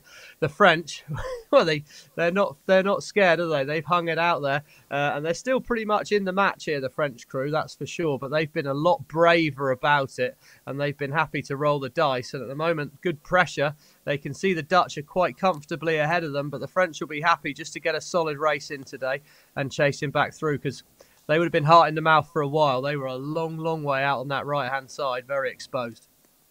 It really looks like uh, the ones that have been going towards the right in the end, they approach, they take like a, they go a bit over the lay line to give them more space. Maybe has been yeah knocking by the time they're coming to the mark, and there's a lot of changes. But a lot of them, I think, prefer to come with speed towards the mark, and that has looked to be working. And then you have the opposites, like the Dutch that approach from the left side and just went around the, the top mark. That is magic. That that's the kind of stuff that freaks me out when when someone j- just manages to sneak through the middle and and suddenly take the lead of a race like that. That is just phenomenal sailing and and possibly one of the most important legs that the Dutch have sailed in this championship so far. Exactly, and especially as normally it looks, yeah, you have more opportunities to come from the sides and win the races, and when you when you just sneak up, it's like, what, what, where did you come from? what happened? Stevie, what's your take? Yeah, I think it. I mean, you, you don't win as many world championships as these guys without having those those sort of skills in the in the bag. And I, I think what it comes from is is they've got the ability to sail. They put the hours in. The reason we train so hard in these boats is to be able to sail the boat like they are there. Well, I mean, I'm about to get seasick following that one at the moment, but uh, they're sailing the boat so flat, but they're doing that fast, efficiently, and then able to have their head out of the boat. And as we see, the Spanish have done the same. They put those hours in that you can sail the boat and then get your head out. Now, you, is it luck?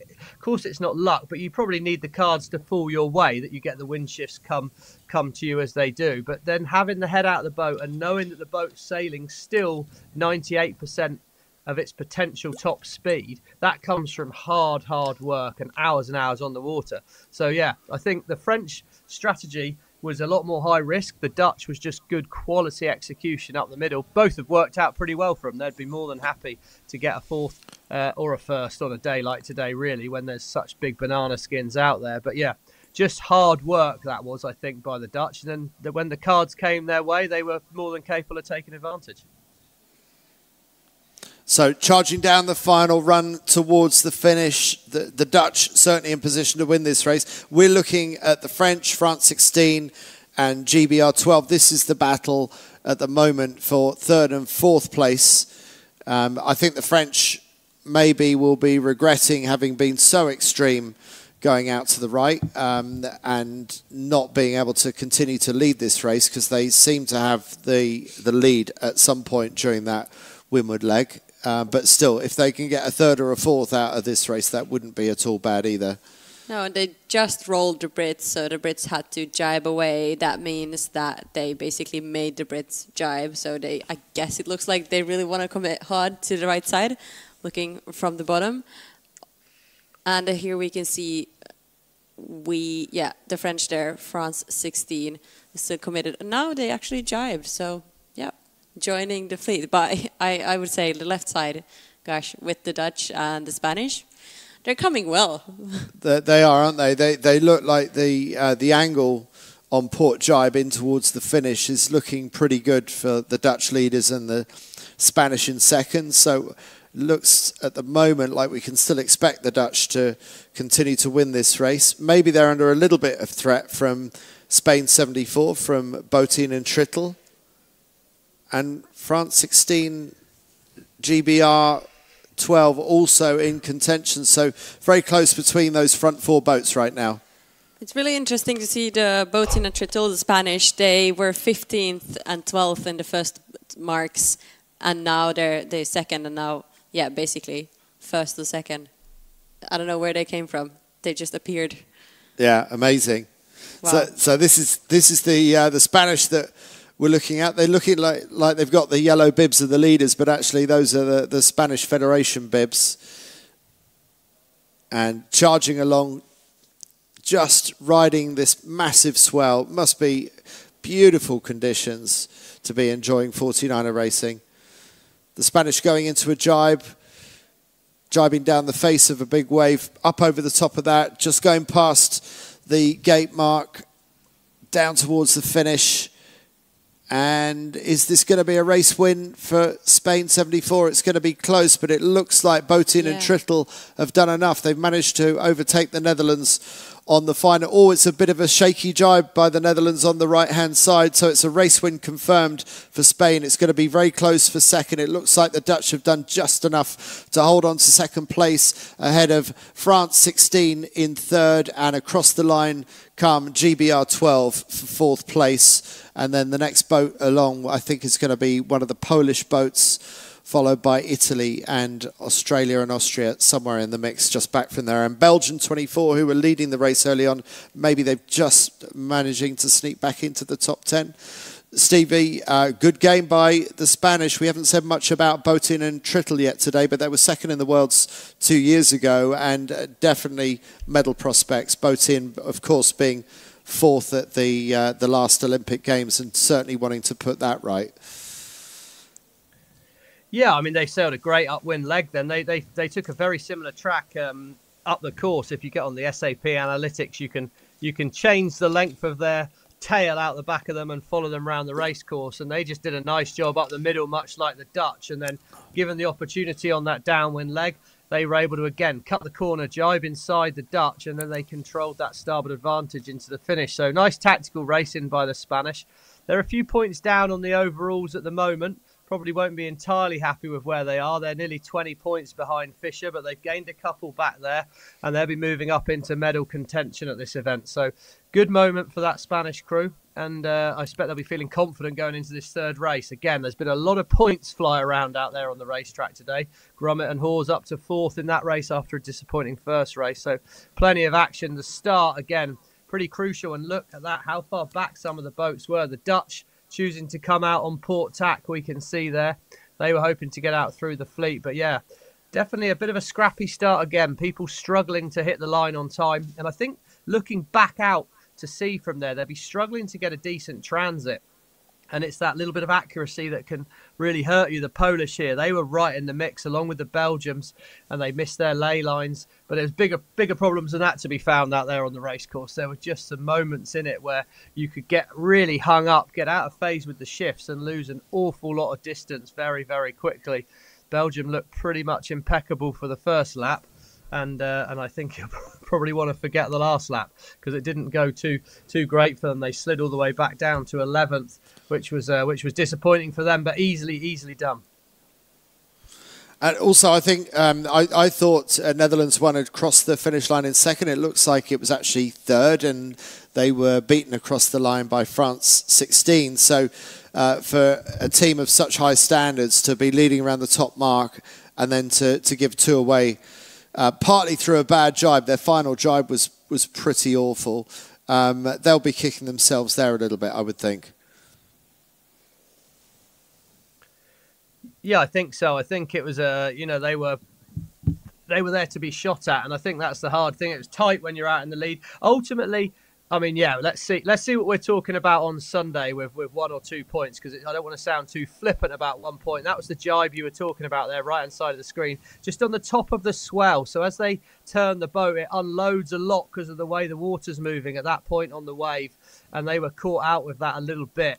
Um, but you know, mistakes can happen to the best of us. But I think right at this stage, on such a gusty, shifty, wacky races kind of day, you'd be just thinking, let's get some decent results in, you know. And I, and I think the Dutch won't be too worried about those couple of points. They'll be looking at it and thinking, well, I'm glad it wasn't a 15th because that was pretty had out there. And, and you know, like Diego Botin, he's got a race win, but in the back of his mind, he'll be thinking, okay, we need to sharpen up here a bit because we were 15th at Mark 1, and actually we made some mistakes to be 15th, and it quite easily might have not got the opportunities we had. So it's interesting the psychology on a day like today. I think you just you're scrapping the whole way around the racetrack, and ultimately, can I get out of today with less than 20 points accumulated over the three races? I think if I could do that, I'd be feeling relatively happy going forward um, as, as that's a fairly solid first day. But we'll see what those averages work out as as the day goes on. Thanks, Stevie. Noora, when we come back after a break, I want to ask you about strategy for what will be the final race of the afternoon, race three in Goldfleet 49er men. Back to you shortly.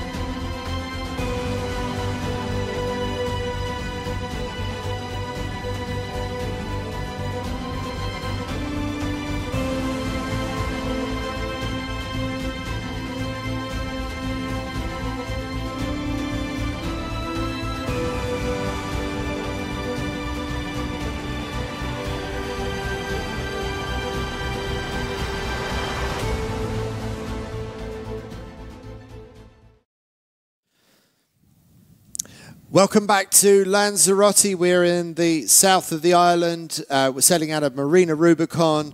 This is day four of the 49er and 49er FX World Championships. It's Olympic year, so there's a lot riding on it. I'm Andy Rice, and I've got two former Olympians with me Noora Ruskola from Finland and Stevie Morrison from Great Britain. I understand uh, that we have the opportunity for an interview fairly shortly. I'm wondering if we're going to be hearing from the Spanish Diego Botin and Florian Trittel, who managed to win that race just at the end of the run to the finish. So let's see if we can hear from the Spanish.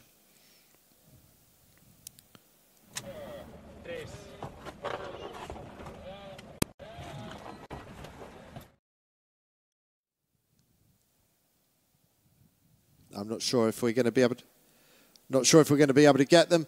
Um, Noora, the strategy, is there such a thing as strategy on a fluky day like today? I'm thinking, for example, do you hit the sides like we're seeing some of the French teams do, or do you try and play it up the middle like we saw the Dutch do so well in that race just now? Yeah, tricky. I mean, there's always strategy, or at least we try to simplify things because that's easier for our heads.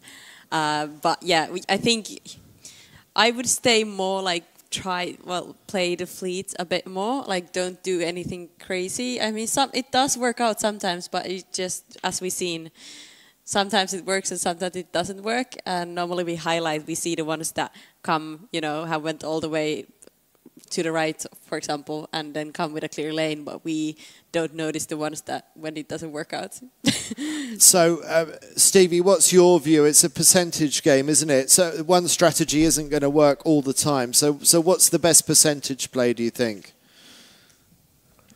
Uh, yeah, I mean it's a risk management game, isn't it, that we're playing out here, and, and I think uh, think it changes day to day, moment by moment. I think ultimately you, you're trying to keep yourself in touch with, say, the lifted tack and a bit of pressure early on on that leg. Um, but if you see something on the side of the course that is the breeze, and you've got to back yourself to make those judgment calls. You don't you don't win gold medals by sitting around in the middle of the fleet. You uh, you, you know you've got to do that a lot of the time, but you've got to know when the opportunity's there to take it. And I, and I think the French, you know, they were they were pretty punchy on that race, but but it worked out well for them. They were brave and they and they were accurately brave. It, it's when you're brave and you get it wrong that's the, that's the trouble. So I think yeah, it's being consistent, stay in the middle, give yourself opportunities, but you're not going to win a lot by just tickling around in the middle. At some stage, you've got to make a brave decision, and uh, uh, and that's what it takes for for any of these guys really. I think that was well said, Stevie. And I wanted to add as well. I think the starts have played a, a big role now today in the afternoon racing with the 49ers. You can really see that the ones that did good starts or found opportunity to get out of the start if they had a bad one and just get on the right beat with the shifts uh, made a difference because if you had a shocker it's it's tricky to climb up from there yeah, I, I, would say that was very true of the first race. I wasn't so convinced about the importance of the start in the second race. It was it was a messy start anyway, so maybe That's some true. people didn't uh, uh, maybe it didn't matter that much because of that, because it was quite a sloppy start. Belgium had a good start, and, and they they made the running early on in the race, and the, and then not quite sure where it went so badly wrong for Belgium. Um, but uh, yeah, I, I wasn't. I, I felt like some people really came back from quite deep from the start and still still had a good race. And I, I, I'd say all, all, day long for the 49er FX and the 49er, if you, if you get a bad start today, there, there's enough opportunity on this race course to, to still come back. But of course, you always want a good start if you can get one, don't you, Stevie? I, I definitely think that if you're if you're out in the lead, you're giving yourself every opportunity. That sometimes, I mean, I think what you've got to remember back to is the first race. We can kind of wax lyrical about how how well Bart and uh, uh, uh, and Co sailed back through the fleet in that second race, and they did. They did a fantastic job. But in the first race, they stayed exactly rooted where they were, right at the back of the the low teens result wise. So I think it, you know, it, it's hard out there on the racecourse, and yes. There might be opportunities to come back through, and there's certainly a lot more chance for there to be an opportunity to come back through than on a sea breeze day in Marseille, where the wind's not really shifting at all, and and the track's going to be really closed down.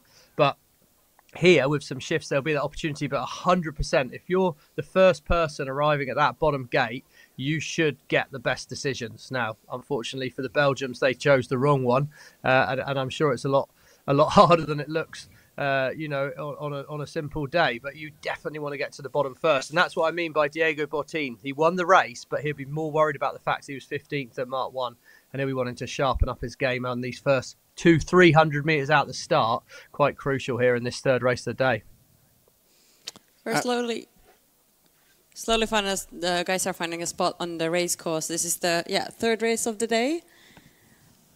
And uh, yeah, to be fair, I think the racing committee have been doing these races pretty quickly. Like the conditions have been perfect; they've been spot on, just like rolling in the next start right after a quick little break from the previous one, which makes the racing and everything so efficient. That's what we all like to see. Now let's have a have a look at the overall leaderboard. So Fischer and Pequin still holding on to the lead with 34 points ahead of Lambriex and Van der Werken, still in second in 43 points. Uh, but that race win moves Botin and Trittel up and into the podium for the first time this week uh, sailing on home waters. They're now in uh, with 54 points, same as Staniul and Sztorch, the Polish team, also on 54.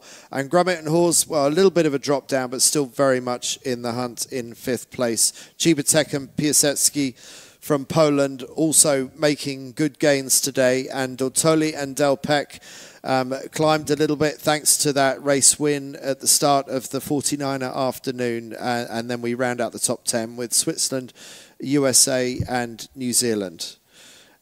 And we are just, what, just over a minute away to the start. Looks like we're um, pretty much in sequence, and um, the uh, the fleet looking very lined up. And as long as there are no last minute curveballs, no last minute shifts, this looks like it should be a, a much more even start from left to right across the, the start line. Bit of a gaggle up at the committee boat end.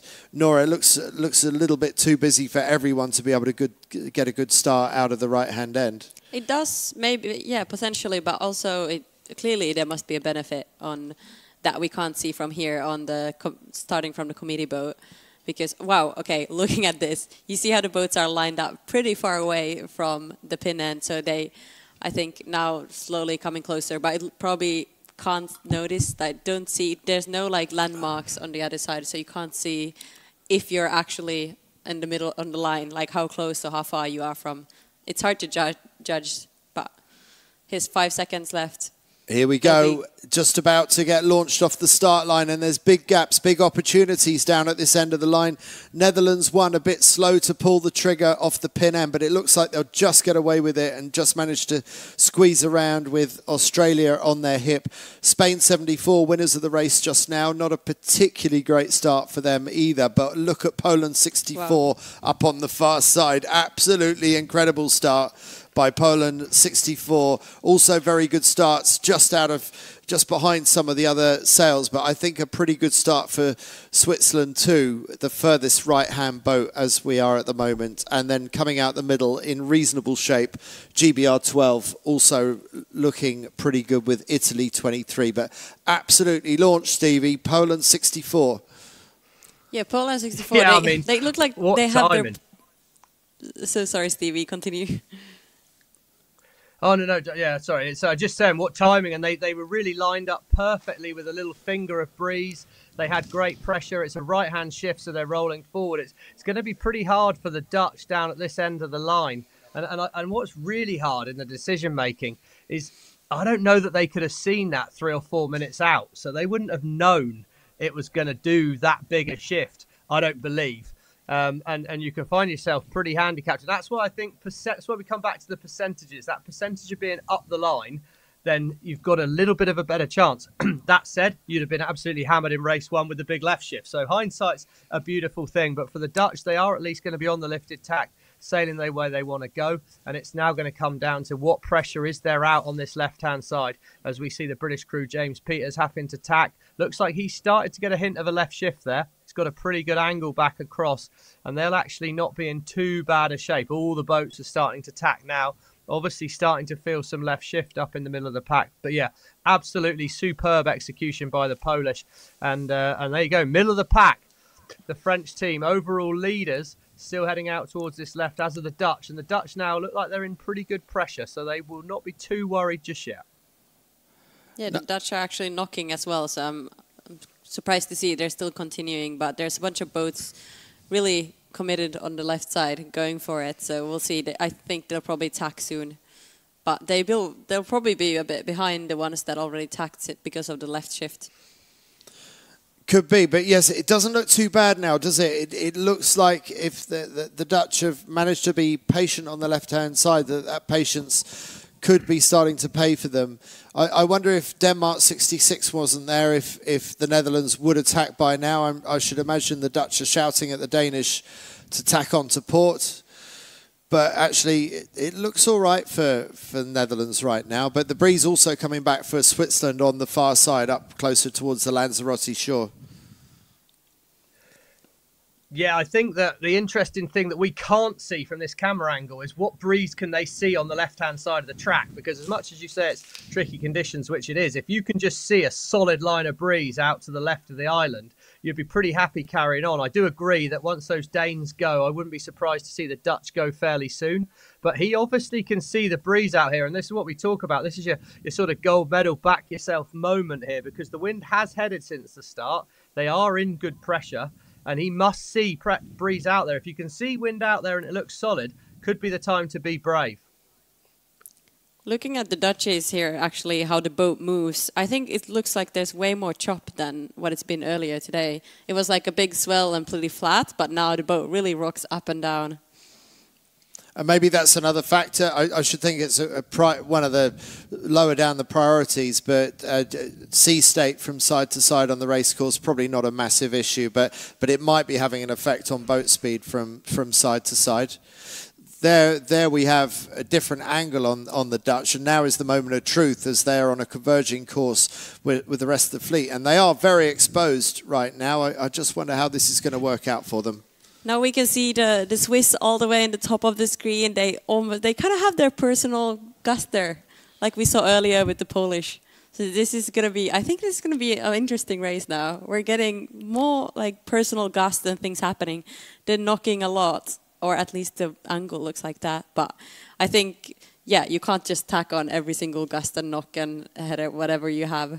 You're gonna stay on the lane for a bit longer just to see what's next. This this is probably as much tacking as we ever see in a 49er race in this kind of wind, wind strength. I mean, there, there's the, the gusts and the lulls, and there, there's so many potholes in the road, and it's worth putting in the extra tack to avoid one of those potholes or hurdles or whatever you want to call them.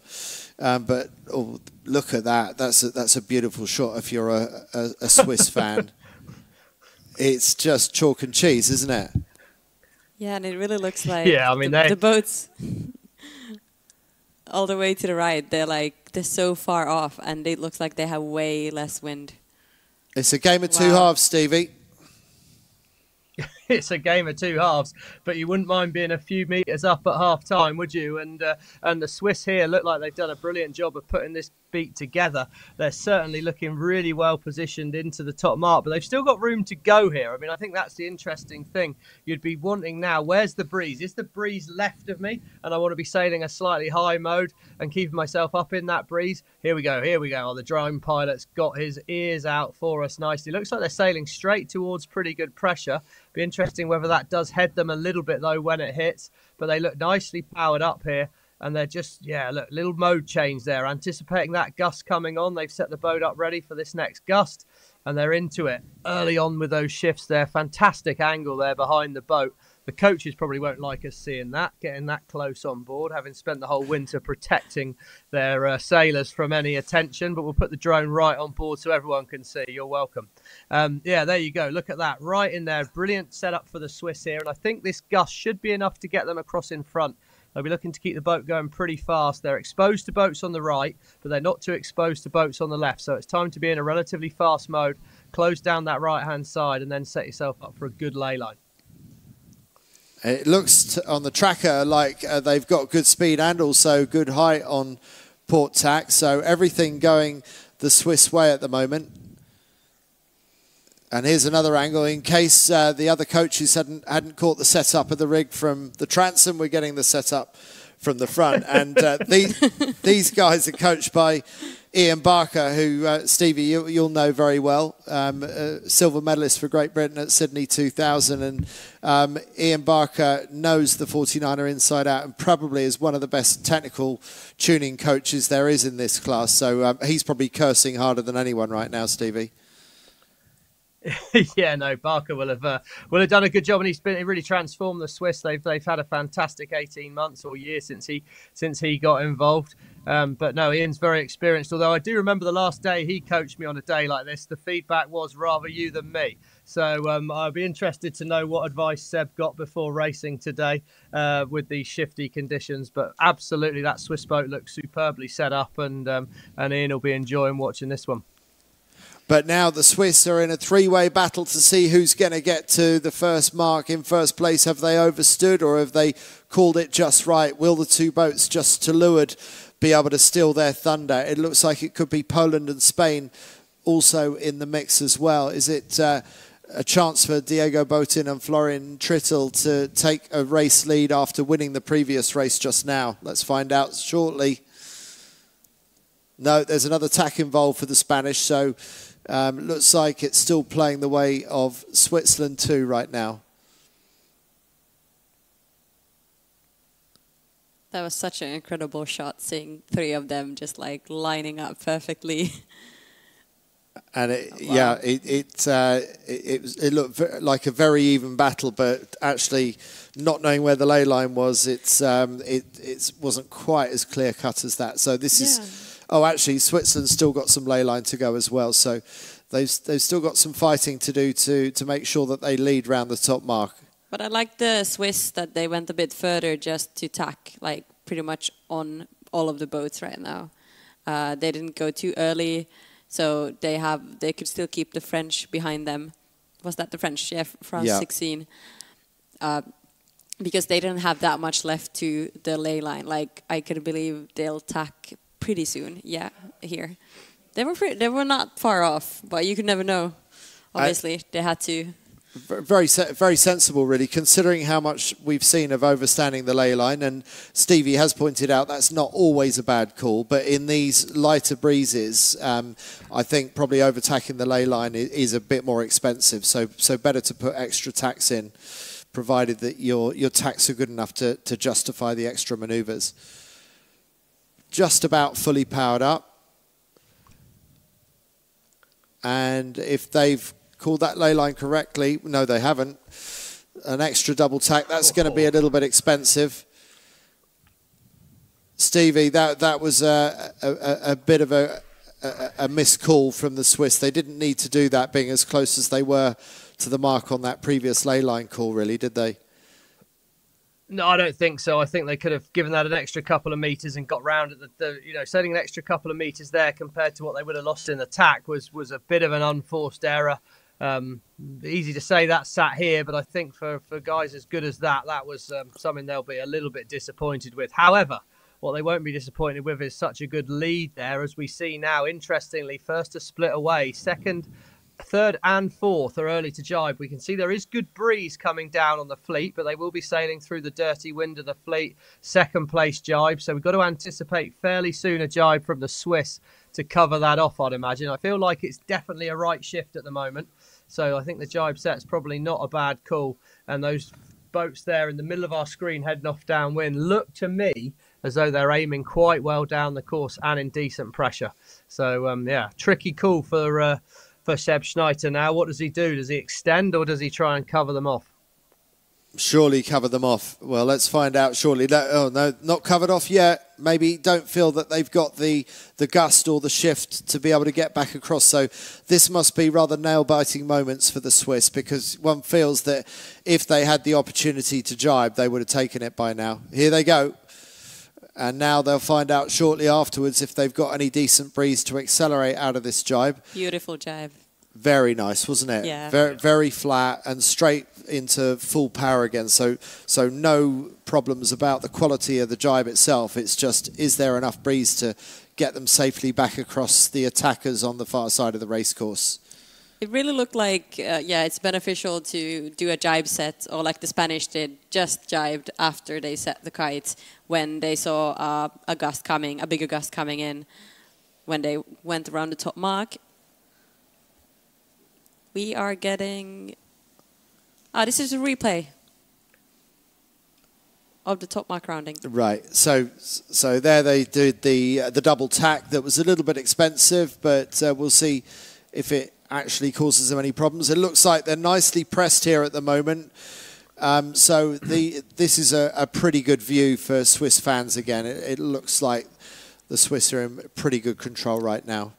Yeah, and looking at the tracker, like their angle is is pretty good. It looks like it's going like way to, more towards the bottom mark compared to the ones that jibed early, uh, that did the that are still on the right side of the course and now coming back slowly from there. The Spanish, for example, all the way to the right together with uh, the Polish. Beautiful jibe from the Italians there.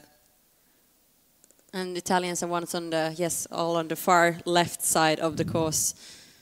So we have basically the, the ones that are approaching the mid. Well, we have the Dutch, but they're a bit further back, but they're in the middle, and Swiss more middle left. Then Italians all the way right, and Spanish and Polish all the way right. Did I? No, I got confused. It, dep- it depends on your left. Andy. it depends on your lefts and rights. I It's meant always- left and right. It's always difficult to call, isn't it? What's what's left and what's right? Yeah. Um, is it from our lost. perspective or is it from from theirs as they go downwind? And and that's a communication thing as well, Stevie, isn't it? Sometimes people can get that wrong on board boats as well. Oh, absolutely, and uh, can't hold your hand up to check the old left and right with your thumb and your forefinger when you're sailing one of these things. That's for sure. So it's definitely, uh, definitely a problem area. But we're on board the Italians here, and it's noticeable how much the crew on this jibe where they're sailing down the swell. Watch the crew how he's running forward and backward there to try and kick the boat down it. And I think, you know, these kind of conditions, that kinetics that you can put into the boat can be quite crucial. But a lot of that tends to land on the shoulders of the crew as the helm's trying to lock himself in position to be able to steer accurately. Setting up for a jibe here.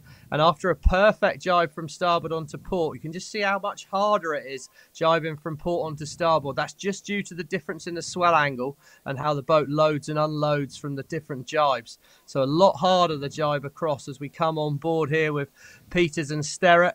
They're somewhat in the middle of the pack here. They're fifth place, so this is a decent one for them today. They've got the boat up and ripping here nicely and it's how well are they lining themselves up for this bottom gate. They set up for a jibe there. Spinnaker a little bit late on the clue of the Spinnaker there, but they pulled it through. Good handwork by Fynn to catch up, and they set themselves up nicely there. Look like they're in good pressure, but the Swiss dominant position right now sailed a very nice downwind leg, and we see looking back upwind, there's a lot of breeze coming down for the start of this next upwind leg.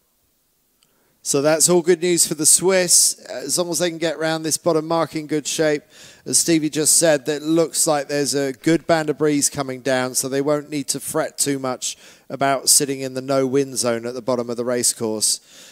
We, we know that from the previous five races today, three in the 49er FX and two in the 49er, there's plenty of place changing that can happen.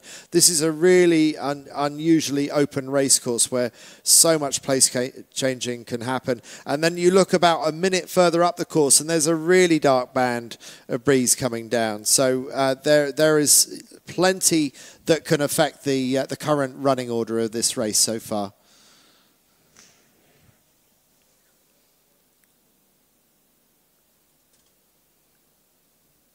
Absolute minefield for this upwind leg, really, I think, here, as you see that huge gust coming down and how much the gaps have opened up in the fleet. There's already some pretty big gaps. Those boats out the back are a long, long way behind. And they do include the Dutch. The Dutch are showing us back in 17th place, 18th place at the moment. So potentially a very expensive race for them with the France 16 up in third at that bottom gate.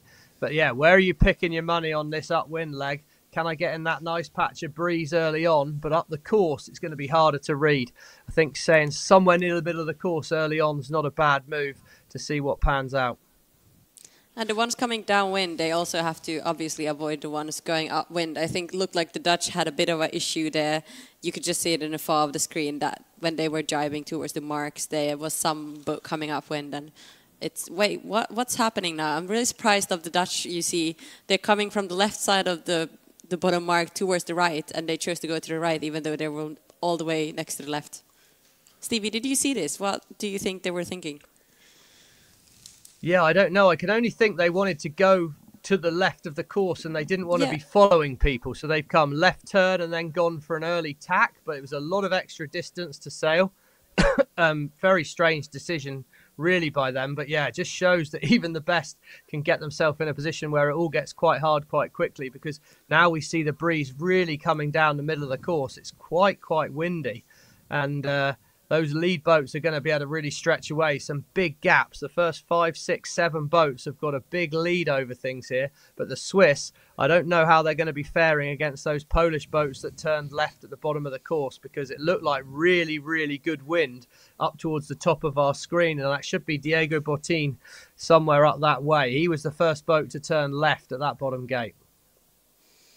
Also, we think we see everything here with all the tracks and videos and drone angles, but there clearly, I mean, there, there can be some things that we just totally miss on the race course and we can't see from from this angle. No, that, that that's always the way, isn't it? If only we could look further to the left and, and, and see what uh, Seb Schneider and Arno de Planta are, are looking at further upwind. But it does seem like their lead is under threat from the boats further right, from Poland 64 and Spain 74. So.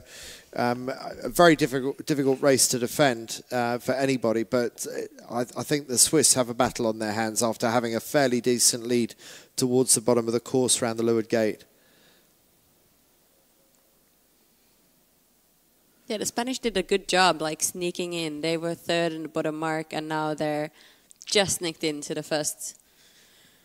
Well, wouldn't, wouldn't that be amazing if if they can win two races this afternoon and that would uh, really put them up into contention. They- already got up into a podium spot. Will it be enough to start threatening the front two, uh, the Dutch in second overall and the, the French in first overall? It seems like the Spanish are making sense of these really difficult conditions. Yeah, and I don't know if this is actual their home waters, but I know they have spent a lot of time here.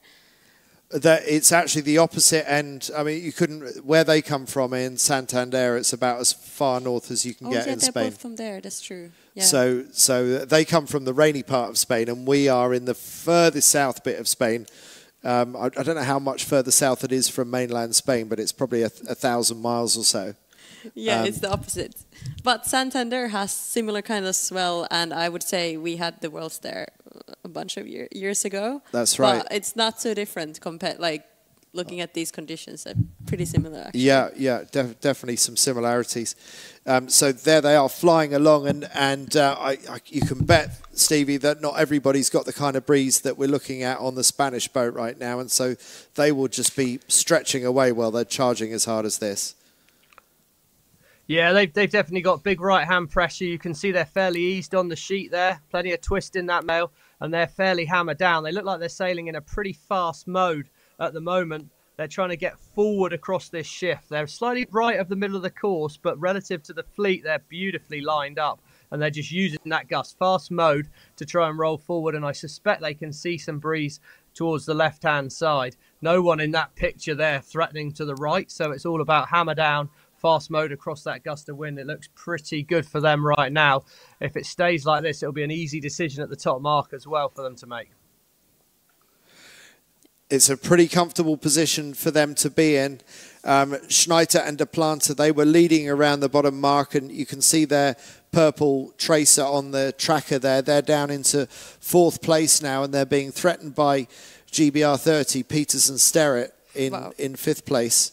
Looks like there's a big, big uh, shift right now ongoing. Oh yeah, the Spanish and the Polish. You can see their angles just going like further away from the top mark. But and I was kind of waiting like when are they going to attack? But clearly they probably wanted to go into the gust that was approaching and then do the attack. Since as we spoke earlier, they don't really move the gusts here. They kind of stay set put, and you have to go in there. So we're on the final beat of the afternoon. This is race three, Gold Fleet 49er men. We've already seen three 49er FX races earlier in the day. Uh, we just saw Spain ESP 74 win the previous race in race two of the Gold Fleet men, and it's currently Spain 74 who hold the lead yet again um, to, coming towards the top of the course in race three. It's once more around the windward mark, and then it's the charge down to the finish, and it will be the end of a long, mentally taxing day. Stevie, it's uh, it's been a bit of a mind twister today, hasn't it? Well, yeah, I mean, I, we've had to do six races. They've only had to do three. So I guess mentally it's been a real twister for us, Ricey. But um, yeah, it's hard. I mean, it's been hard, hard racing. The, the saving grace has been there's generally speaking been enough breeze that they can be up and planing. I think it's the moments where you see the helm and the crew crouching in and they're in a displacement mode. Then you're really in the lap of the gods. We saw the Spanish there. They sailed a dramatically different mode to get to that new wind speed, which you can do when you're planing. But as soon as it's that little bit lighter and you're in a displacement mode, it's very hard to sail the different modes aggressively, and then you are limited. So I think these last couple of races for the 49er men has been a little not it's no way has it been easier but it's been a little bit more we can make some actual choices and get to the wind we want to get to as i think some of the fx races would have been pretty painful because you were so limited by by your moding as to what you could actually do. And yeah it's going to be interesting to see how the top of the beat works out. Can diego hold on? Because that polish crew's not going away at all quickly No, and um, the, there's a bit of a split developing between them. The Polish sailing out towards the left-hand lay line towards the top mark, and the Spanish, I thought, were heading in the right direction for the next gust. It looked like there was a good gust from their direction. I think it is the right call for them. I think they look a little bit higher and faster, and if anything, maybe it's the Polish in second who are looking a little bit more exposed at the moment. But actually, yeah, the, the gaps are, yeah, it's still reasonably comfortable for the Spanish, but um, we know how much things can change on this final run to the finish, and, and Poland still has a chance of attacking Spain on the final downwind leg. Now, the big decision next is it a straight set or is it a jibe set? It's a straight set, and a pretty good one for Diego Botin and Florian Trittel, soon to be followed round by Poland 64. I think um, quite quietly here as well. Fischer and Pequin have done a nice job. We've already talked about them a lot in the last two races, but they've been right up at the front of the fleet. They've been chipping away quite nicely. They're sat right now. They're sat in fourth place, very tight for third. Um, you know, they're right in the match here, that French crew. And, and I think as much as this has been a good performance by Botin and Trittel, the French have been chipping away. They're potentially being overtaken by James Peters and Fynn Sterritt here. Um, but yeah, great day for the French. And probably bigger story going on is way, way back in the fleet is the Dutch. Back at 24th, it's showing out on the tracker right now. So this could be a huge, huge moment in hopes of defending their world title for the Dutch because they've already got a 20th from the qualifying series that they'd need to go back on. Yeah, this is disastrous for the Dutch. They rounded the top mark in 16th. They they sure, surely thought at that point, well, we can only go forwards. But unusually for Lambriex and Van der Werken, they've gone pretty much to the back of the fleet, just just just one boat off the very back of this 25 boat fleet. So scary moments for the Dutch, and uh, they'll, they'll have to see what they can make of this final run downwind. Looking at the final race now, we can see it's it's getting way more patchier now throughout the end of the day. Uh, it picked up well after the FX races, but now it looks like we will. There will be bigger differences for sure in speed and just angles as we've seen throughout this whole race. More opportunities, but also bigger distances between. I think bigger distance def definitely between the lead and the, like the pack yeah, of the fleet. Yeah, it, it, it is it is getting a little bit patchier. There we were with New Zealand four very briefly. We're not seeing as much of them this week as I expected to. They're they're in about ninth or tenth in the race at the moment. And it looks quite comfortable for Spain when you see that angle. They're sailing the same direction as their closest rival, Poland 64, and they're doing a, a loose cover.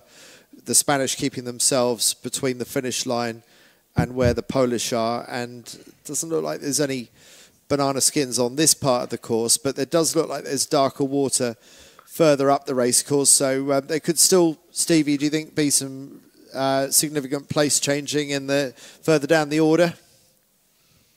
I think definitely further down the order, the French, uh, not the French, sorry, the Spanish here look like they've managed to poke right round the bottom of that lull that the Polish find themselves in. So I think this could turn out to be quite a big lead for the Spanish when we get down towards the finish line here. They look well set, but without doubt, if you're back in the pack, there's plenty to be played for. That's the Polish with the black spinnaker out the back there, and they were just, you know, tens of meters behind Botin at one stage. But yeah, they ran into a big hole, and they're going to have the whole pack breathing down their neck now as Diego and Florian. Well, look at that. It's a bit of a bit of a show for the crowd right now for them. They've sailed fantastically in these last two races, and they are always not happy with the drone. Come on, Diego, keep us entertained, mate. But um, yeah, he needs to uh, he needs to needs to chill out about that when he's that far ahead. I think for sure he's doing a great job. They've sailed brilliantly in the last two races, and they're going to go in absolutely full of confidence. What a time to hit this level of form on a day at the World Championship. Absolutely amazing. And uh, if things stay the way they are, then they would move up to second overall. So, really good gains by Spain 74 today if this proves to be the second of two race wins on this three race day, the first day of Gold Fleet.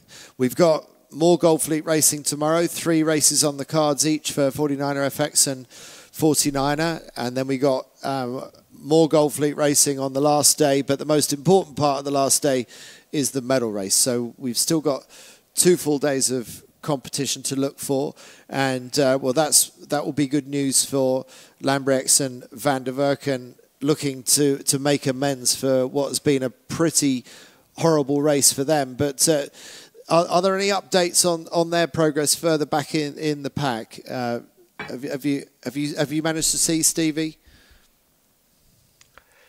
Uh, to be honest, right now, just having a few glitches with uh, with my tracker. To be perfectly honest, so relying on what what's on the live screen here. I mean, what what we would say is when you look back upwind and you see that breeze filling down, the Dutch will have absolutely had the opportunity to make some gains back through the fleet. So it'll be interesting what they can do with that. Their tracker currently shows that they've made a massive gain. Um, but I think uh, it's been jumping around a little bit, uh, and I'll wait till I see them cross the finish line before I hold my hat on it. But yeah, definitely going to have been opportunity on this day for some big gains for those boats behind. And if there's any crew that you'd put money on making it, you'd put it on that Dutch crew.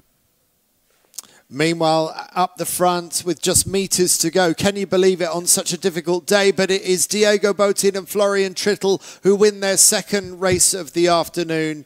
And what an amazing performance by the Spanish sailing on home waters with the overall series leaders about to come across the line.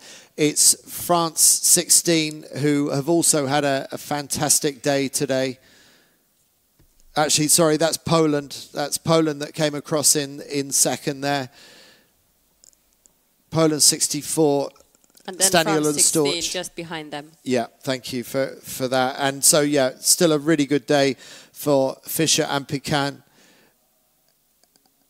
And then GBR 30, James Peters, Fynn Sterritt. Good finish for them. That's a bit more like it from them. Bit disappointing for Switzerland too, for Sebastian Schneider and Arno de Planta after leading that race to end up dropping down to fifth or sixth, whatever that was. And there we are back on board with Botin and Trittel heading back towards Marina Rubicon and some well-earned uh, rest and recuperation when they get back ashore. And partnership duration, 29 months, so two and a half years these guys have been sailing together. Diego Botin did the uh, the last Olympics uh, with Iago Lopez. They finished just outside the medals in fourth place, and uh, Florian Trittel was in the NACRA 17 uh, with Tara Pacheco, but then he switched to the 49er to team up with Botin, and they, they got second in the Worlds a couple of years ago. They are, I think, possibly up to second in the overall standings now after today. Um, that's how I've got it. I think they've just moved ahead of, of Poland.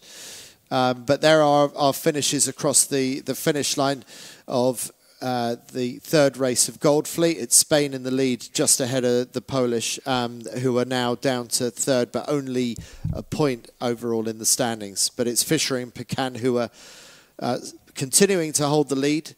But a, a disappointing day for Lambriex and Van der who would have hoped to have make, made inroads on the, the French lead, but instead the Dutch have slipped back down to fourth place overall. Here's the start of the race. So it's the Dutch who managed to get away with a, a pin end start, but maybe that wasn't where they wanted to end up. And uh, Sebastian Schneider, Ar- Arno de Planta lead in the early stages of the race and, and hold on to that. And then vital intel from the drone telling us how they set up their rig, something that Stevie enjoyed an awful lot. And just coming up to the mark, they had to do a double tack, a little bit expensive for them, misjudging the lay line so close to the windward mark, but still in a very nice position at the front of the fleet. And just in the background, you can see France 16, uh, Erwan Fischer and Clement Pequin, always there or thereabouts. Swiss still leading round the bottom mark, but then things were going to change significantly on the the leg up, and uh, they didn't manage to to maintain their lead all the way towards the top mark final time because it was Spain 74 who managed to seize the advantage round the top mark for the final time of the afternoon and managed to maintain that lead all the way to the finish and take the second of two race wins this afternoon. So, as Stevie pointed out earlier, Diego Botin not terribly happy about the close attentions of the drone. First drone complaint we've had of the, the, the day today, Stevie. Um, he, he's going to enjoy that further down the line after he's got his feet up in his armchair, though, being able to look back at all this stuff. Um, we, we don't we don't have quite that level of um, historical recording of back when we were selling the 49er, but it's great to have those drone shots, isn't it? I was just looking into where Oh, we it's a- lost the Swiss. Actually, we lost them on the second upwind. day. I just went a bit too far left in the beginning, and I think they missed like a gust or a shift that was just crucial because they couldn't get back into the game after that, or they could, but not well enough. Not well enough. Not leading. Yeah. Um, Stevie, um, uh, who your who was your standout boat today? Is it is it the boat in picture, or is there somebody else you want to highlight? I, I think it's very hard to look past them. They've sailed a sailed a fantastic day, and that second race especially, they really worked so hard to get back up through the fleet. I think Fischer and Pequin, you know, they had a tricky first race, and then they've kind of quietly gone about their business for the next two. When we look ahead to a windier day tomorrow, could well suit them. They're a big crew, and they've got some got some really quite good pace. And then for everyone else, been pretty up and down, really. I mean, it just almost what we'd expect. It's a high quality, it's a tight fleet. Um, there's a lot can happen on a day like today. So yeah, I think I'd give it to those two boats. Hard to look past the Spanish really for the boat of the day with two wins to end things with there. They'll be going in pretty happy, and um, and I'm sure Diego will be more than happy to have the drone back with him tomorrow because he seemed pretty happy to have it following him behind him after he'd finished the race. So uh, he'll be he'll be looking forward to that tomorrow. Um, but it's all going to be about getting a good rest tonight. The crews will already be thinking nutrition, rest, and we've got to go and do this again tomorrow because uh, winning the World Championships doesn't come easy. So there's a lot of hard work left ahead. Yeah, and we're in for a, a windier day tomorrow. We understand from the forecast as well, Noora. So um, it could play into the hands of, of different contenders. And and who who do you fancy in the 49er FX fleet if the breeze does pick up tomorrow? If it does pick up, I would expect to see the Swedish to send it pretty hard with their speedy. But for sure, there's many teams that could be good. But I think the Swedes for sure will will challenge both well, the Brazilians and the Dutch. Well, I, I, I tend to think that Aanholt and Duetz, who uh, Van Aanholt and Duetz from the Netherlands, who are leading at the moment. Um, I don't think they're weak in the in the strong winds at all, but I, I do think that Bobeck and Netzler possibly have an extra click of speed in the in the strong wind because they're tall, they're a little bit heavier, and that's probably what they need because. Uh, the Dutch really aren't putting much of a foot wrong. They they managed to negotiate their way through a really difficult day today. And Grael and Kunze, we haven't seen much of them this week until today, and they, they a really great day for the Brazilians to lift themselves up into third, just ahead of these Australians that are surprising us in fourth place, Harding and Wilmot. Yeah, it's really cool to see them up there, and we hope to keep them there for the upcoming days as well. But I think the Spanish could be pretty strong looking for tomorrow as well. They're they're strong in, in wind. They're, they're, they're tall, they're experienced, and as Stevie, you pointed out, I didn't know this great stat, but they, they won the World Championships leading into the previous two Olympic Games. So uh, that's, that's 2016 and 2020, they, they won the World Championships. So uh, Destiny says that uh, it is the Spanish who will win here on home waters. Is that your thought, Stevie? I'm not too sure. Uh, yeah, I'm not too sure. We'll see about that. I think personally, I thought the Dutch sailed superbly. Uh, I, I, really rate their boat handling, so I don't see you getting many free points from them. I think the Swedish could rue a couple of races today when it comes to it. Of course, we'll see a strong performance, um, but I think the Dutch did put down a real marker today of consistency. Let's see. Jo Aleh will be looking shed that capsize at the bottom gate in race one today. That's potentially 20 points you could take off her total. That'd put her somewhere near Martine and Kahena. So, you know, there's plenty of points left out there, plenty of opportunity to be found on the racecourse for sure. But um but yeah, I think it'll be a challenging day for the crews. But I, I think um, I think they're all going to be hanging out for a mistake now from the Dutch. Yeah, no, I, I think that's probably right. I mean, they they had a, a minor blip last year, not winning the Worlds, coming second, but that was with Annette Duetz carrying a pretty heavy knee injury and, and in doubt for whether she was able to race those championships at all. So um, overall, Duetz and uh, Van Aanholt have really been the, the standout performers. And um, Noora, you and I were commentating on their first World Championship win together in Oman Yeah. uh, just over two years ago, yeah. and that was the first time that we saw Bart Lambriex and Van der Werken, uh, Floris Van der Werken, win their first World Championship together, and they haven't long teamed up actually at, at that point. And it was a bit of a soft world. It was just after the Olympics, and we there were a few people missing, so we didn't really know just what an indicator of, of how they would be. But I mean, um, and Van der Werken have been the, the dominant team of, of this cycle in the men as well. So, a um, bit of a surprise to see them struggle as much as we did today. That that's the first time I can remember in quite a long time seeing the the Dutch world champions struggle the way that they did today. That's true, but let's be fair. Everyone has their, you know, even though they have they struggled today, I believe that they can pull off tomorrow and just climb up the ladder again pretty quickly. And Stevie, you, you said that that um, 20th that they got at the end of qualifying was was a big mistake. I mean, a 20th actually means a 40th when you, when you think that it's one half of the qualifying group. I, I, I didn't see how that happened. Did you, did you have any insight into what happened in that race and, and why they got a 20th yesterday? Uh, do you know what? I, I, I, didn't actually, Andy. No, I, I don't know what happened. I mean, I know it was very gusty, very shifty, and there was quite a sudden change in, in one of their races where the wind came from being, it was constantly left of the mountain. It was a bit further left than yesterday, and then it ended up much more towards the right. But, but yeah, suddenly, if that had just been a 10th, you'd be able to take 10 points off the Dutch total quite easily because uh, that they wouldn't be using their discard up in qualifying, which is you know I just always felt like the difference with these World Championships. You want to get out of qualifying, yes, with good results, but also having not burnt your discard. So that that definitely jumped out at me. Um, young British crew there, James Grummet, Ross Hawes. I mean, they're in pretty rarefied territory there, so they'll be pretty chuffed to have had a good solid day today. They'll see what they can do tomorrow.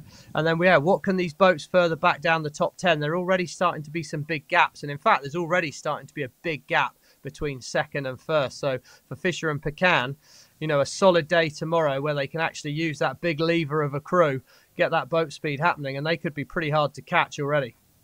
Which is going to make them put them in the box seat for selection for France, and and um, this is really impressive. And I, I, shouldn't be so surprised because we saw another French team uh, win the uh, the Europeans at the end of last year. But the, the, French really seem to be coming on strong just when they need to. Uh, and also today, the Spanish Diego Botin and Florian Trittel uh, now up to second. And we didn't have much to say about Staniul and Sztorch, but Poland 64 they they've been chipping away all day, and that's going to do them uh, no no trouble at all in terms of the uh, whether they get selection to represent Poland at the Olympic Games. So uh, uh there's a lot else in play other than um, who's going to win this world title. It's it's about who grabs what they need to be selected to go to Paris 2024 uh, later on this year. So make sure that uh, you tune in with us tomorrow, 49er.org slash subscribe, and then you'll make sure that you get all the notifications to make sure that uh, you're with us and you don't miss the action tomorrow. Uh, from uh, me, Andy Rice, uh, from my fellow co-commentators Noora Ruskola and Stevie Morrison. Thanks very much for watching today. We're going to finish with some highlights and we look forward to seeing you tomorrow for day five of the World Championships.